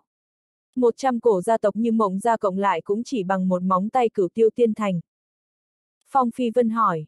So sánh chiến địa tước phủ với cửu tiêu tiên thành thì sao? Tất ninh soái cười to bảo. Cái này hoàn toàn không thể so sánh. Chẳng lẽ chiến địa tước phủ cũng không bằng cửu tiêu tiên thành? Tất ninh soái xua tay nói. Cửu tiêu tiên thành ở thiên nam cảnh, hoặc nên nói trong 12 cảnh Tây Nam có sức ảnh hưởng lớn, nhưng thua xa chiến địa tước phủ. Chắc ngươi không thật sự dây vào cửu tiêu tiên thành đi. Đúng thì sao? Tất ninh soái nhíu mày nói. Chuyện này nói đơn giản thì cũng đơn giản, nói rắc rối cũng rắc rối. Không biết ngươi gây chuyện lớn lớn tới đâu, nếu là chút việc nhỏ thì ta có thể giải hòa giúp ngươi. Phong Phi Vân cười nói. Cướp tân nương của thiếu thành chủ cửu tiêu tiên thành, cái này có tính là chuyện lớn không? Nguyên đại điện yên lặng. Thế lực cửu tiêu tiên thành khổng lồ, có một đại trí giả giỏi suy tính, nếu điều tra kỹ sẽ tra ra mộng thái nhạc, tìm ra mộng lăng yến. Phong Phi Vân không sợ bọn họ, nhưng mộng thái nhạc, mộng lăng yến, thậm chí bán yêu minh quý vực sẽ bị vạ lây. Phong Phi Vân phải giải quyết cẩn thận, nếu không thì với phong cách làm việc độc ác của cửu tiêu tiên thành sẽ có nhiều người chết. Phụt! Tất ninh soái cười phá lên. Thì ra là người cho tiêu thiên duyệt đội nón xanh là ngươi. Ha ha ha, người hành động nhanh quá, mới đến quý vực bao lâu đã tóm thiên chi kiêu nữ mộng ra vào tay. Nhưng cũng hợp lý, ai đắc tội phong phi vân thì thê ly nữ tán. Cửu long ôm đại ngân thương, lúc dài lúc ngắn, lúc đâm lúc chiến, công kích là thấy máu. Đông phương kính nguyệt nhíu mày. Phong phi vân không nói nhảm với tất ninh soái, hắn kể rõ ngọn nguồn vụ việc. Tất ninh soái hết cười, nghiêm túc nói. Chuyện này ta không lo được, nhưng ta có thể viết thư cho nhị công tử. Nếu nhị công tử ra mặt đánh tiếng với cửu tiêu tiên thành thì ta chắc chắn tiêu thiên duyệt sẽ ngậm bồ hòn, thê tử bị ngươi ngủ cũng không dám rên một tiếng. Ha ha ha ha ha ha, nhưng ta không tin, ngươi thật sự không làm gì thiên chi kiêu nữ mộng ra. Phong Phi Vân cười nói. Ngươi đoán xem. Bên ngoài đại điện, hơn 10 cao tầng đấu chiến cung nhíu mày, mặt ủ mày trao xì sầm. Tất sứ giả là tinh anh bạch doanh chữ thiên, còn là thất thiếu gia của tất gia huyết lam cảnh. Không ngờ bán yêu kia xưng huynh gọi dệ với tất sứ giả. Lần này tiêu đời, tất sứ giả là người của nhị công tử, hắn nói một câu là đầu chúng ta sẽ rơi. Phong Phi Vân bị mộng ra truy sát nhưng chúng ta không ra mặt điều đình, chắc chắn bị hắn ghi hận. Gây họa lớn rồi. Hơn 10 cao tầng đấu chiến cùng im miệng, vì Phong Phi Vân, Đông Phương Kính Nguyệt ra khỏi đại điện. Đám cao tầng đấu chiến cung lau mồ hôi chán, hành lễ với Phong Phi Vân, Đông Phương Kính Nguyệt. Phong Phi Vân phớt lờ đám cao tầng đấu chiến cung, cùng Đông Phương Kính Nguyệt đi hướng điện vũ khác. Nàng nói thân thể La Phù khó ở là sao? Tu vi như La Phù mà bị bệnh. Đông Phương Kính Nguyệt trả lời. Ta không dành, lúc ta gặp nàng thì thấy là lạ, nhưng không biết lạ ở chỗ nào. Phong Phi Vân không có nhiều tình cảm với Long La Phù, nhưng nàng dù gì là nữ nhân của hắn, nhiều ít hơi quan tâm. Phong Phi Vân bước nhanh hơn. Hơn 10 cao tầng đấu chiến cung thấy Phong Phi Vân, Đông Phương Kính Nguyệt đi xa thì quay vào đại điện, kính rượu cho tất ninh soái, lại nhét hai thiếu nữ xinh đẹp vào ngực gã. Một lão nhân vừa kính rượu tất ninh soái vừa hỏi dò. Tất sứ giả, dường như người và phong công tử rất thân. Tất ninh soái ôm hai thiếu nữ, lỗ tai nghe nói ngon nói ngọt, lòng lâng lâng, xương cốt mềm nhún. Audio điện tử võ tấn bền. Tất ninh soái nói. Đương nhiên, chúng ta sống chết có nhau. Ha ha ha, các người đừng thấy hắn là bán yêu thì khinh thường, huyết mạch trong người hắn rất khủng, nói ra sẽ hù chết các ngươi. Đám cao tầng đấu chiến cung lòng chìm xuống đáy cốc. Cộng với thái độ Phong Phi Vân khi đi không thèm nhìn bọn họ, có vẻ rất bất mãn. Lần này tiêu đời. Tất ninh soái uống say, đầu choáng váng, nổi máu khoác lác. Tất ninh soái bí hiểm nói. Ta cho các người biết, nhị công tử rất chú trọng hắn. Nếu các người đắc tội hắn thì, tự gánh lấy hậu quả. Dầm bịch. Một lão nhân làm rớt ly rượu xuống đất, bắp chân bị chuột rút. Đám lão nhân đấu chiến cung mặt xám xịt, biết mình gây họa lớn. Nếu bị nhị công tử biết bọn họ đắc tội Phong Phi Vân, nói một câu là mọi người đều rơi đầu, gia tộc chịu liên lụy. Có lão nhân tiếp tục hỏi dò. Phong công tử có thích gì không? Phải rồi, bình thường Phong công tử thích nhất cái gì? Sở thích. Tất ninh soái đã say, gã lắc đầu rồi lại cười. Mỹ nữ, hắn, thích mỹ nữ nhất, đặc biệt ngực, to, ha ha ha ha ha ha. Hơn 10 lão nhân đấu chiến cung vẻ mặt mừng rỡ, có sở thích thì tốt rồi, chỉ cần bắt chúng điểm yếu là sẽ vượt qua khó khăn này. Đừng danh, bọn họ là của ta, của ta, của ta hết. Tất ninh soái bị rót mấy chục ly, đã say bí tỉ. Phong Phi Vân cho rằng đám lão nhân đấu chiến cung định cướp hai thiếu nữ xinh đẹp trong ngực, gã đánh bay mấy bình rượu trên bàn xuống, đè hai thiếu nữ lên mặt bàn, cởi áo các nàng. Xoẹt! Quần áo rách lộ ra thân thể trắng mịn. Hơn 10 lão nhân đấu chiến cung rất biết điều, nhanh chóng ra khỏi đại điện. Thật là vật họp theo loài, tất sứ giả và phong công tử quen thân không phải ngẫu nhiên. Quan trọng là bên phong công tử đang rất tức giận, chúng ta phải nhắm vào sở thích của phong công tử, trấn áp hắn. Cái này dễ, đêm nay chúng ta mở tiệc mời phong công tử, thuận tiện xin lỗi, giữ hắn qua đêm trong đấu chiến cung rồi chọn hai xử nữ đưa vào phòng hắn. Nữ nhân bình thường sợ là phong công tử không vừa mắt, không thấy đông phương cô nương đi bên cạnh phong công tử là tuyệt sắc trần gian sao. Nhức đầu quá, biết vậy lúc đó không nên như thế. Phong Phi Vân, Đông Phương Kính Nguyệt đi đến Quỳnh Lâu Ngọc Đài đầu bên kia đấu chiến cung. Nơi này tràn đầy linh yên, tiên cung bay trên cao, linh chỉ dưới đất, linh điểu hình dạng khác nhau chơi đùa trong linh trì. Long la phù ngụ ở đây. Một con, vịt nhỏ, màu trắng chạy tới. Phong Phi Vân, lão phu bàn chuyện nghiêm túc với ngươi. Đương nhiên đây là không phải con vịt mà là con rùa chân và cổ dài. Ngươi cũng không giống con rùa nghiêm túc. Phong Phi Vân không muốn nói nhảm nhí với Mao Ô Quy, bước ngang qua đầu nó. Lần này thật sự là chuyện nghiêm túc. Mao Ô Quy nhún chân bay lên vai Phong Phi Vân, giật lỗ tai hắn thì thầm. Ta muốn làm nghĩa phụ của con ngươi. Bùm! Phong Phi Vân túm đuôi Mao Ô Quy ném vào hồ nước. Biến dùm đi! Mao Ô Quy sặc nước, hét to. Long La Phù mang thai con của ngươi. Xoạt! Phong Phi Vân dùng mình, lỗ chân lông toàn thân nở rộng, tim ngừng đập, đứng im tại chỗ. Một lúc lâu sau Phong Phi Vân xoa tai, không dám tin điều vừa nghe được. Phong Phi Vân hỏi. Ngươi mới nói gì? Đông Phương Kính Nguyệt khựng lại, ánh mắt phức tạp, tay siết chặt. Cảm giác trong lòng Đông Phương Kính Nguyệt rất lạ, như có cái gì bị người cướp mất. Lòng tĩnh lặng nay như nước biển dậy sóng. Mao ô quy bò lên bờ. Lão Phu mới phát hiện gần đây, theo Lão Phu suy tính, suy đoán cộng với nàng làm vài chuyện khác lạ thì chắc chắn mang thai, khoảng 3 tháng. Phong Phi Vân bật thốt. 3 tháng. Đúng vậy, là ba tháng. Mao ô quy làm bộ dạng tang thương, đứng thẳng người, hai tay chắp sau lưng. Mao ô quy ngửa đầu than thở. Người còn nhớ Long La Phù trong thần đô ba tháng trước không? Mao ô quy nhắc làm Phong Phi Vân nhớ ra. Ba tháng trước Phong Phi Vân và Long La Phù có một đêm mặn nồng. Nếu Long La Phù mang thai nhi tử hoặc nữ nhi của hắn. Dù là kiếp trước hay kiếp này Phong Phi Vân chưa từng có kinh nghiệm làm phụ thân, hắn ngây người. Quan trọng nhất là Long La Phù làm mẫu thân, thiệt hố cha. Phong Phi Vân thầm nghĩ. Chẳng phải Lưu Gia Gia nói khả năng sinh dục của ta rất thấp sao? Tại sao đột nhiên có thai? Đông Phương Kính Nguyệt im lặng thật lâu sau lên tiếng. Nếu ngươi không muốn đứa trẻ đó thì ta giải quyết giúp ngươi.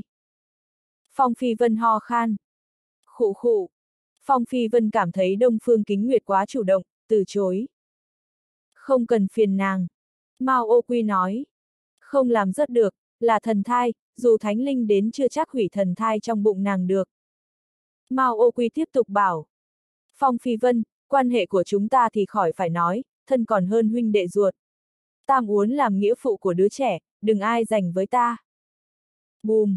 Mao ô quy lại bị ném vào hồ nước.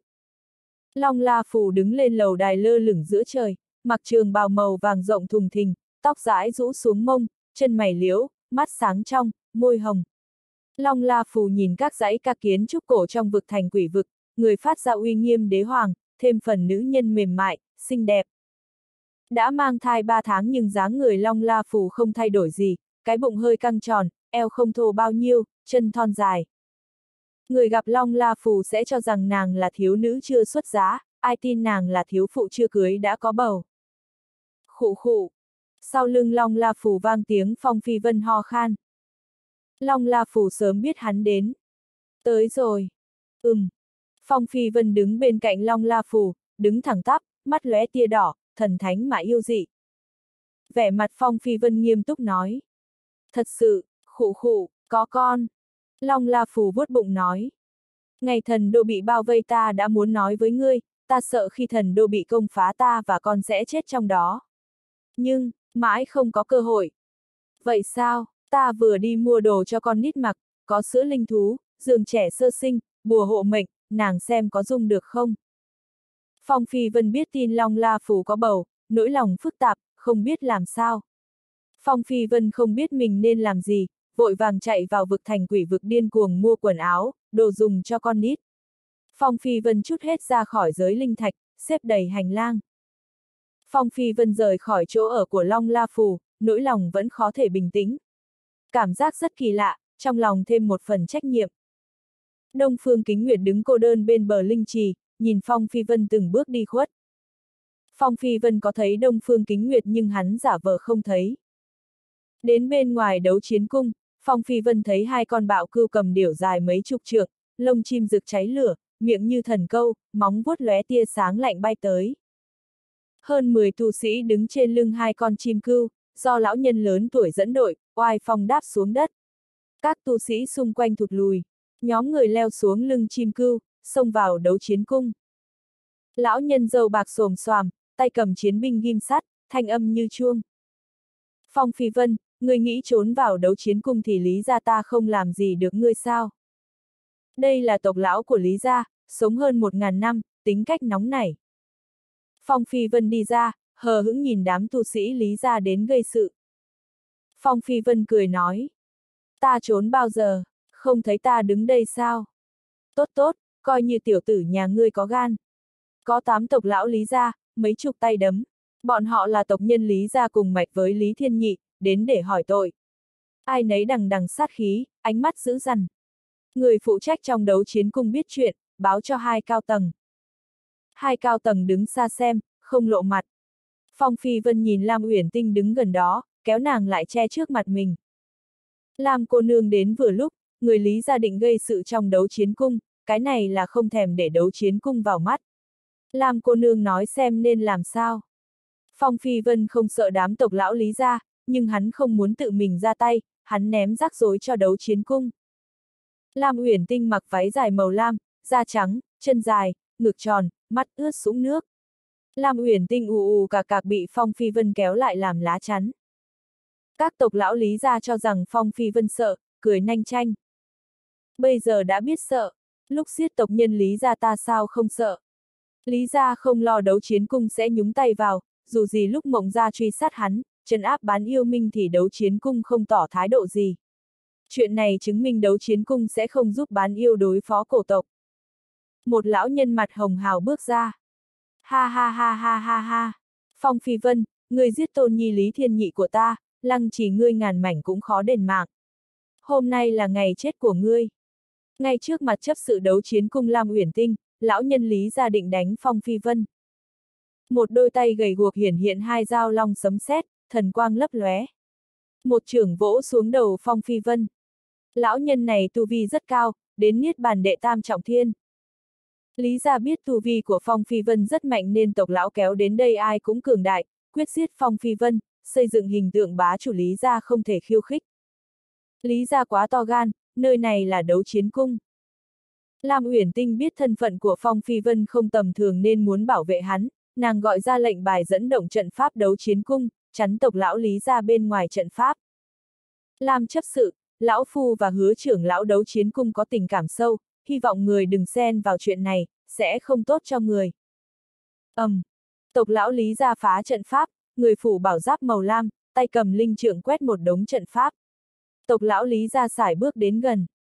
Phong Phi Vân khoanh tay đứng sau lưng Lam Uyển Tinh, nói nhỏ vào tai nàng.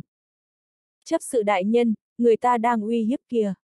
Khuôn mặt Lam Uyển Tinh xinh đẹp, tuổi không lớn nhưng có thể trở thành chấp sự đấu chiến cung đương nhiên là có bản lĩnh. Lam Uyển Tinh không sợ tộc lão Lý ra, đang định ra tay thì hai cao tầng đấu chiến cung không đứng ngó nữa, lao ra ngoài. Một lão nhân mặc áo sắt màu đen đi đằng trước, lạnh lùng quát. Lý ra các người quá cản rỡ, dám diễu võ dương oai trong đấu chiến cung. Tộc lão Lý ra đó nói.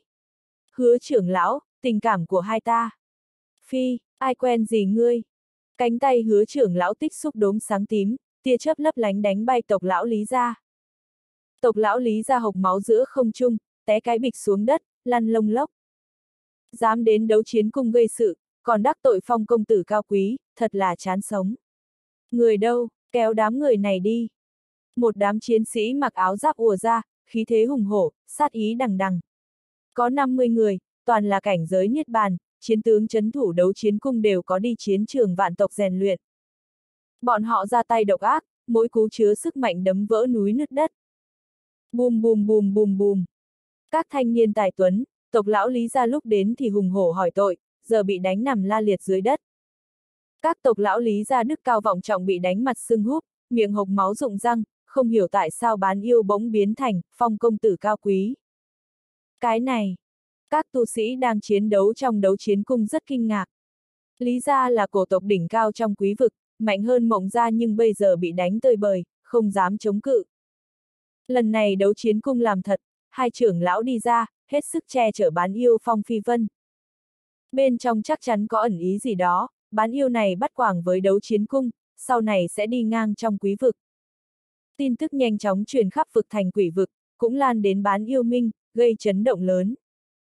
Đám tu sĩ lý gia bị đánh hấp hối rồi vứt ra đấu chiến cung, ai nấy cụt tay gãy chân, bị đánh bầm dập, không có sức để kêu gào.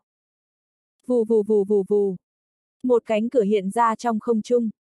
Một đám tu sĩ mặc áo vàng bước ra, đáp xuống bên ngoài đấu chiến cung. Thủ lĩnh là một người rất uy nghiêm, khoảng 40 tuổi, để hai tròm dâu, người có khí thế không giận mà uy, bá khí hơn một số đế hoàng. Gia chủ Lý ra nghe tin chạy đến, ba lão tổ đi theo. Lý gia có gài người trong đấu chiến cung, biết lai lịch của Phong Phi Vân rất lớn, xưng huynh gọi đệ với sứ giả chiến địa tước phủ. Khi tin truyền về Lý gia thì kinh động cao tầng, biết chuyện này không tầm thường, sơ sẩy một cái là dẫm theo bước chân mộng ra. Gia chủ chủ Lý gia tự mình đến xin lỗi. Gia chủ Lý gia tên Lý Hoành, rất khách sáo với Phong Phi Vân, chắp hai tay vào nhau, đối xử ngang hàng. Lý gia chúng ta là đại tộc một vực lại ra tên khốn kiếp như Lý Thiên Nhị, thật là gia môn bất hạnh. May mắn phong công tử ra tay giúp Lý gia thanh lý môn hộ, thật là cao thượng. Đừng khách sáo, đừng khách sáo. Phong Phi Vân cười tủm tỉm nói. Nhưng, Lý Thiên Nhị dám đùa dưỡng Đông Phương Sứ giả chiến địa tước phủ ngay giữa đường, nếu tin này truyền ra ngoài, bên tước phủ mất mặt có lẽ sẽ làm chuyện quá khích. Lão nhân đấu chiến cung hừ lạnh một tiếng. Cái gì, Lý Thiên Nhị to gan như vậy, dám đùa giỡn đông phương sứ giả. Mắt lão nhân đấu chiến cung lóe sát ý. Gia chủ, ba lão tổ lý ra sợ đứng tim. Chuyện này vừa lớn vừa nhỏ, mộng ra là ví dụ tốt nhất. Vốn là cổ tộc huy hoàng, nhưng vì làm thiếu thành chủ cửu tiêu tiên thành xấu mặt thế là mộng ra cửa nát nhà tan. Chiến địa tước phủ là tồn tại khủng bố hơn cửu tiêu tiên thành gấp vô số lần, chuyện đệ tử lý ra đùa dẫn sứ giả chiến địa tước phủ truyền ra ngoài, chiến địa tước phủ vì mặt mũi sẽ xóa sổ lý ra khỏi quý vực.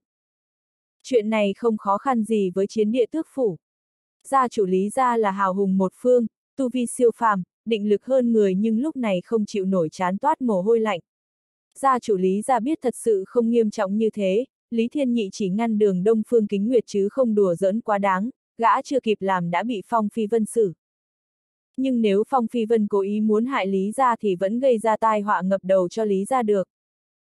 Gia chủ Lý Gia nhét phiên giới linh thạch vào tay Phong Phi Vân. Nghe nói Phong Công Tử và Đông Phương Sứ Giả rất thân nhau, kính nhờ Phong Công Tử nói tốt vài câu dùm trước mặt Đông Phương Sứ Giả. Phong Phi Vân thò tay vào giới linh thạch, sờ soạng báu vật bên trong, bụng cười thầm. Phong Phi Vân thầm nghĩ. Lý ra không uổng là cổ tộc, đút lót rộng rãi. Phong Phi Vân cất giới linh thạch, cười nói. Ta sẽ đi nói chuyện với Đông Phương Sứ Giả, còn thành công hay không thì chưa biết. Phong Phi Vân cũng không muốn gây lớn chuyện, dù sao Đông Phương Kính Nguyệt là loại người sĩ diện, hắn lấy cớ, đùa giỡn, áp đặt trên người nàng, Đông Phương Kính Nguyệt không liều mạng với hắn mới lạ. Ba lão tổ, gia chủ lý gia thấy Phong Phi Vân nhận giới linh thạch thì thở phào. Hai trưởng lão đấu chiến cung cũng nhẹ nhõm. Trưởng lão họ hứa tiến lên nói. Đêm nay đấu chiến cung chúng ta bày tiệc tối, muốn mời Phong công tử nhấm nháp hồng hoa ngọc tương 3.000 năm trước, có mời một số tiết mục giúp vui khác. Phong Phi Vân muốn từ chối, hắn còn bận chuyện rất quan trọng, phải quay về bán yêu minh giải quyết. Không lâu sau Phong Phi Vân sẽ đi quý vực, đến đại bản doanh bán yêu minh Diệp Hồng Cảnh. Phong Phi Vân không muốn lãng phí thời gian ở đây. Hứa trưởng lão mời ra chủ lý ra, ba lão tổ. Phong công tử nhất định phải ghé đến. Uyển tình, đêm nay từ ngươi kính rượu cho phong công tử. Lý gia chủ có muốn cùng dự tiệc không? Gia chủ lý gia mừng rỡ nói. Rất vinh hạnh. Gia chủ lý gia biết hứa trưởng lão cho mình cơ hội, giải quyết ân oán trên bàn tiệc, cười xóa ân thù. Phong Phi Vân trầm ngâm giây lát, cuối cùng đồng ý dự tiệc. Phong Phi Vân muốn giúp bán yêu minh tranh thủ địa vị cao trong quý vực, đấu chiến cung và Lý Gia có thể giúp một tay. Ít ra có hai thế lực đỉnh cao chống lưng, địa vị của bán yêu trong quý vực sẽ tăng mảng lớn. Bữa tiệc diễn ra trong không khí hòa hợp, lục tục có người đến kính rượu cho Phong Phi Vân, một lúc sau hắn thấm men say. Hồng hoa ngọc tương rất nặng đô, men rượu lắng động 3.000 năm, Phong Phi Vân không chịu nổi. Phong Phi Vân say như chết bị đưa vào xương phòng trong ngọc điện. Nơi đây tràn ngập mùi hoa quế, dưới đất nốt lò lửa than thú, bên trong có bể tắm lớn giải đầy cánh linh hoa, thơm nước mũi. Phong Phi Vân ngâm mình trong bể, xung quanh là hơi nước trắng xóa, rất là hưởng thụ. Hèn gì mọi người đều muốn ở trên cao, người địa vị cao và địa vị thấp chênh lệch quá lớn. Phong Phi Vân bớt say một chút, hắn ngồi trong bể tắm ngửi hương hoa, lưng dựa vào thành hồ ngọc ấm mềm. Cộp cộp cộp. Sau lưng Phong Phi Vân vang tiếng bước chân, cửa phòng bị nhẹ nhàng đẩy ra. Một nữ nhân xinh đẹp khoác trường bào màu lam bước tới, gót sen chân trần, tóc dài đen nhánh xõa ra, yểu điệu đi tới bên ao. Khuôn mặt nàng xinh đẹp, da trắng, mặt hình trứng, chớp đôi mắt đẹp, trường bào màu lam từ từ trượt xuống người nàng. Áo mỏng rơi xuống đất lộ ra thân hình trắng trong hấp dẫn, bầu ngực căng tròn hình nửa cái bát, mông vêu, eo không dư thịt. Tuy các lũ xương mù che người nhưng như thế càng khiến người mơ màng. Phong Phi Vân nhìn nữ nhân xinh đẹp đứng bên ao, hí mắt nói. Làm chấp sự làm gì? Phong Phi Vân không biết bị tất ninh soái bán đứng. Đám cao tầng đấu chiến cung vì xin lỗi Phong Phi Vân nên tìm mỹ nhân khắp nơi, cuối cùng cảm thấy Lam Uyển Tinh thích hợp nhất. Lam Uyển Tinh xinh đẹp, Phong Phi Vân cũng có hảo cảm với nàng. Lam Uyển Tinh bị đưa vào phòng Phong Phi Vân. Gò má Lam Uyển Tinh hây hồng, xấu hổ bước vào bể, chân dài bị nước bao phủ. Lam Uyển Tinh hé môi. Uyển Tinh đến thị tẩm Phong công tử. Phong Phi Vân không phải quân tử gì, có gia nhân lao vào ngực, mặc kệ nàng tự nguyện hay bị đám lão giả đấu chiến cung ép buộc thì hắn sẽ không bỏ qua. Lúc này lại một nữ nhân xinh đẹp khuynh thành bước tới, mặc áo đỏ, khoảng 16, 7 tuổi, ngũ quan tinh xảo. Nàng bới hai búi tóc tiên nữ, lỗ tai đeo khuyên hình trăng, chu sa vẽ đóa hoa sen trên trán, tựa tiên nữ. Tiệp Nhi phụng mệnh gia chủ đến thị tẩm công tử. Lý Tiệp Nhi hiểu điệu bước tới sau lưng Phong Phi Vân, áo đỏ rơi xuống, thân hình xinh đẹp lộ ra. Lý Tiệp Nhi là thiên chi kiêu nữ thế hệ này của Lý gia, là thiên tài đẳng cấp sử thi, mỹ nhân số một của Lý gia. gia chủ Lý gia được hứa trưởng lão tiết lộ Phong Phi Vân mê nữ sắc. Vì chắc chắn Lý gia an toàn, gỡ bỏ cái gai trong lòng Phong Phi Vân, gia chủ Lý gia đưa Lý Tiệp Nhi vào phòng hắn. Đối với bá chủ sống mấy ngàn năm như gia chủ Lý gia, chỉ cần vì ích lợi gia tộc, hy sinh nữ nhân trong gia tộc không phải chuyện lớn gì. Phong Phi Vân xoa chán cười nói. Đời người thật kỳ diệu. Một tháng trước, ta là bán yêu người người chơ chẽn. Một tháng sau, có mỹ nhân cổ tộc đến thị tẩm. Bên ngoài vang tiếng tỷ bà du dương đẹp như tiên nhạc, thanh âm rõ ràng. Nữ nhân đàn tỷ bà ở rất gần phòng Phong Phi Vân, không chừng đứng ngoài cửa. Dưới trăng, Đông Phương Kính Nguyệt ngồi trên đá cổ, áo trắng bay bay, khăn che mặt, nắm ngón tay nhẹ nhàng lướt dây tỷ bà. Tiếng ca đẹp mà ai oán như nói ra buồn khổ trong lòng, khiến người nghe muốn khóc. Mao ô quy ngồi bên Linh chỉ nói. Cô nương ngốc, vô dụng, có mỹ nữ chủ động lao vào ngực, phong đại bán yêu sẽ vui vẻ nhận. Một khúc tỷ bà của ngươi không thể làm hắn từ bỏ mỹ nhân trước mắt. Đôi mắt đông phương kính nguyệt đưa tình, khuôn mặt xinh đẹp không biểu tình, vẫn đàn khúc nhạc nức nở. Ánh trăng chiếu trên mặt đông phương kính nguyệt, làm nàng càng xinh đẹp thoát tục, như sắp bay theo gió. Trong phòng, Phong Phi Vân nghe nửa ngày, hít sâu, cố ý cười to bảo. Hiệp cùng nhau đến đi, ha ha ha ha ha ha. Lam Uyển Tinh, Lý Tiệp Nhi bị Phong Phi Vân ôm ra khỏi mặt nước, thân thể mềm mại, mịn màng mắt tay. Bộp bộp bộp. Phong Phi Vân và Lam Uyển Tinh mây mưa trong ao, bọt nước bắn tung tóe, thanh âm dâm mỹ, tiếng rên rỉ và tiếng nước đan vào thành bức tranh giạt rào ý xuân. Phong Phi Vân lại ôm Lý Tiệp Nhi nhỏ xinh lên tháp đặt bên bờ ao, đẩy ngã nàng. Lý Tiệp Nhi rên rỉ và xin tha, ngọc tháp rung rinh. Phong Phi Vân cười lớn. Cuối cùng Phong Phi Vân ôm luôn Lam Uyển Tinh lên giường, cùng với Lý Tiệp Nhi, tách hai cái đùi thon ra, trường thương thô cứng đâm vào chỗ khít, ấm áp. Khúc nhạc đan sen, rất là dâm mỹ. Đại chiến ba người, quấn quýt lấy nhau, mỹ nhân như ngọc, cơ thể mềm mại, thanh âm hút hồn. Phong Phi Vân không biết mình ngủ từ bao giờ, khi sáng sớm đến hắn chậm rãi mở mắt ra. Hai nữ nhân nằm bên cạnh Phong Phi Vân, một xinh đẹp khuynh quốc khuynh thành, chân dài, ngực to. Một xinh xắn, thanh tú thoát tục. Chuyện gì đây, sao lại thế này? Phong Phi Vân hai tay ôm hai nàng, suy nghĩ dần rõ ràng hơn. Chuyện đêm qua hiện lên trong não hắn, quá điên cuồng, một chiến đấu với hai. Không lẽ máu yêu ma trong cơ thể hắn lại thức tỉnh? Phong Phi Vân vội ngồi dậy nội thị huyết mạch trong người, mọi thứ bình thường, máu yêu ma không thức tỉnh. Vậy không liên quan máu yêu ma mà là bản năng nam nhân. Phong Phi Vân nhìn hai người ngọc nằm trong chăn, toàn là mỹ nhân bậc nhất. Đêm qua bị rông tố tàn phá làm các nàng mệt nhừ, giờ còn ngủ say, như hai dê con. Phong Phi Vân không thấy có gì lớn lao, làm hai nữ nhân là bình thường. Hơn nữa bọn họ chủ động đưa lên miệng hắn, dù Phong Phi Vân không làm thì tương lai các nàng cũng sẽ bị nam nhân khác làm. Nam nhân thì phải tiêu sái, không thể bị loại việc nhỏ này ràng buộc. Đường tu đạo dài dòng mà khô khan, nếu ức chế tình thú cuộc sống thì tu đạo còn có nghĩa lý gì?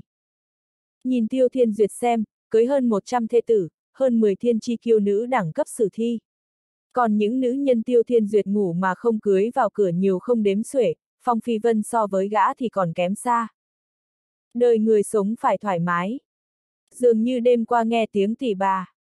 Phong Phi Vân đắp chăn cho Lam Uyển Tinh, Lý Tiệp Nhi, đi ra ngoài, vừa mở cửa chợt thấy con rùa ngồi xổm trước cửa. Mao ô quy nhìn Phong Phi Vân, nói. Đông Phương Kính Nguyệt đã đi. Phong Phi Vân gãi mũi. Nàng không đi mới là lạ. Phong Phi Vân vào một ngọc điện, đạp cửa ra, kéo tất ninh soái khỏi ổ chăn hai thiếu nữ xinh đẹp. Tất ninh soái khoác thảm bị Phong Phi Vân ném xuống đất. Phong Phi Vân, người định làm gì? Nói cho người biết, nếu ngươi dám nói câu nào về chuyện đêm qua cho Hồng Liên biết từ từ nay về sau chúng ta là kẻ thù. Phong Phi Vân nói, còn không biết ngượng nói chuyện hôm nay với ta, ngươi đã nói những gì với mây người đấu chiến cung. Tất ninh soái xoa chán nhớ lại chuyện hôm qua, bò dậy, mắt sáng rực hỏi. Ha ha ha ha ha ha, hay là tối hôm qua bọn họ đưa một tiểu mỹ nhân như hoa như ngọc cho ngươi? Phong Phi Vân nhe răng cười. Ha ha ha, Tất ninh soái bọc thảm vỗ vai Phong Phi Vân, cười phá lên. Chết tiệt, không lẽ là hai người? Ngươi lời to, ngươi nên cảm tạ ta. Phong Phi Vân nói. Ta có con. Phụt. Tất ninh soái trợn to mắt, suýt rất cằm. Mau vậy, đêm qua ới đẻ mà hôm nay đã mang thai. Phong Phi Vân nói. Không phải bọn họ. Tất ninh soái ra đề nghị xấu xa. Vậy là ai? Đông Phương Kính Nguyệt, Long La Phù, chết tiệt, không lẽ là Long La Phù? Người tàn đời, chết chắc. Nghe lời ta, bỏ Long La Phù đi, nam nhân thật sự đừng bị nữ nhân nào ràng buộc, đừng bị con nít trói buộc, nếu không sẽ mất đi nhiều cảnh đẹp. Những thánh nữ nhân tổ động thiên đang vẫy tay với ngươi, những giai nhân tuyệt trần thánh phủ, tiên thành còn là xử nữ, chẳng lẽ ngươi nhẫn tâm nhìn bọn họ thủ thân như ngọc cả đời. Phong Phi Vân nói, ta sắp đi chiến trường vạn tộc. Tất ninh soái khen. Tốt, ta đã bảo ngươi là một nam nhân tiêu sái, bỏ long la phù trước rồi chơi trò mất tích, một khi đi chiến trường vạn tộc dù nàng muốn tìm ngươi cũng khó. Huynh đệ, yên tâm, nam nhân nào uy chấn thiên hạ không có con riêng rơi rớt. Số lượng con riêng quyết định số thành công của nam nhân. Ngươi không đùa nổi với loại nữ nhân như Long La Phù, một khi ngươi chịu trách nhiệm, tương lai ngươi sẽ không chịu trách nhiệm với nữ nhân khác được nữa. Phong Phi Vân nói, ta định mang nàng đi. Tất ninh soái ngây người. Phong Phi Vân nói, tìm một người có tạo nghệ trận pháp siêu cao dùng ta, người này phải tuyệt đối đáng tin. Trước khi đi chiến trường vạn tộc ta định sửa con đường thiên quốc. Tất ninh soái lắc đầu than thở, cảm thấy Phong Phi Vân đầu gỗ. Tất ninh soái đành bó tay, mỗi người có trí riêng. Hiệu suất làm việc của tất ninh soái rất cao, nhanh chóng tìm đến một đại sư trận pháp, là ngoại công của gã. Nghe nói tất ngoại công vừa lúc tìm tiên hỏi đạo trong diệp hồng cảnh, đi viếng thăm các bằng hữu là cao nhân đạo hạnh cao sâu. Tất ngoại công quen bằng hữu khắp thiên hạ ngay hôm đó qua cổ trận đài chạy tới quý vực. Tiểu tất, gần đây ngươi lại đen, quan hệ với Hồng Liên như thế nào? Có con chưa? Lão ăn mày kéo hai tay tất ninh xoái, tóc lão rối sủ dính mấy miếng lá khô vàng, vai vác gậy gỗ, lưng cõng cái bao rách, răng sắp dụng hết, nói chuyện ngọng nghịu. Tất ninh xoái cúi đầu, khom lưng trước lão ăn mày. Quan hệ rất hòa hợp, đại khái sẽ thành hôn trong mấy năm này. Lão ăn mày vuốt đầu tất ninh xoái. Ha ha ha ha ha ha, ta sớm cảm thấy các ngươi là trời sinh một đôi, quả nhiên không nhìn lầm. Hồng Liên là cô nương tốt, dịu dàng rộng rãi, hiền lành săn sóc, mấu chốt là mông to, có thể sinh đẻ nhiều. Tất ninh soái ho khan. Lão nhân ra ánh mắt thật tốt, ngoại công, để ta giới thiệu, vị này là huynh đệ tốt của ta, Phong Phi Vân. Hắn có chuyện quan trọng cần nhờ nghe oi công giúp đỡ. Ô, Tiểu Phong, nào nào, lần đầu gặp mặt không có thứ tốt gì, ta đi thăm một đạo hữu cửu tiêu tiên thành, tạo ra tặng một bộ giáp cổ vũ hóa, tặng ngươi coi như quà gặp mặt. Tất ngoại công rộng rãi lấy một giáp cổ màu màu trắng ra, tuy chỉ có hộ tấm kính, bao tay nhưng vẫn rất quý giá. Chủ nhân của nó từng là hiền giả vũ hóa cảnh, bên trên dính một chút khí vũ hóa, uy lực bất phàm. Phong Phi Vân nhận ra tất ngoại công, đó là lão ăn mày trộm hết tiền biếu, báu vật hôm tiêu thiên duyệt thành thân. Một trưởng bối cửu tiêu tiên thành lấy ra kiếm phôi thần kiếm cũng không giết lão ăn mày được, khiến lão chạy mất không còn bóng dáng. Giáp cổ này là món quà lưu tô tử đưa tặng phủ thiếu thành chủ, tên là tiên quang vân giáp. Một trong các tang vật bị trộm. Chỉ có một nửa tiên quang vân giáp nhưng lực phòng ngự vẫn rất mạnh, dù gì có chút hơi thở hiền giả vũ hóa cảnh. Không uổng là tổ tôn, thật là cá mè một lứa. Phong Phi Vân nghĩ vậy nhưng vẫn hớn hở nhận tiên quang vân giáp, thảo luận việc chính với tất ngoại công. Tất ngoại công là một người rất có tài, nhất là tạo nghệ đạo trận pháp còn hơn Long Khương Linh một bậc. Nếu tất ngoại công không có tạo nghệ trận pháp siêu cao thì không thể ra vào cửu tiêu tiên thành như trốn không người. Làm ăn trộm đa số giỏi món này. Phong Phi Vân và tất ngoại công hợp tác, chỉ mất một buổi chiều là kết nối con đường thiên quốc, tạo lại cánh cửa. Tất ngoại công rất tò mò về thiên quốc, muốn vào xem. Phong Phi Vân nói, bên trong là bí cảnh mãng thú, đầy dẫy nguy hiểm. Tay chân tất ngoại công còn tái máy hơn tất ninh soái Phong Phi Vân không dám để lão đi thiên quốc. Tất ngoại công nghe bí cảnh mãng thú thì ngây người nửa ngày, giây sau nheo mắt thầm nghĩ. Nếu thật sự là bí cảnh mãng thú thì hắn kết nối con đường làm gì? Tiểu quỷ này muốn lừa ta, chắc chắn bên trong có rất nhiều bảo bối.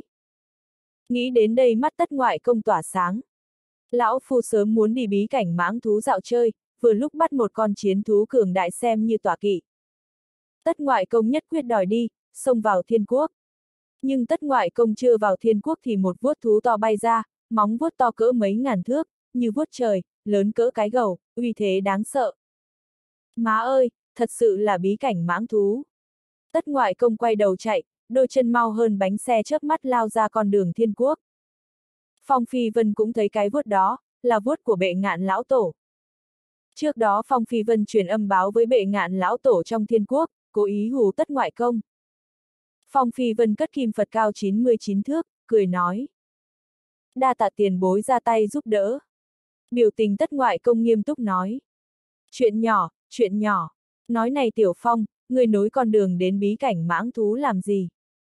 Móng vuốt vừa rồi rất khiếp người, chủ nhân của nó tuyệt đối là mãng thú siêu cường đại. Cái này, để rèn luyện. Phong Phi Vân không muốn bị tất ngoại công hỏi tiếp, hắn từ biệt, đi tìm Long La Phù.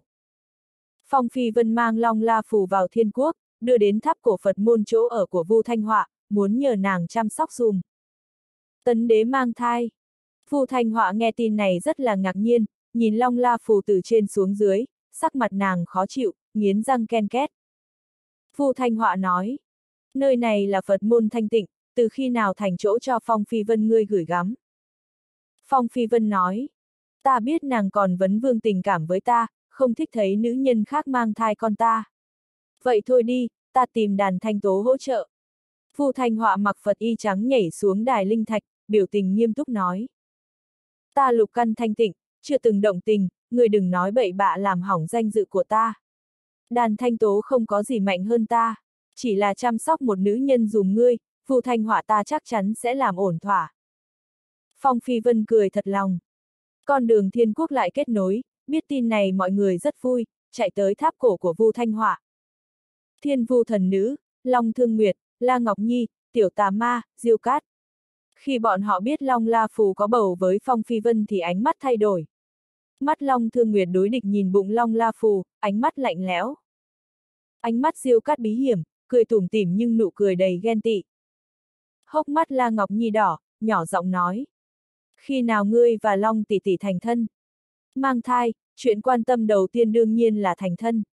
Hơn nữa là có con rồi thành thân, Long La Phù sẽ là vợ cả, chính thê, sinh con sẽ trở thành trưởng tử kế thừa mọi người của Phong Phi Vân, địa vị cao hơn con của nữ nhân khác sinh cho hắn. Đây là lý do ánh mắt Long Thương Nguyệt, Diêu Cát hẳn học. Không vội, La Phù có thần thai, thai nhi cần nhiều linh khí, ngưng tụ thời gian dài, không sinh ra trong vòng nửa năm, một năm được. Phong Phi Vân có nghe tin đồn về thần thai, thời gian dựng dục không phải 10 tháng mà quyết định từ tu vi của mẫu thân.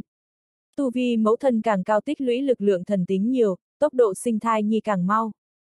Nếu tu vi mẫu thân thấp, vận chuyển linh khí cho thai nhi chậm, tích lũy thần tính càng chậm, thời gian dựng dục càng lâu.